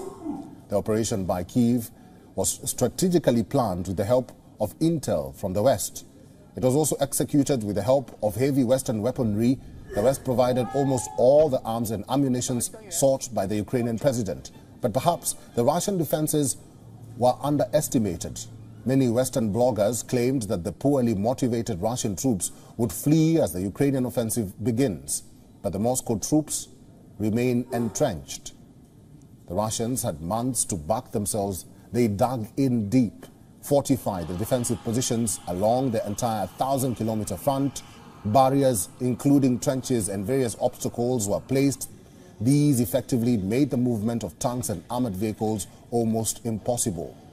From the sky, Russians kept bombarding, making it increasingly difficult for Ukrainians to gain any ground. And now another winter is coming. The ground will once again become sloppy. Mud and snow makes the region unsuitable for movement of vehicles. A mix of rain and bitter cold have influenced the outcomes of military campaigns throughout history and dashed the aspirations of Napoleon or even Hitler.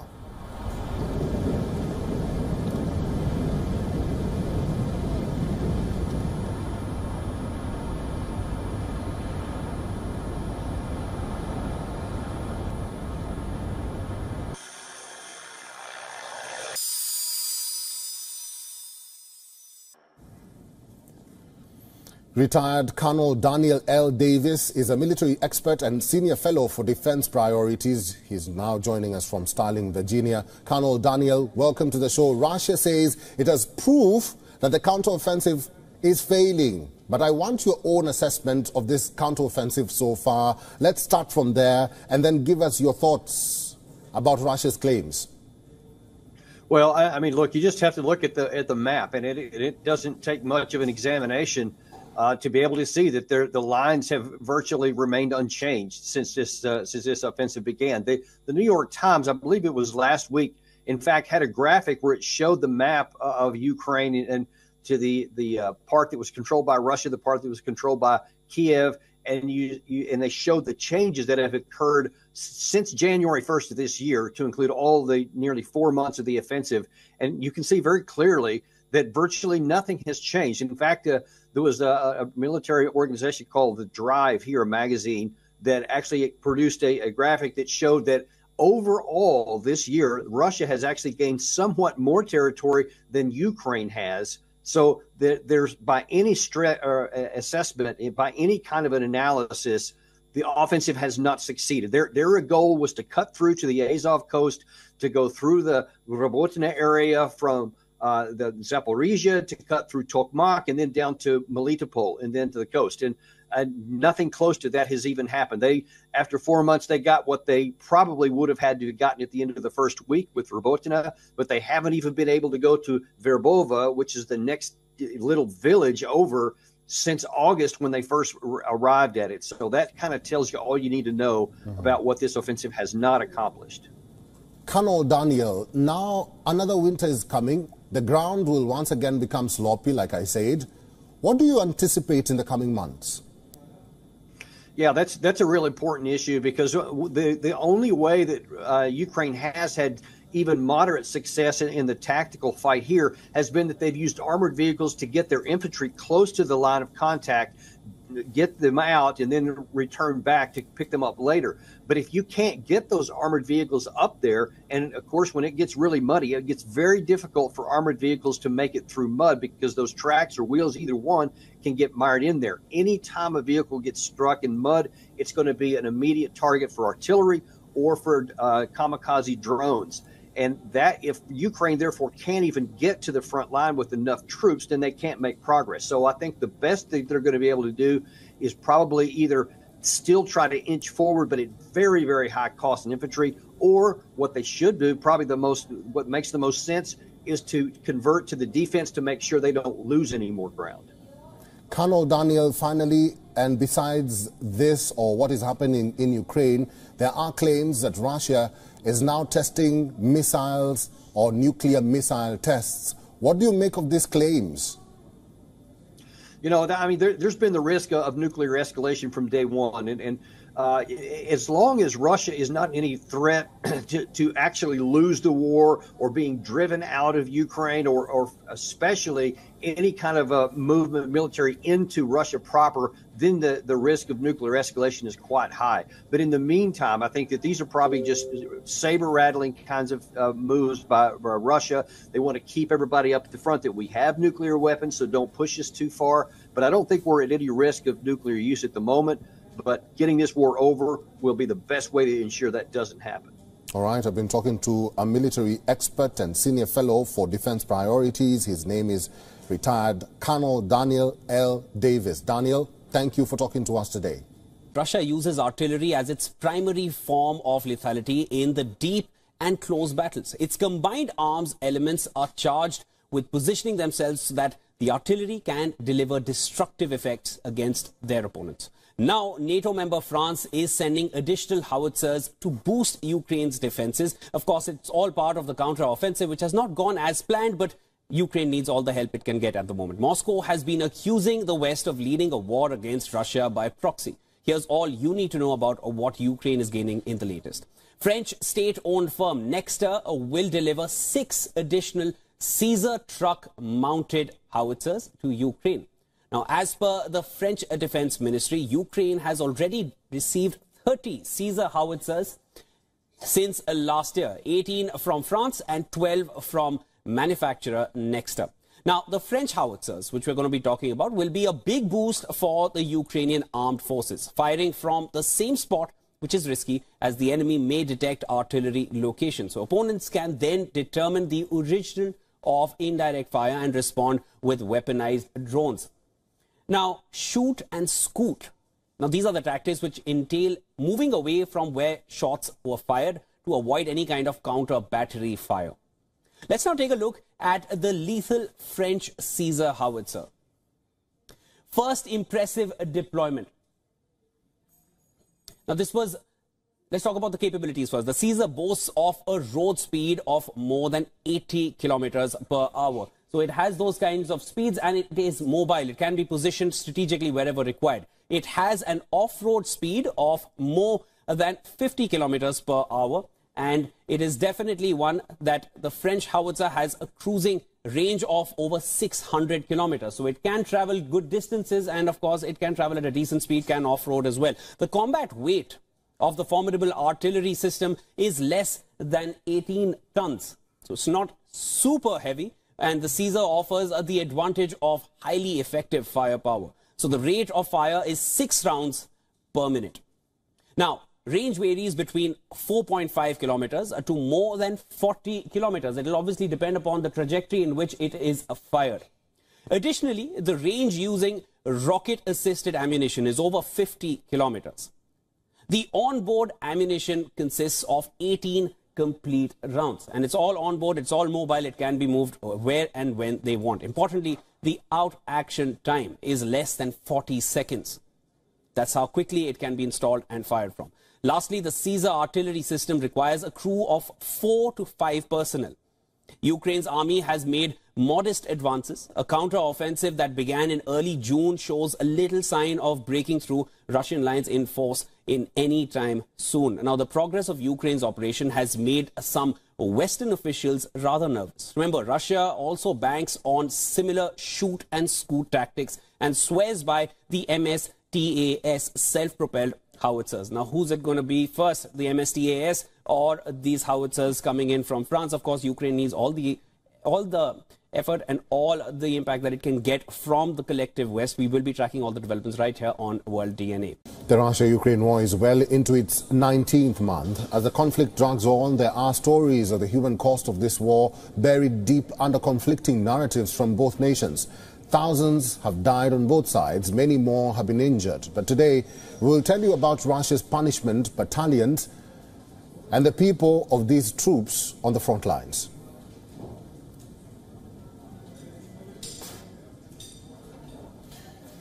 Of the thousands fighting in the Russian Defense Forces, there are battalions called Storm Z squads. They fought on the front lines for the Battle of Bakhmut. Most of them have been killed. They fight with regular Russian soldiers, but nobody considers them ordinary citizens. The storm fighters, as they are called, are convicts from Russia's prisons. They are drunk recruits with a criminal past, recruits who were promised a clean record if they fought the war in Ukraine. regular soldiers refer to them as quote unquote just meat. Again, just meat.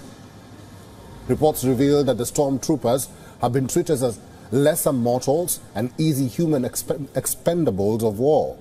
The convict volunteers were denied medical treatment, munition to fight on the front lines, and even amenities as basic as food.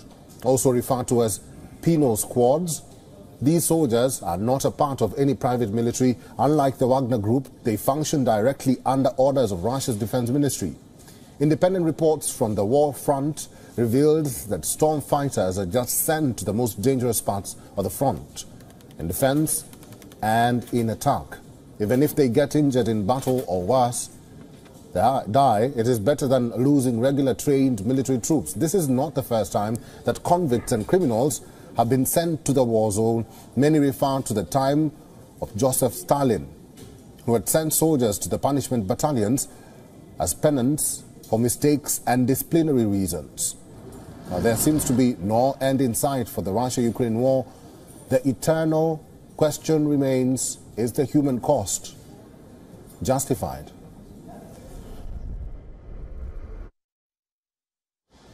It downed over two dozen Iranian made drones. Kiev claims Moscow launched these aerial attacks from the Crimean Peninsula. Earlier, Ukraine claimed that Russia is again planning to attack the energy infrastructure, pointing to the same pattern Moscow used last year. It left millions of Ukrainians without heating and water for long periods. On the other hand, Russia claims it destroyed Ukrainian fuel and aircraft ammunition depots, while adding it destroyed Ukraine's four armoured vehicles and one US made Bradley infantry fighting vehicle. Meanwhile, NATO member France is sending additional howitzers to boost Ukraine's defences. Moscow's been accusing the West of leading a war against Russia by proxy. French state owned firm Nexter will deliver six additional Caesar truck mounted howitzers to Ukraine.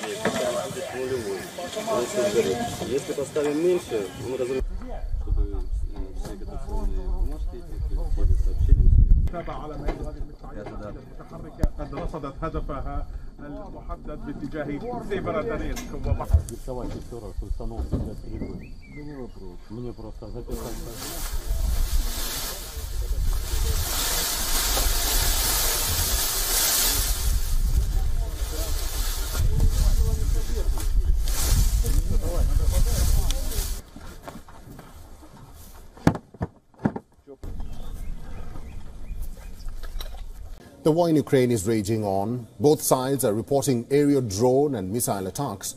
But a new report has once again reignited the debate of use of nuclear weapons in Ukraine. A satellite imagery and aviation data suggests that Russia may be preparing to test an experimental nuclear-powered cruise missile. An analysis by New York Times notices movements of aircraft and vehicles near a Russian base in the Arctic region. The remote base is known for conducting tests of nuclear-powered missiles. Similarly, over the last two weeks, U.S. surveillance planes have also been tracked